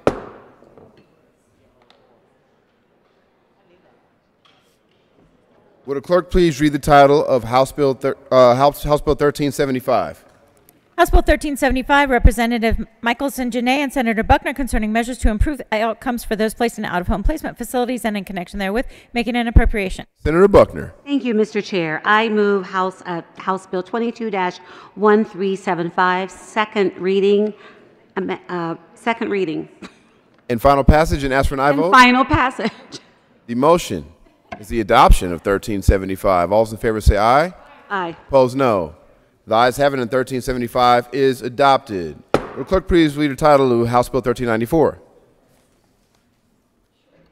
House Bill 1394, Representative Esgar and Roberts, Senators Winter and Donovan concerning funding for just transition programs to assist communities with economic transitions and in connection therewith, making an appropriation. Senator Donovan. Uh, Thank you, Mr. Chair. I move that we lay over 1394 until uh, uh, Friday, the 6th. The motion is to lay over House Bill 1394 to Friday the 6th. All those in favor say aye. Those opposed, no. The ayes have it, and 1394 will be laid over. Correction. One day under the rules. Special orders. Madam President Pro Tem. Uh, Thank you, Mr. Chair. I withdraw my motion. The med motion is withdrawn, and Madam President Pro Tem. Uh, Thank you, uh, Mr. Chair. Um, Under the direction of the Secretary, I ask that we lay Bill 1394 over one day until Thursday, the 5th. The motion is laid over 1394, one day till Thursday the 5th. All those in favor say aye. Those opposed, no. The ayes have it, and 1394 will be laid over to one, for one day, uh, tomorrow, May 5th. Would the clerk please read the title of House Bill 1402? House Bill 1402, Representative Garnett, Senator Hansen, concerning measures to promote responsible gaming and in connection therewith creating the Responsible Gaming Grant Program, establishing funding mechanisms to support the grant program, and making an appropriation. Senator Hansen. Uh, thank you, Mr. Chair. I move House Bill 1402 on second reading. Proper motion, and there's an amendment of the desk. Would the clerk please read L002? Amendment L002. Senator Hansen. Uh, thank you very much, Mr. Chair. I move L002. Proper motion to the amendment. Senator Hansen. Thank you. Uh, members, this is a, uh, a very small change, which I, I do in honor of my JBC colleague from Carbondale. Uh, we are moving from continuously to annually appropriated. Yes. So uh, I think this is a great change to this bill and caught it this morning as we were looking at it in appropriations and uh, have made this amendment to answer that request. So I urge the adoption of L002. And let everybody in the House say amen. Senator Rankin. Uh, thank you, Mr. Chairman. I ask for a yes vote on this wonderful amendment. The motion on this wonderful amendment is the adoption of L002. All those in favor say aye. Aye. Opposed, no. The ayes have it, and L002 is adopted. Senator Hansen. Uh, Thank you, uh, Mr. Chair and members. Just uh, a very brief comment because there's something very new here, which is that we are now finally, for the first time, going to be properly funding uh, the resources for uh, folks that are struggling with problem gambling. The state of Colorado has historically done nothing but a hotline. It's about $100,000 a year for a hotline, which I, I'm sure was better than nothing, but not much. Now we will have uh, a proper amount of resources to help folks in this situation. Uh, we all are very aware of uh, the rapid increase in sports gambling in this state, in particular, uh, after the ballot initiative, and I think it's very appropriate that we step up and provide the resources for uh, gambling addiction and problem gambling. So I urge your support 1402 as amended. The motion is the adoption of 1402. All those in favor say aye. Sen- uh, those opposed say no. The ayes have it, and 1402 is adopted. Clerk, please read the title of 1408. House Bill 1408, Representative Harridan Esgar, Senators Hisey and Moreno concerning modifications to the Colorado Performance-Based Incentive for Film Production in Colorado and in connection therewith making an appropriation. Mr. Majority Leader. Uh, thank you, Mr. Chair. I move House Bill 1408 on second reading. Seeing no further discussion, Senator Hisey. The motion is the adoption of 1408. All those in favor say aye. Opposed, no. The ayes have it, and 1408 is adopted. Will the clerk please read the title of 1289? House Bill 1289, Representatives Gonzales Gutierrez and McCluskey and Senator Moreno concerning improving access to health benefits for economically insecure Colorado families by enhancing public health programs and in connection therewith making an appropriation. Mr. Majority Leader. Thank you, Mr. Chair. I move House Bill 1289, the Health and Human Services Committee report and the Appropriations Committee report. To the Health and Human Services Committee report, Mr. Majority Leader. Uh, thank you, Mr. Chair. In the Health and Human Services uh, Committee, we adopted an amendment that will eliminate the CHIP Plus enrollment fee for all um, participants in the CHIP program. I encourage an aye vote. Motion is the adoption of the Health and Human Services Committee report. All in favor say aye. Aye. Opposed, no. The ayes have it, and Health and Human Services Committee report is adopted. To the Appropriations Committee report, Mr. Majority Leader. Uh, thank you, Mr. Chair. In the Appropriations Committee, uh, we simply did a small fiscal adjustment um, that reflects the amendment that we adopted in Health and Human Services. Motion is the adoption of the Appropriations Committee report. All in favor say aye. Aye. Opposed, no. The ayes have it, and the Appropriations Committee report is adopted. To the bill, Mr. Majority Leader. Thank you, Mr. Chair. Uh, colleagues, House Bill 1289 represents another step towards making sure that everyone in our state has um, health coverage. I encourage your aye vote. Motion is the adoption of 1289. All those in favor say aye. Opposed, no. The ayes have it, and 1289 is adopted. Will clerk please read the title of 1290? House Bill 1290, Representatives Titone and Ortiz, Senators Zenzinger and Coram concerning changes to Medicaid to allow for expedited repairs to complex rehabilitation technology and in connection therewith making an appropriation. Senator Zenzinger. Thank you, Mr. Chair. I move House Bill 1290 and ask for an aye vote. Senator Coram, anybody? The motion is the adoption of 1290. All those in favor say aye. Aye. Opposed, no. The ayes have it, 1290 is adopted. Will the clerk please read the title of House Bill 1053? House Bill 1053, Representative Valdez Dian, Van Beber, Senator Hansen, concerning the use of blockchain technology in commerce and in connection therewith making an appropriation.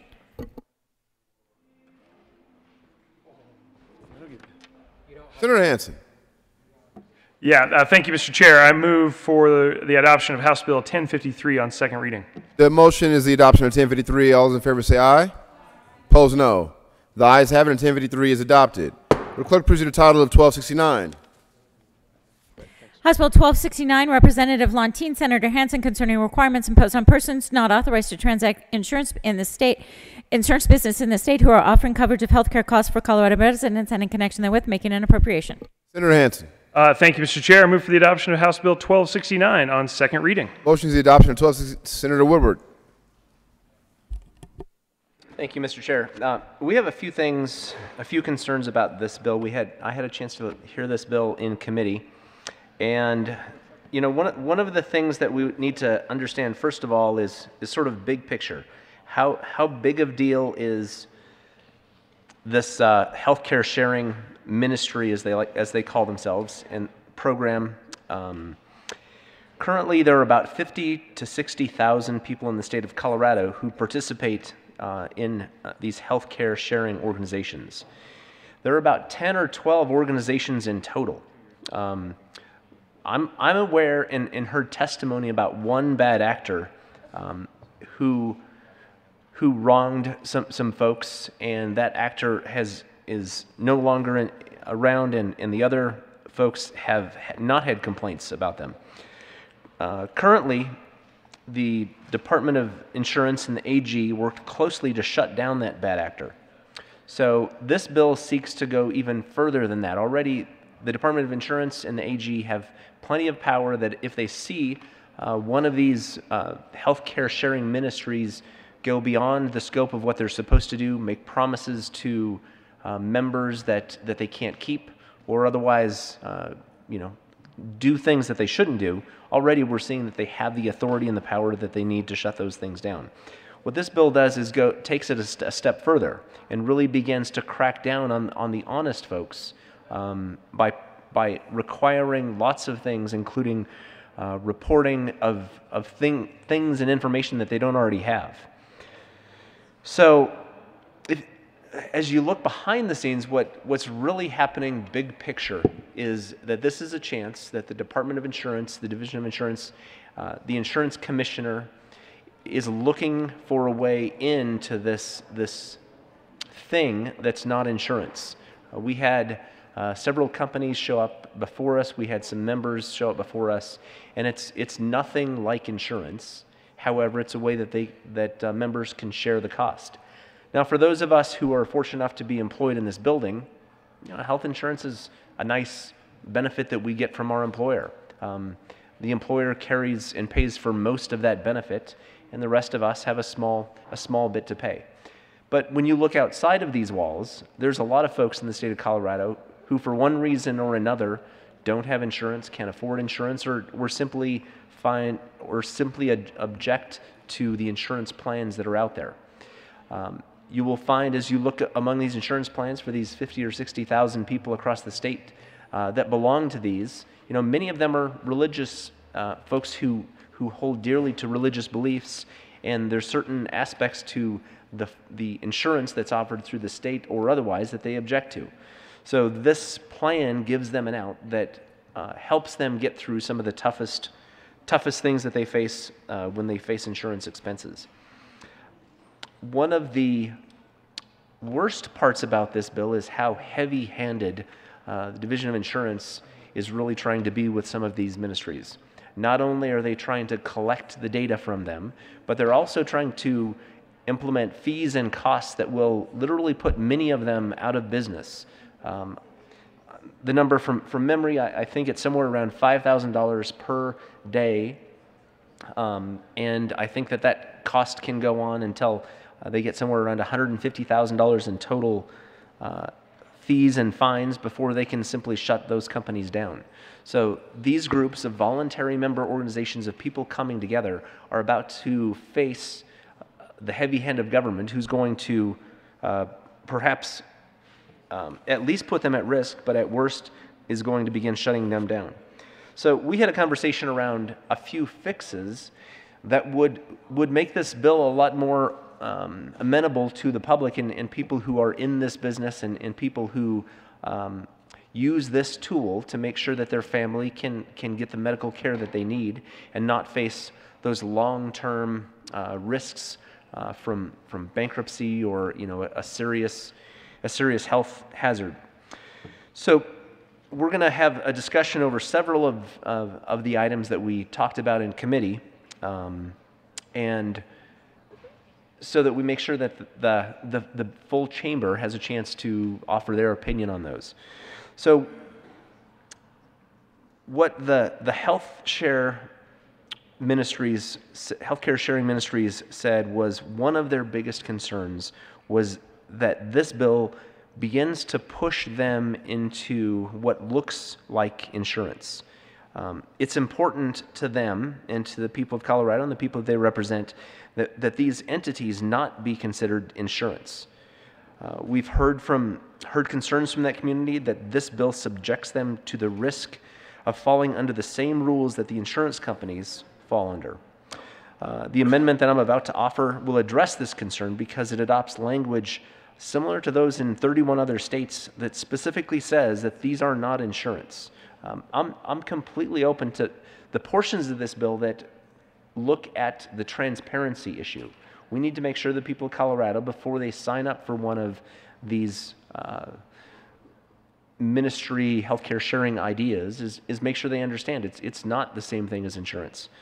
Um, and one of the other points, I'm, I'm, introducing this amendment before you actually see it.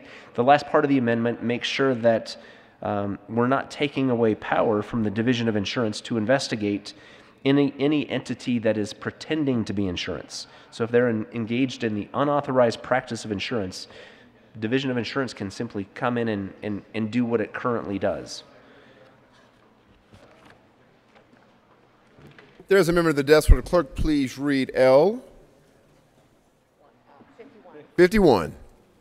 Amendment L051. Senator, Senator Woodward. Thank you, Mr. Chair. I move L051. To the amendment, Senator Woodward. L051, the, the guts of this amendment are, are really in line two, where it says that a health care sharing plan or arrangement shall not be subject to any of the insurance laws of the state of Colorado. There's some additional um, items down below, but you know, ultimately what these healthcare sharing ministries want to do is make sure that the, the people of Colorado, members who might uh, participate in them, and, and the, governor, the government itself does not consider them to be subject to insurance laws. And I'd ask for an aye vote. Senator Hansen. Uh, thank you very much, uh, Mr. Chair. And it, it, looks like we'll have um, a, a little bit of a, a redo of the committee discussion, which is perfectly fine here on seconds. Uh, I would urge a no vote on L51. I just want to make clear that uh, the Department of Insurance here is in data collection and transparency mode. There is zero new regulation in this bill. Absolutely no new regulation. We're just having the Department of Insurance collect this information because it's very similar to the information they collect on other entities. And so we think we can get uh, efficiency out of that and no need to recreate new systems, saving the taxpayers money uh, as we pursue this goal of better transparency and, and data collection. I thought it was interesting in the opening remarks uh, from uh, the good senator from Loveland that we are not sure how many people are in these plans. We don't know how many operators there are in the state. Uh, that is uh, precisely what we're trying to solve with House Bill 1269 is to make sure we have a good understanding of the size and scope of these types of operations. Some of them are ministries, some of them are not. They are totally secular. There's a wide variation in the types of uh, entities that, that offer this, this type of service or this type of plan. Uh, call, it, call it what you like. Uh, but I want to make clear that it's uh, a bill that really focused on, on data and transparency, and there's no new regulation no new requirements uh, on the regulatory side, uh, and the Department of Insurance is just in a data mode. And I urge a no vote because this amendment would essentially be a safe harbor clause for all of these operators before we even know how many that there are. Uh, and the whole point of this exercise is to get a better understanding of this market. So I urge a no vote on L51. The motion is Senator Woodward. Thank you, Mr. Chair. And, and I don't have the exact number with me today, but I, just to make sure that um, everyone heard, there's 50 to 60,000 people. Uh, there is an exact number in there. I just don't have it with me today. And we also know that there's 10 to 12 companies. So we, we, we know, I don't have the exact number today uh, with me, but we do have an idea what the exact number is. Um, the, the second piece of that is the bill clearly has uh, rulemaking authority that we're giving the uh, Commissioner of Insurance. So there will be substantial uh, opportunity for the Division of Insurance to step in and really crack down on these companies and cast its own rules and rulemaking and uh, begin to further limit uh, what they can do. As far as the reporting being similar to what we do with other entities, uh, there is far more collection of data going on with, with these companies than there are almost any other company that I'm aware of. Uh, if you look out in the public, you know, the, pick the company that you want, and, and there's a list of items on really starting on page five of this bill, uh, that we don't ask uh, hardly any other company to provide in the state of Colorado. We're, we're really focusing in on, on these uh, providers in, in asking them to go a step above, as a matter of fact, several steps above what we ask other uh, organizations to go through. Seeing no further discussion, the motion is the adoption of L51. All those in favor say aye. Opposed, no. The noes have it. L51 is lost. Senator Woodward. Thank you, Mr. Chair. Um, the other problem that I mentioned was as, as this begins to look more and more um, like there's an effort to uh, turn this into insurance, uh, this bill puts all of a, much, a good part of the enforcement under the Division of Insurance and the Commissioner of Insurance. Um, I believe that today, uh, between the Division of Insurance and the Attorney General, um, they have plenty of power with which to enforce the rules as they see fit.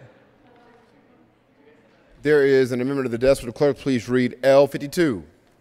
Amendment L052. Thank you, Mr. Chair. I move L uh, To the amendment, Senator Woodward.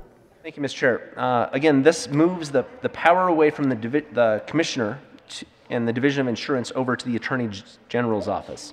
Uh, we've heard that these healthcare sharing ministries are better regulated by the AG's office because the AG is in a position that he can balance consumer protection and religious liberty. That's not something that Division of Insurance currently has to take a look at um, or try to discern.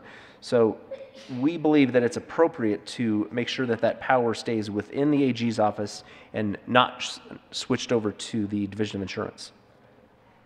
Senator Hansen. Uh, thank you very much, uh, Mr. Chair. And this uh, is an amendment we also discussed in committee. I urge the rejection of L52 Uh, again, there is no new regulation happening at the Department of Insurance. Yes, they have rulemaking authority, but that's just to make sure they can set the rules so they can get the data that's requested in the bill.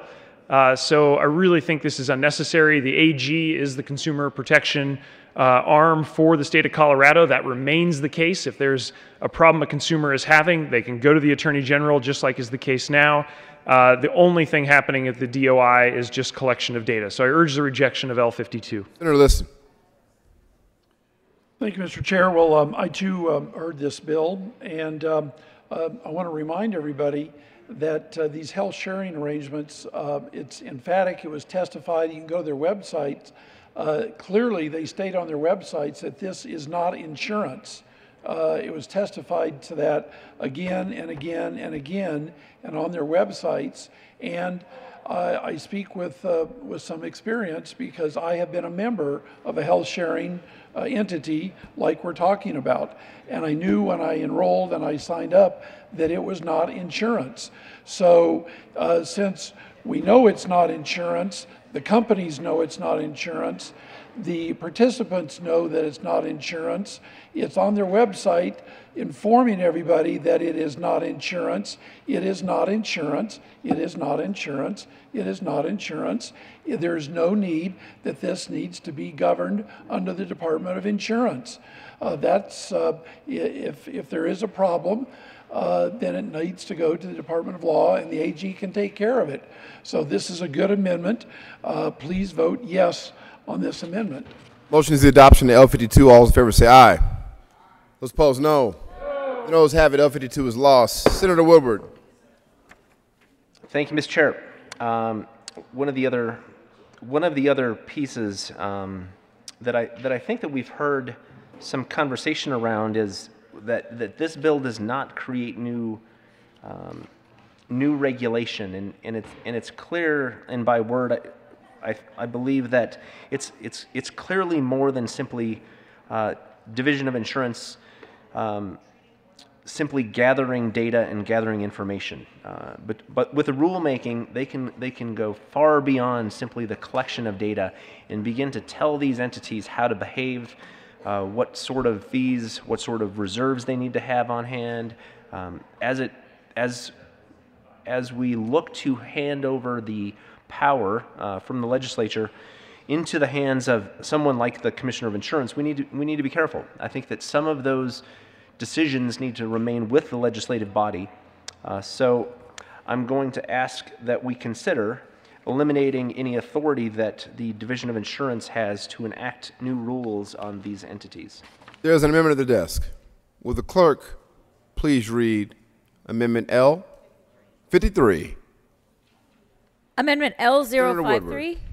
Thank you, Mr. Chair. I move L uh, 053. To the amendment, Senator Woodward. The amendment is uh, pretty straightforward. It simply uh, limits the DOI to simply re- um, collecting data and, and prohibits him from enacting new rules. Senator Hansen. Uh, thank you very much, Mr. Chair. Uh, members, I would urge uh, a no vote on L53. Um, we've got a clear set of data that we're asking for. You can see that in the bill. Uh, and we think it makes a lot of sense for the Department of Insurance to be able to set the rules for how they collect that and not have us uh, spend many extra pages in the statute books on the rules and procedures for gathering the data that we're asking for. Uh, and so I think that makes a, a lot of sense. Uh, procedurally, it's what we do in many other parts of state government. Uh, and so please vote no on L53. Motion is the adoption of L53. All those in favor say aye. Those opposed, no.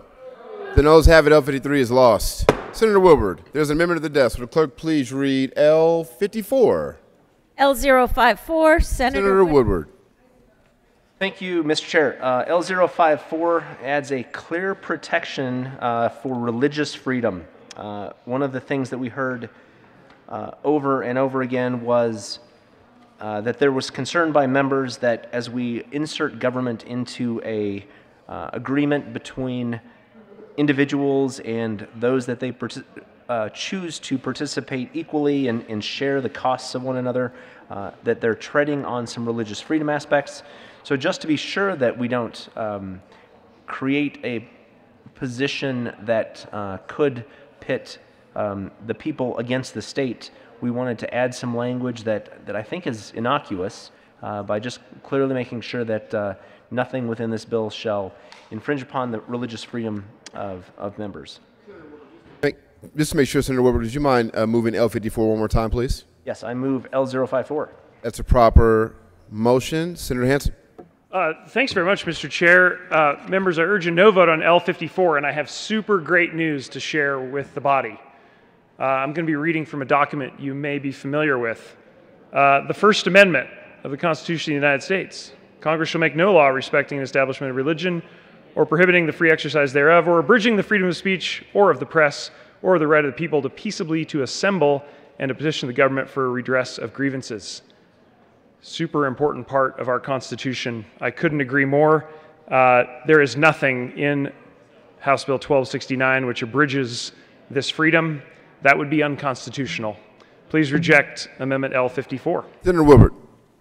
Thank you, Mr. Chair. And I believe a, a careful reading of that, uh, of what we just heard, the First Amendment, uh, deals with Congress. Uh, we are not Congress. We are a state legislative body. And so what First Amendment's, uh, the right of the state to interfere uh, certainly has been something that we have stepped on in the past. Uh, as a matter of fact, I believe this body, um, week after week, passes legislation that is questionable and, and perhaps infringes upon the rights of people to practice uh, their religious freedom. So, just because it's written in the Constitution of the United States does not mean that we have, as a body, uh, in the past, done some things that I think are, uh, are wrong and, and stepped on these rights and the protection of religious freedom. So, uh, I'm glad that, that we agree that we should not step on those. I believe L054 simply clarifies that uh, this bill, nothing within this bill is going to step into and uh, overstep the freedom of religion. Motion is the adoption of L54. All those in favor say aye. Aye. Opposed, no. The noes have it. L54 is lost. Senator Woodward? Thank you, Mr. Chair. And uh, I, I have one final amendment at the moment. Um, and this is one that we also had a chance to talk about in committee. There is a substantial um, financial impact to any inadvertent um, violations. Uh, those fines and the ability to uh, enact a cease and desist order are pretty serious for some of these small companies. Uh, some of them are not very large. So a $5,000 a day fine and ultimately a cease and desist order could may not only put those companies out of business, but in fact it could leave hundreds, if not thousands, of folks without uh, this cost sharing mechanism that they rely upon to make sure that their uh, medical bills are paid. There's a member of the desk. Would the clerk please read L? 55. Amendment Senator Woodward. L055. Thank you, Mr. Chair. I move L055. That's a proper motion to the amendment. Senator Woodward? L055 reduces the fines, so instead of a fine of $5,000, it drops that to $500. Still pretty serious. Uh, and number two, strikes the language around cease and desist. Senator Hansen. Uh, Thank you very much, uh, Mr. Chair. And a quick bit of crack legal research by uh, our resident lawyer on the Democratic side. Uh, If folks would like to take a look at Article 2, uh, Section 4 of the Colorado Constitution, we also have a religious freedom uh, section in our Constitution just to remove any doubt. Uh, on L55, uh, members, I would ask for a no vote. We carefully considered uh, what would be the, the right uh, level of enforcement. Keep in mind the, the bill has a 30 day grace period, so nothing happens if you uh, step up and, and comply with the law. Uh, after that, the Department of Insurance may levy a fine of up to uh, $5,000. Uh, keep in mind, this is half of what we do for health insurance companies. So this is significantly lower than what we do in other parts of the healthcare industry.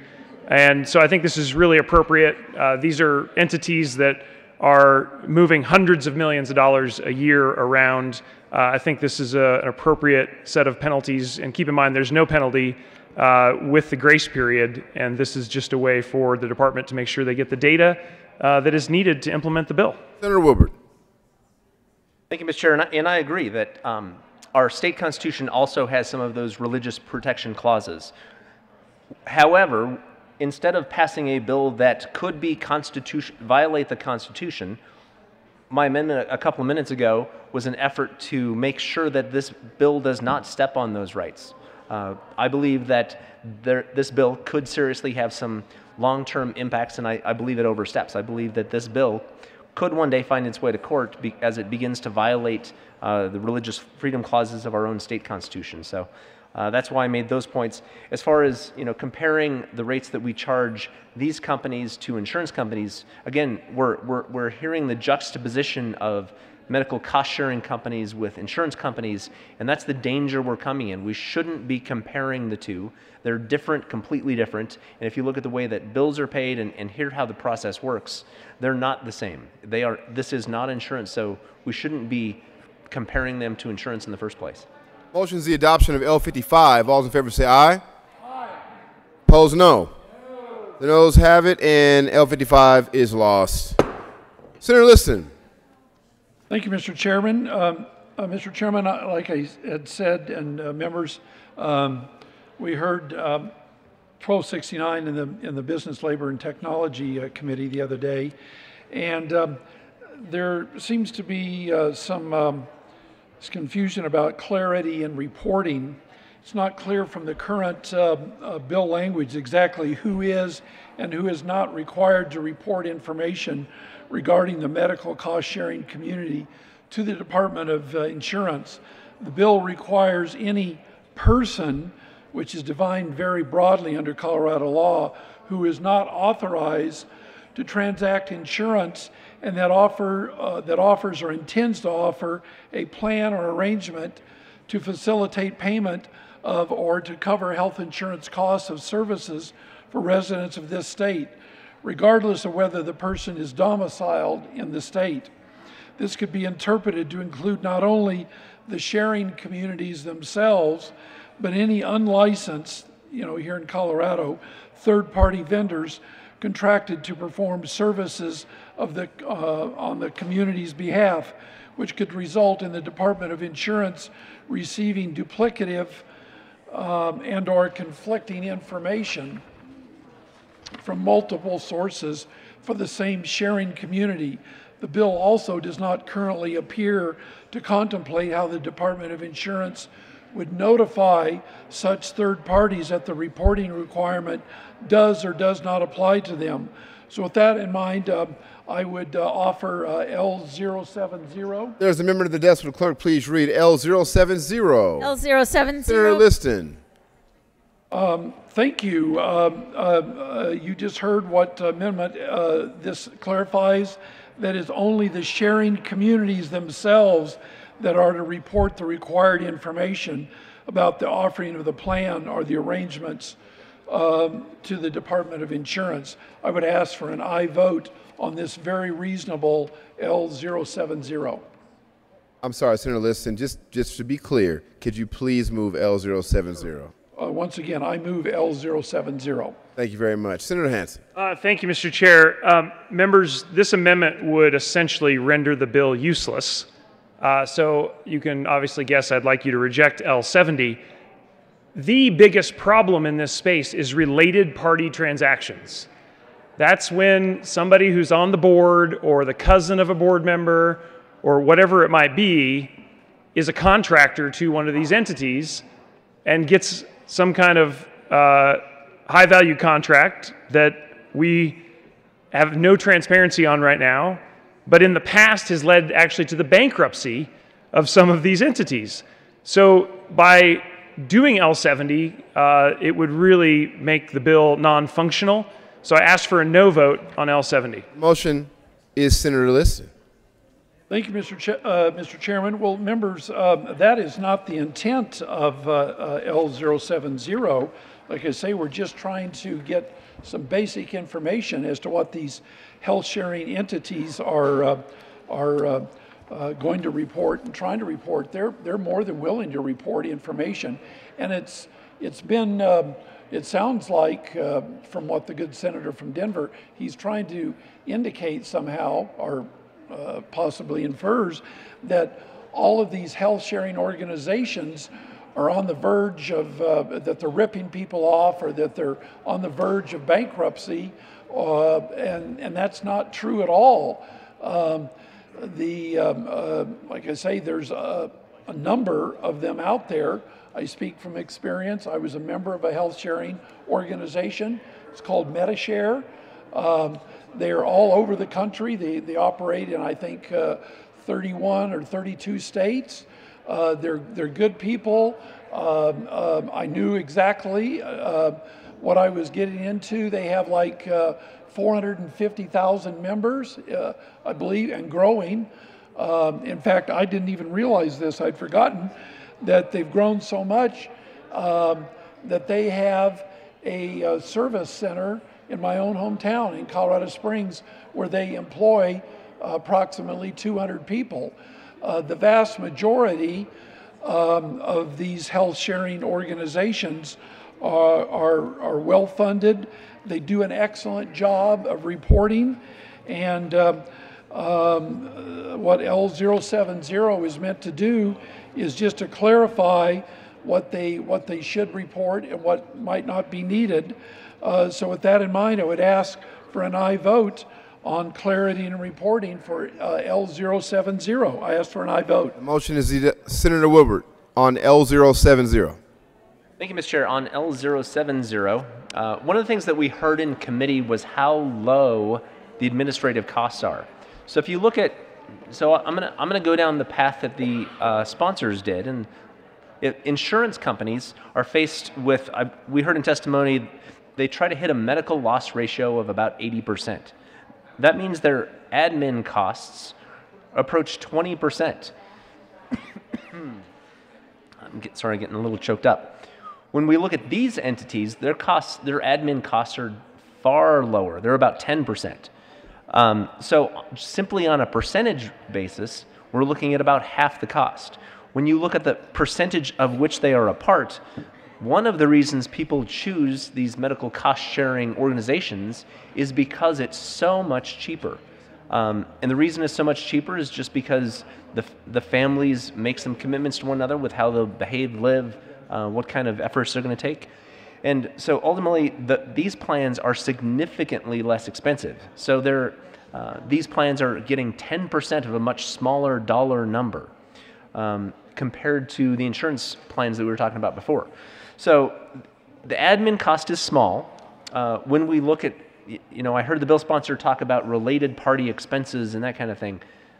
That, that's not where most of the funds are spent. The, the individuals get to decide what doctor to go to. They're spent, 90% of the money is, is money that families are choosing to spend on their own for medical procedures and that kind of thing. It has nothing to do with the uh, organization. They don't dictate where you have to go and, and, and those kind of things. So lots of those medical cost sharing questions are simply not part of where we're at here. The other big thing that we heard is uh, most of these organizations don't have the data that's required under this bill. So this bill requires them to do report on all of the expenses that their members pay. So if you if you ask these organizations what what their members pay, they only know of those that find their way through these organizations. Many times the members will pay for things on their own, um, either because they, they just find it easier to do that way, they might just decide not to submit it. So we're asking them to submit data that they can't even, um, they don't even have access to. Um, asking the, the, state of Colorado to have different rules in how these operate is going to drive up admin costs, it's going to drive up the cost to these users, and it's going to be a lot more work for everybody. So we're, we're beginning to take away the rights of people to choose uh, a way to take care of their own medical needs. Uh, away from the insurance plans that we try to put them under, we're trying to force them to join the state plan or, or company plans or some sort of insurance plan over which our commissioner has complete control. So this bill does a lot of things. It keeps costs low. Um, it, it makes sure that we still have transparency, but it, it doesn't uh, it, it doesn't dig into things that we don't need to dig into any further. So I'd ask for an approval of and ask for an I vote on L070. Motion is the adoption of L70. All those in favor say aye. Opposed, no. The noes have it. L70 is lost. Senator Liston. Thank you, Mr. Chairman. Um, Well, another area that uh, we'd kind of like to uh, uh, clarify that's wasn't really covered is the, uh, is the clarifying assistance for uh, compliance. As currently drafted, uh, this bill requires a sharing organization, which is not insurance, to submit a list of any third parties other than a producer that are associated with or assist the person in offering or enrolling participants. It's not clear what it means to assist and whether this would include something like a human resources information system platform and what uh, I'm offering L072 to clarify what assistance is. There's an amendment at the desk. Will the clerk please read L072? L072, Senator Liston, amend re-engross bill, page 6. Senator Liston, please move the amendment. I will. Thank you for the reminding that, uh, Mr. Chairman. I move uh, L072. To the amendment, Senator Liston. Uh, Once again, what this amendment does is it's just clarifying what is meant by assisting. Uh, There seems uh, to be uh, some ambiguity in the bill, and uh, this is a very simple amendment.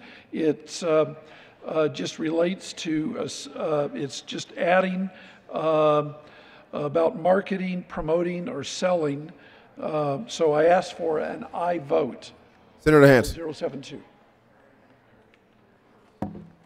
All right, thank you, Mr. Chair. Uh, Members, I I would like to request a no vote on L72. Uh, We've carefully crafted this section of the bill to make sure we're uh, getting the information about uh, how these are being promoted, marketed, sold, brokered. Uh, One of the biggest issues in the past with these entities uh, in Colorado and other states, there are instances where brokers uh, are collecting very high commissions uh, when they're out uh, selling these types of plans. Uh, you may remember from the health insurance side, we have very clear regulation of health insurance brokers. Here, we're not proposing any new regulation, but we do want to know what's going on. And if we adopt L72, we wouldn't be able to get that information. So please vote no. Seeing no further discussion, the motion is adoption Amendment 72. All those in favor say aye. Aye. Opposed, no. The notice having 72 is lost. There's a member of the desk. Will the clerk please read L71? Amendment L0. Senator Liston. Thank you, Mr. Chairman. Um, I move L071. To the amendment, Senator Liston. Very good. Um, uh, what L7 done, uh, 71 does, members, it's uh, uh, goes after some clarity for marketing materials. You know, there again, as I speak uh, as a participant in a health sharing organization, you know, it's one thing to um, uh, hear about it either from a broker or on television or wherever you may hear about it, but uh, uh, as currently drafted, uh, this bill requires a sharing organization to submit copies of any consumer-facing and marketing materials which are used in Colorado uh, in promoting the person's uh, plan or arrangement, including plan or arrangement and benefit description and other materials that explain the plan or arrangement. Um, quote, sharing organizations go to great lengths to provide affiliates with uh, collateral for use in marketing. This blanket catch-all provision in the bill could be interpreted to include marketing materials created by other entities that a sharing organization did not know about or authorize. This amendment clarifies that the reporting requirement applies only to materials used or approved by the sharing organization. So the uh, sharing organization, um, they should be in charge, since they're uh, marketing to the individual, uh, they should be in charge because they know uh, what they want to communicate to the, uh, to the person. Um, so uh, all this does is it, insert, it inserts in the bill by person or approved by the person for use in this state by a third party. Uh, this is a very reasonable uh, amendment that just clarifies uh, what they mean by marketing materials um, for these health sharing organizations, which I remind you are not insurance companies. So with that, I would ask for an aye vote on 071. Senator Liston. Uh, Senator Hansen. Uh, Thank you, Mr. Chair, and uh, so I I appreciate the, the thought that's gone into this amendment. Unfortunately, I need to ask for a no vote on L71. Uh, The section that this refers to on page six again, is meant to be comprehensive to make sure we know what marketing materials are being used across the state. Uh, we have seen instances in the past in, in uh, Colorado and other jurisdictions where there's been significant problems because of the marketing materials. Uh, and so we think that that transparency and data is, is a very important part of this bill. So I ask for a no vote on 71. Senator Liston.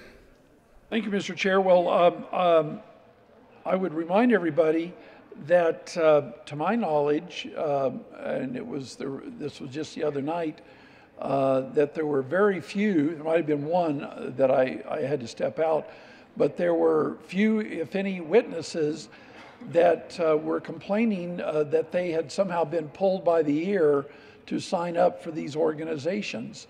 Um, uh, I emphasize to my colleagues that the vast majority, if not virtually all, that here in Colorado, I know there might be an instance in, in another state or two where there's been a, a bad actor, but um, unfortunately, it, it appears that this bill is going after the good actors with a sledgehammer rather than just a scalpel. Uh, um, virtually all of the companies, whether they're religiously based or not, they do a good, excellent job. Um, we heard no significant testimony from, uh, like a lot of bills, where people are lined up uh, 30 or 40 or 100 deep saying how they've been mistreated. Uh, the vast majority uh, and I, there again, I speak about this company called Medi-Share. There's other good actors that people are very satisfied. That's why these companies are growing, is that they provide an excellent service at a very good uh, price, um, and uh, people are well taken care of. So, uh, with that in mind, um, I would ask uh, once again for a uh, I vote on 071 Motion is the adoption of 71. All those in favor say aye. Aye. Opposed, no. The noes have it, and L71 is lost. The motion is the adoption of House Bill 1269. All those in favor say aye. aye. Opposed, no. The ayes have it, and 1269 is passed. Mr. Majority Leader. Thank you, Mr. Chair. I move the committee rise and report. Motion for the committee to rise and report. All those in favor say aye. Opposed, no. The ayes have it, the committee will rise and report.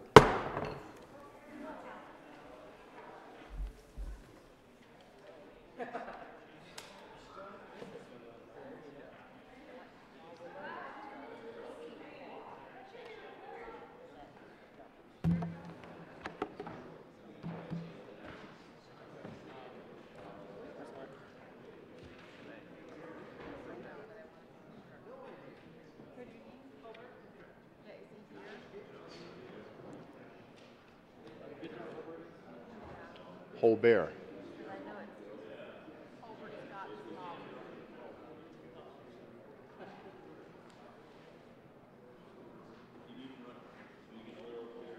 Here he is.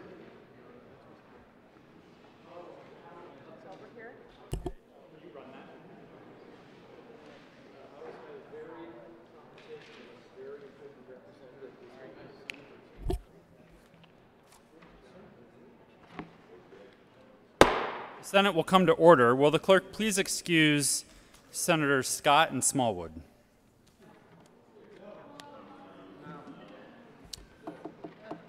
Senator Coleman. Thank you, Mr. President. The committee has met and a number of bills under consideration. The clerk please read the report?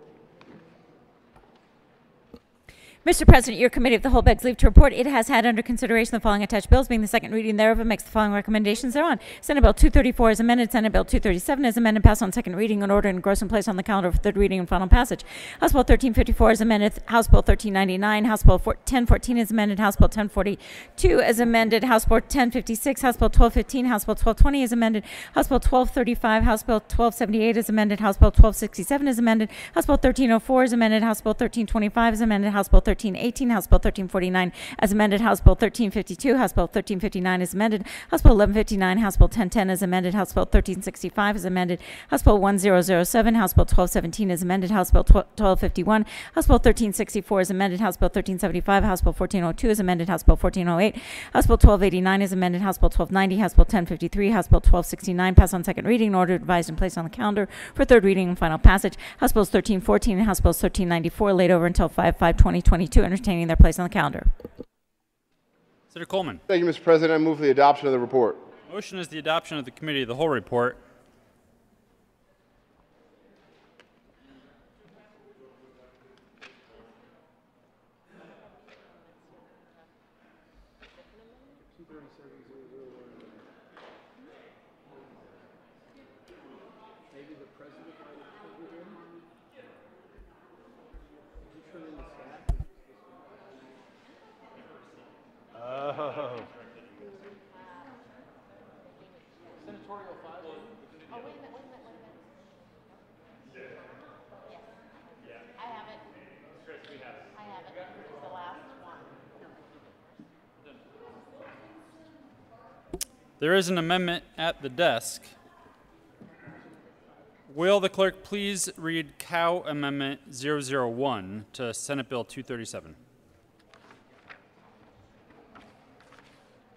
Cal Amendment 001, Senator Fenberg. mo- Majority Leader Holbert. Thank you, Mr. President. I move Cal Amendment 1 to 237. The amendment. Thank you, Mr. President. Members, you'll note in the very, the first two words of the amendment reference Senator Fenberg. I wouldn't mention his name because I'm not allowed to do that from the well, but that's what it says here on the amendment. And I would clarify, I'm not him. But I am the prime co-sponsor with him on this bill. This is the bill concerning measures to promote increased transparency of funds used in ballot measure campaigns, and this amendment would change the following words. Person who made the expenditure and replace it with the word payee.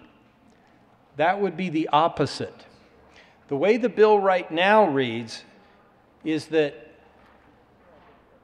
the person making the expenditure would disclose, yes, I made the expenditure. And with a change, it would say, I made the expenditure to the payee. And that's the information that we're actually trying to achieve. Uh, this was brought to uh, the president's I, the, the attention of the president and I after the bill passed second reading, um, so that we do not have to ask your permission for a third reading amendment. I would clearly classify this as a technical amendment and ask for your I vote, unless you want to be on extra committees if you're in the minority. Further discussion, Senator Lundeen. I was just curious if we had a T chart on that, whether there would be a debit or a credit or a credit or a debit. Yes. Yes. The question before the body is the adoption of Amendment L001, or no, sorry, Cow 1.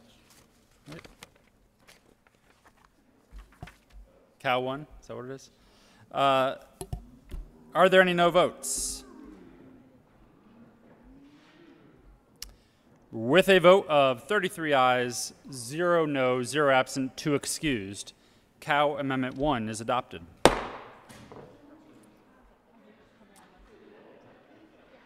There is another amendment at the desk. Will the clerk please read Cow Amendment 1 to uh, 1010. 1010. House Bill 1010?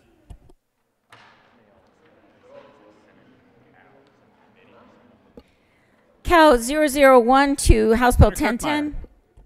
Thank you, Mr. President. I move Cow Amendment 001 to House Bill 1010. To the amendment.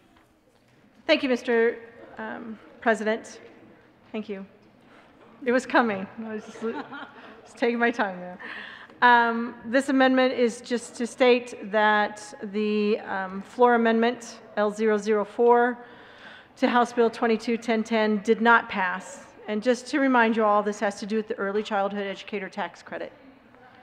Um, This was the amendment that reduced it from five years to four years. And again, I just would ask for your support on this. This means basically for an educator, childhood professional, the 2,733 educator, childhood professional threes who are set to get a $1,500 tax credit for five years would now only be able to get it for four years. And I'm just going to remind you that it's not going to start automatically for all of the early childhood professionals. Because it's taking an incredibly long time in the Department of Human Services to get these folks credentialed. So it's another reason why I'm opposed to it going from five years to four years, and I ask for an aye vote on the Cow Amendment. Thank you. Further discussion. Senator Buckner. Thank you, Mr. President. Um, I'm asking for a no vote on this cow. You know, all of us want to protect K through 12. I know that the good senator from Brighton wants to protect K through 12. And the strategy has always been employed on other tax credits to be fiscally responsible. We don't know the fiscal landscape in four or five years. In fact, we unfortunately don't have a crystal ball. So we're going to take another look in four years, and I think that's reasonable, and I am asking for a no vote. The question before the body is the adoption of Cow Amendment 1 to House Bill 1010. Are there any no votes? Senators? Bridges, Lee, Buckner, Winter, Gonzales, Fields, Majority Leader Moreno, Coleman, Jaquez Lewis, Donovan, Hinrichsen, Kolker, Buckner, Pettersen, Zenzinger, Ginal, Story, Rodriguez, Hansen, Danielson. Please have the president.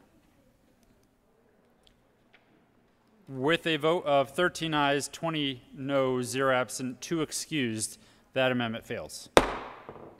There's another amendment at the desk. Will the clerk please read Cow Amendment 1 to House Bill 1269? Cow Amendment 1 uh, to House Bill 1269. Senator Woodward moved to amend. Thank you, Mr. President. I move Cow 1 to 1269, the Woodward number 1. To the amendment. Um, uh, This amendment uh, deals with the medical cost sharing uh, entities that we just talked about. And specifically, it, it makes sure that we recognize in this bill that we are not going to step on religious liberty. Uh, so, this amendment, by voting yes for this amendment, you will agree that to add language to this bill that says nothing in this section shall be construed to uh, essentially step on the religious exercise in the freedom thereof. Senator Hansen. Uh, Thank you very much, Mr. President. Members, uh, urge a no vote on this cow amendment. As we discussed, the U.S. Constitution, the Colorado Constitution has this well covered. And keep in mind, uh, many of these entities that we're collecting data on uh, are not religious in any way, shape, or form. So I don't even think this really applies in many cases. Please vote no on this amendment. Question before the body is the adoption of Cow Amendment 1 to House Bill 1269. Uh, are there any no votes? Senators Coleman, Jaquez Lewis, Donovan, Majority Leader Moreno, Hansen, Winter, Bridges, Fields, Gonzales, Buckner, Lee, Danielson, Pettersen, Zenzinger, Ginal, Story, Kolker, Hinrichsen, Rodriguez. Please have the president. With a vote of 13 ayes, 20 noes, 0 absent, 2 excused, that amendment fails. There is an amendment at the desk. Will the clerk please read Cow Amendment 2? Cow Amendment 002 to 2 2. Senator Woodward. Senate Bill 234. Thank you, Mr. Chair. I move Cow 002 to 234. To the amendment. Uh, thanks. Uh, this cow says that we're going to take $73 million from the general fund and put it back into the unemployment insurance tax fund. Uh, that amount happens to match the exact same amount that the auditor had identified as of uh, December that was paid out in fraudulent claims to uh, unemployment during the COVID 19 pandemic and asked for an aye vote. Is there any discussion? Senator Donovan. Thank you, Mr. President. I ask for a no vote. Question before the body is the adoption of Cow 2 to the Committee of the Whole report. Are there any no votes? Senators Donovan, Jaquez Lewis, Coleman, Majority Leader Moreno. Fields. Gonzales. Buckner. Lee. Bridges. Hansen. Pettersen. Zenzinger. Ginal. Story. Winter. Kolker. Hinrichsen. Rodriguez.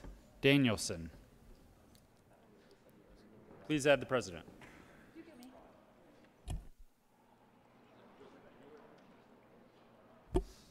And Senator Rankin.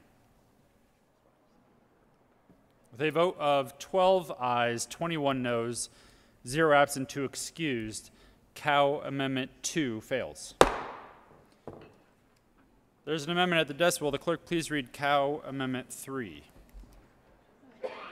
Cow Amendment 3 to Senate Bill 234. Senator Woodward. Thank you, Mr. Chair. I move Cow Amendment 3 to Senate Bill 234. To the amendment. Uh, thank you. Cow 03 shows that the following did pass. Uh, amend printed bill, page 7, strike line 24, and substitute while lawfully present in the state. Any discussion? Senator Rankin. I ask for no vote. Question before the body is the adoption of Cow Amendment 3. Are there any no votes? Senators Coleman, Jaquez Lewis, Donovan, Hansen, Majority Leader Moreno, Bridges, Danielson, Fields, Hinrichsen, Kolker, Gonzales, Buckner, Lee, Winter, Pettersen, Zenzinger, Ginal, Story, Rodriguez, Rankin. Please add the president. With a vote of 12 ayes, 21 noes, 0 absent, 2 excused, that amendment fails.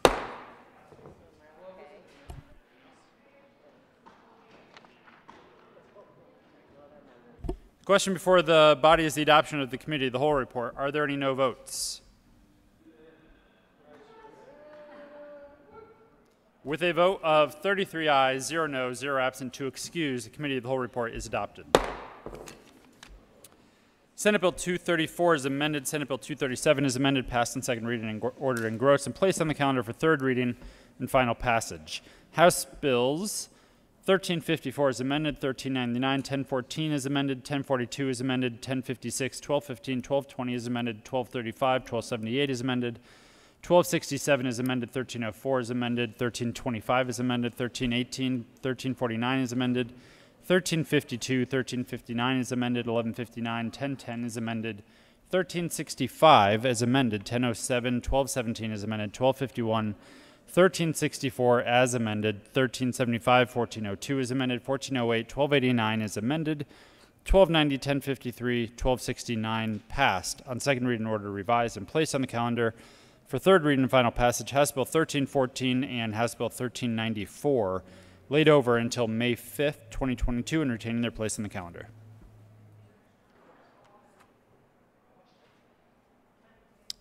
The following change in bill sponsorship will occur. Senator Gonzales will be added as co-prime sponsor on Senate Bill 43 with Senator Cooke. Committee reports.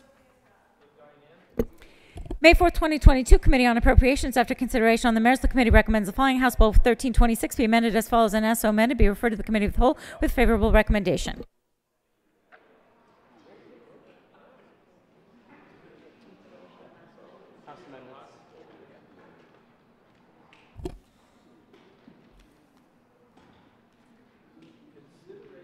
Consideration of House amendments. Will the clerk please read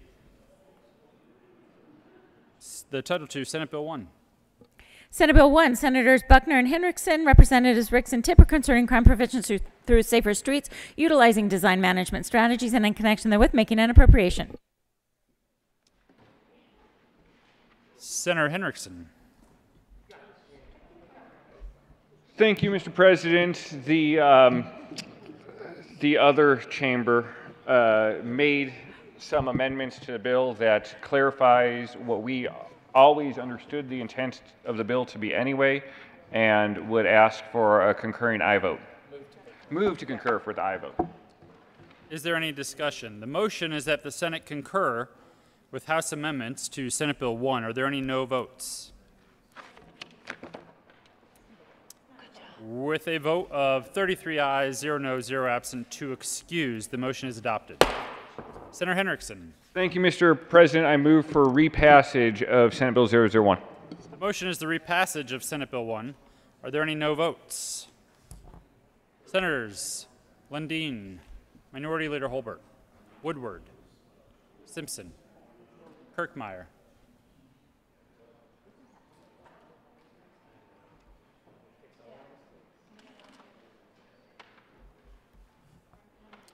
Sonnenberg,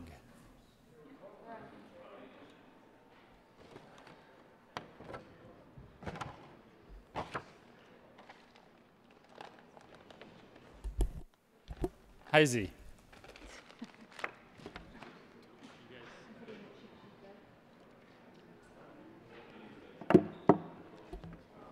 I got the cheat sheet.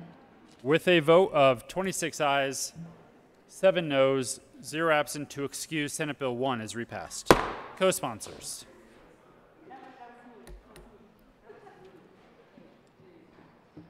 Will the clerk please read the title to Senate Bill 2?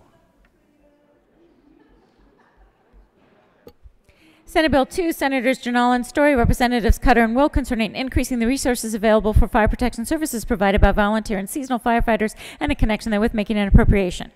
Senator Ginal. Uh, Thank you, Mr. President. I move that the Senate concur, we move that the Senate concur with the House amendments to Senate Bill 2.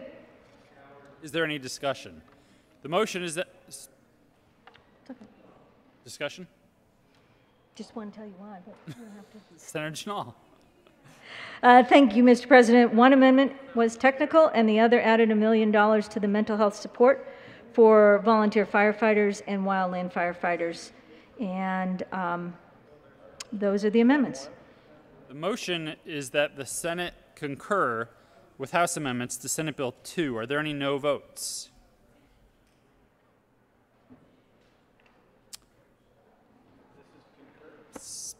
Concurrence, yeah. No votes. We don't want. With a vote of 33 ayes, 0 no, 0 absent, 2 excused, the motion is adopted. Senator Story. Thank you, Mr. President. I move for the repassage of Senate Bill 2. Motion is the repassage of Senate Bill 2. Are there any no votes? Senators Lundeen. With a vote of 32 ayes, 1 no, 0 absent, 2 excused, Senate Bill 2 is repassed. Co-sponsors. Senators Rankin, I've got you. So if, if you co-sponsored in the past on this on these bills, you don't need to do it again. I know it's real complicated. Changes all those rules change like every day. Will the clerk please read the title to Senate Bill 8? Senate Bill 8, Senators Zenzinger and Priola, Representatives McLachlan and McKean concerning post-secondary education support for certain students who have been in out-of-home placement and in connection therewith making an appropriation. Senator Zenzinger. Thank you, Mr. President. I move that the Senate concur with House amendments to Senate Bill 8. Is there any discussion? Yes, the House reduced the navigators. Yes. The motion You is should vote for it now. concur with House amendments to Senate Bill 8. Are there any no votes? With a vote of 33 ayes, 0 no, 0 absent, 2 excused, that motion is adopted. Senator Zenzinger. Thank you, Mr. President. I move for the readoption of Senate Bill 8. Motion is the repassage of Senate Bill 8. Are there any no votes? Senators Cooke, Minority Leader Holbert, Lundeen, Gardner, Liston, Hisey, Kirkmeyer, Sonnenberg, Coram, Woodward.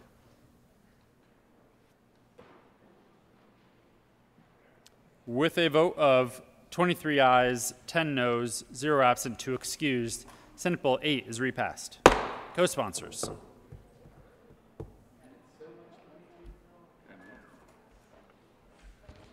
Will the clerk please read the title to Senate Bill 28? Senate Bill 28, Senators Simpson and Sonnenberg, Representatives Robertson and Catlin, concerning the creation of the Groundwater Compact Compliance and Sustainability Fund and in connection therewith making an appropriation. Senator Simpson. Thank you, Mr. President. I move that the Senate concur with the House amendments to Senate Bill 028. Any explanation or discussion? Senator Sonnenberg. Thank you, Mr. Chair. They actually added funding to help the Republican River and the uh, Rio Grande Basin. Uh, excited about uh, potential uh, meeting compact compliance and those groundwater issues there. So ask for your aye vote. That is terrific, Senator Sonnenberg, because you will need funding to pay your $1 fine for referring to me as the chair.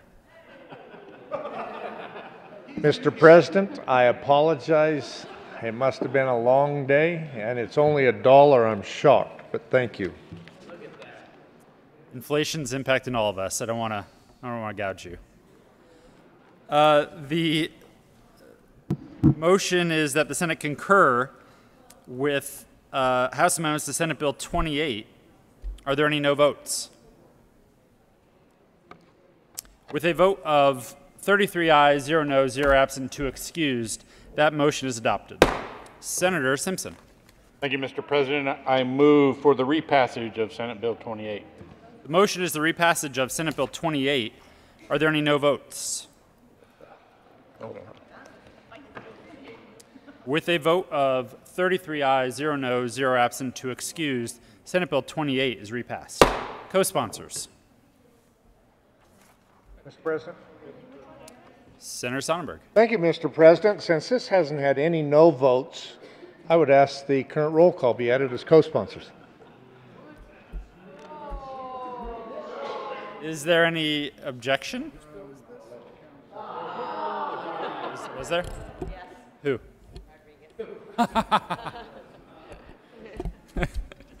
there is an objection, so co-sponsors.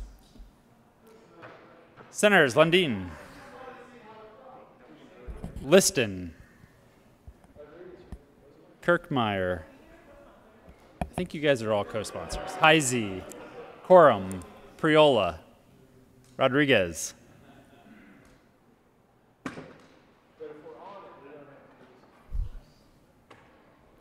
Please add the president. Yeah, we got one. Will the clerk please read the title to Senate Bill 130? Senate Bill 130, Senators Rankin and Hansen, Representative McCluskey, concerning the authority for state public entities to enter into public-private partnerships for public projects and in connection therewith making an appropriation. Senator Rankin. Thank you, Mr. President. I move that the Senate concur with House amendments to Senate Bill 130. Is there any explanation? Great. Is there any discussion? No. The motion is that the Senate concur with House amendments to Senate Bill 130. Are there any no votes? With a vote of 33 ayes, 0 noes, 0 absent, 2 excused, the motion is adopted. Senator Rankin. Thank you, Mr. President. I move for the repassage of Senate Bill 130. The motion is the repassage of Senate Bill 130. Are there any no votes? Senators Sonnenberg, Woodward, Minority Leader Holbert, Lundeen,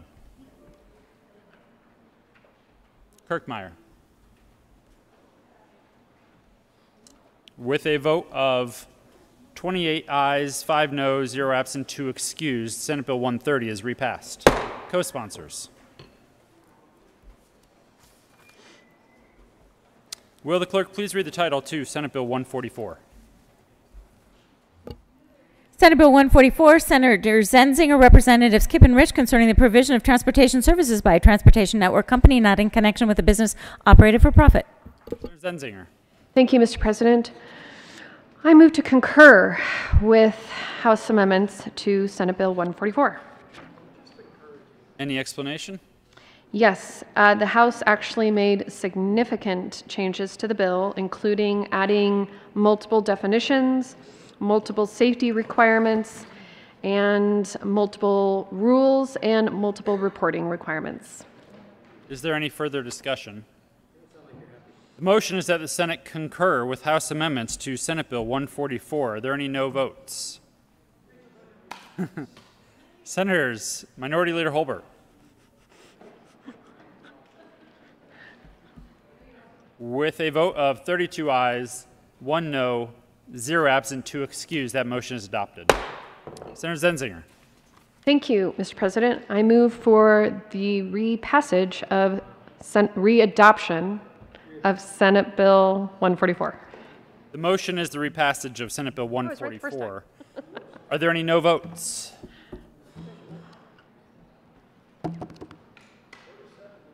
With a vote of 33 ayes, Now it's unanimous. zero noes, zero absent, two excused, Senate Bill 144 is repassed. Co-sponsors. Will the clerk please read the title to Senate Bill 162? Senate Bill 162, Senators Zenzinger and Kirkmeyer, Representatives Woodrow and Lynch, concerning the modernization of terminology used in the Colorado Revised Statutes relating to the organization of Colorado state governmental agencies without altering the status of the powers assigned to those agencies pursuant to the Administrative Organization Act of 1968. Senator Zenzinger. Thank you, Mr. President. I move to concur with House amendments to Senate Bill 162. Is there any discussion? Yes. Uh, Because we added two new de- departments, they had to include those changes in the bill. The motion is that the Senate concur with House amendments to Senate Bill 162. Are there any no votes? With a vote of 33 ayes, 0 no, 0 absent, to excuse that motion is adopted. Senator Zenzinger. Thank you, Mr. President. I move for the repassage of Senate Bill 162, the Debbie Haskins bill. The motion is the repassage of Senate Bill 162. Are there any no votes? With a vote of 33 ayes, 0 noes, 0 absent, 2 excused, Senate Bill 162 is repassed. Co-sponsors.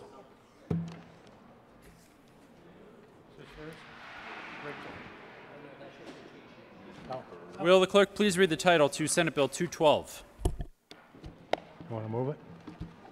Senate Bill 212, Senators Lee and Cooke, Representatives Herod and Soper, concerning the non-substantive revisions of statutes in the Colorado Revised Statutes as amended and in connection therewith amending or replacing obsolete, imperfect, and inoperative law to preserve the legislative intent, effect, and meaning of the law.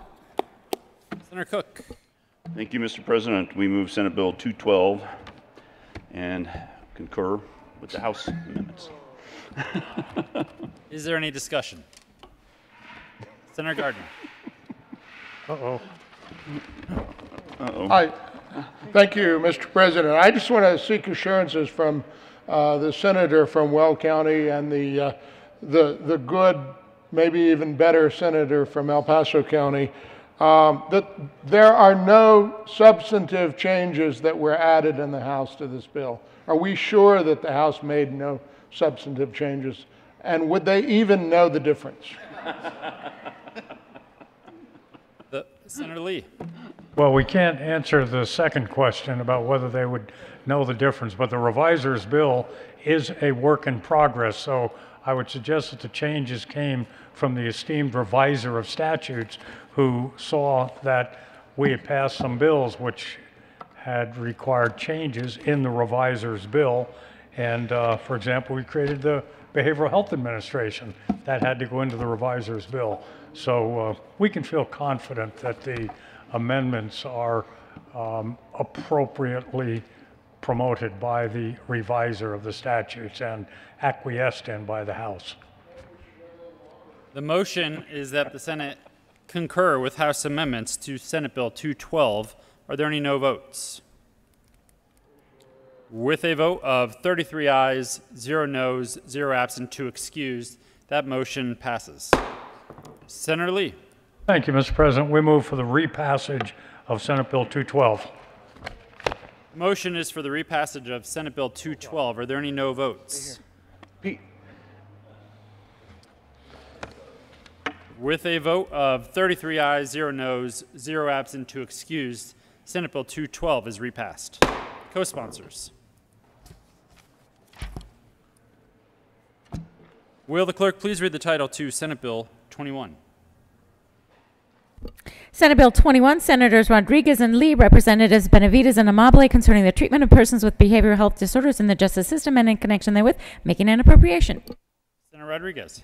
Thank you, Mr. President. I move that the Senate reject the House amendments to Senate Bill 21, and a conference committee be appointed. Now we're talking. Is there any discussion? Yes, they took the perfectly good bill that we sent out of this chamber over there and messed it up, and we need to go and fix it. No, it's, The motion is that the Senate not concur with the House amendments to Senate Bill 21 and that a conference committee be appointed. Are there any no votes? There better not be. With a vote of 33 ayes, 0 no, 0 absent, 2 excused, that motion is adopted.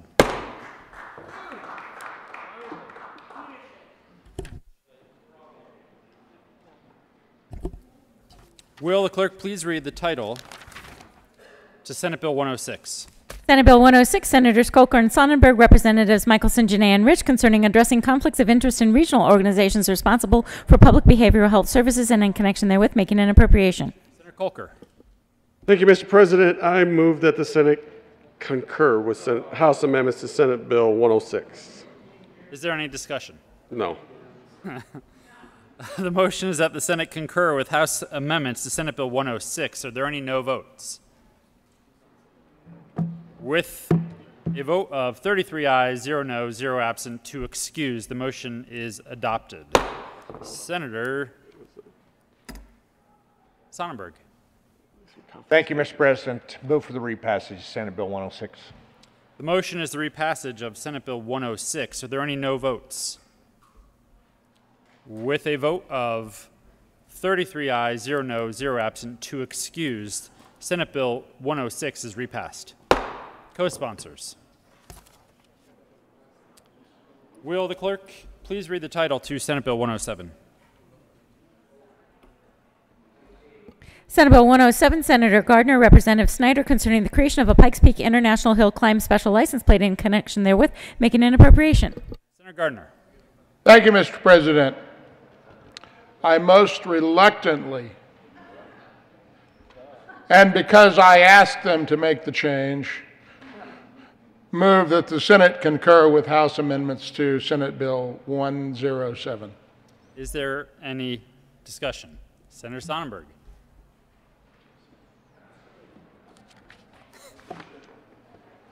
Thank you, Mr. President. How in heaven's name can we have over 200 license plate bills and not get it right in the first chamber? Senator Gardner. Thank you. Uh, the question from the good senator from Sterling, maybe there'll be a better one next year, I don't know, um, is appropriate. Um, The reason we didn't get it right was I was asking the Department of Revenue to do something in an expeditious manner, and they said they couldn't do it. And so we had to move the effective date of this bill out uh, a little longer. And, you know, I, my, my expectations were just too high. Um, I would just say to the senator from Sterling. So that's the reason I asked for concurrence.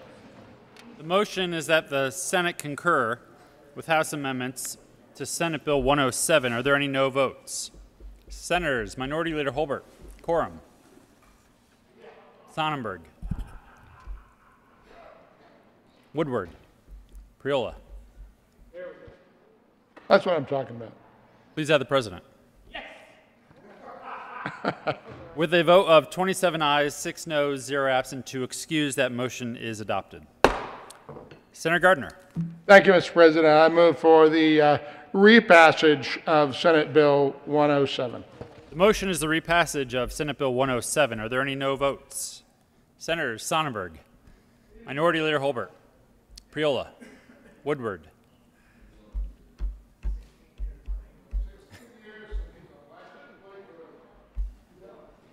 With a vote of 29 ayes, 4 noes, 0 absent, 2 excused, Senate Bill 107 is repassed. Co-sponsors.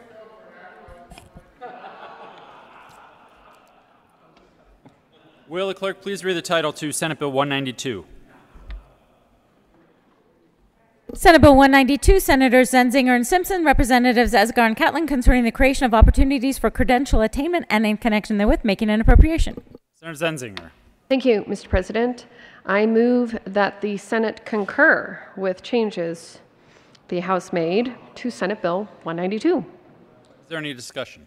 Yes, they clarified that the program would not apply to an already established apprentice program in which they don't have to accept the credits and that it does not pertain to their existing requirements.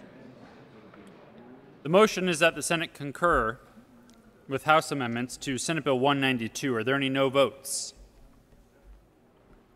With a vote of 33 ayes, 0 no, 0 absent, 2 excused, the motion is adopted.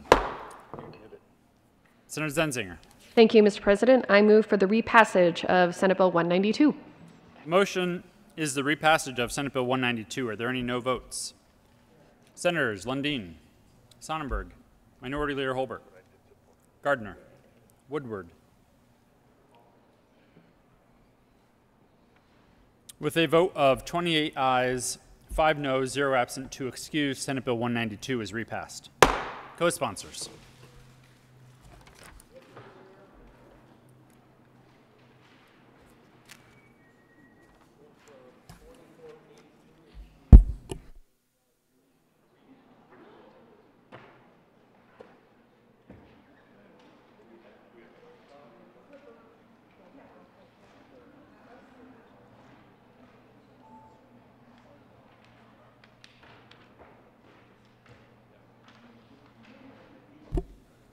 The following senators are appointed as members of the First Conference Committee on Senate Bill 21. Senators Rodriguez, Chair, Lee, and Simpson.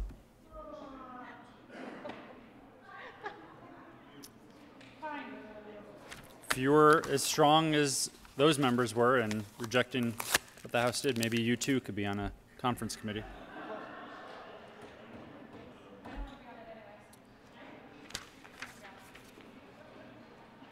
Members, today is a special day.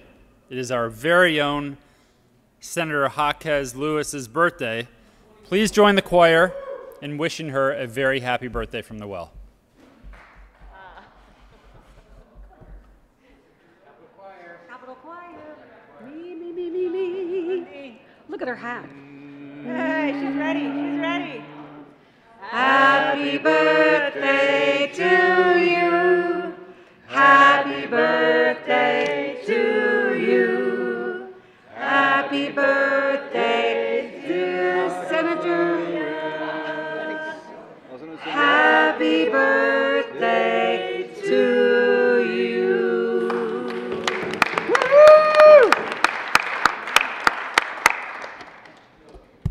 Announcements.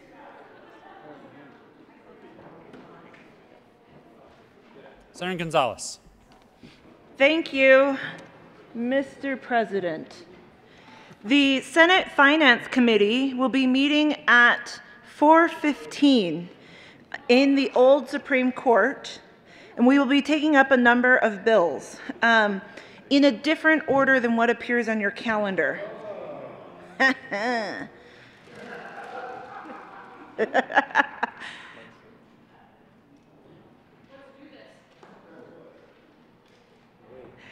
We'll begin with Senate Bill 205. Two, uh, we'll then uh, move to 1246, 1005, 1149, 1205, 1380, 1006, 1051, 1259, which is the one that moved, and 1355. Yep. See y'all then. Uh, we're going to take about a half hour break before we convene in the Old Supreme Court. See y'all then. Senator Bridges. Do you have a, like a, I have a trick first. Senator Hansen. Uh, thank you, Mr. President. For members of Senate Appropriations, our exciting work continues. I'm pleased to let you know you're going to get to sleep in just a little bit more tomorrow because we were not going to start until 8 o'clock.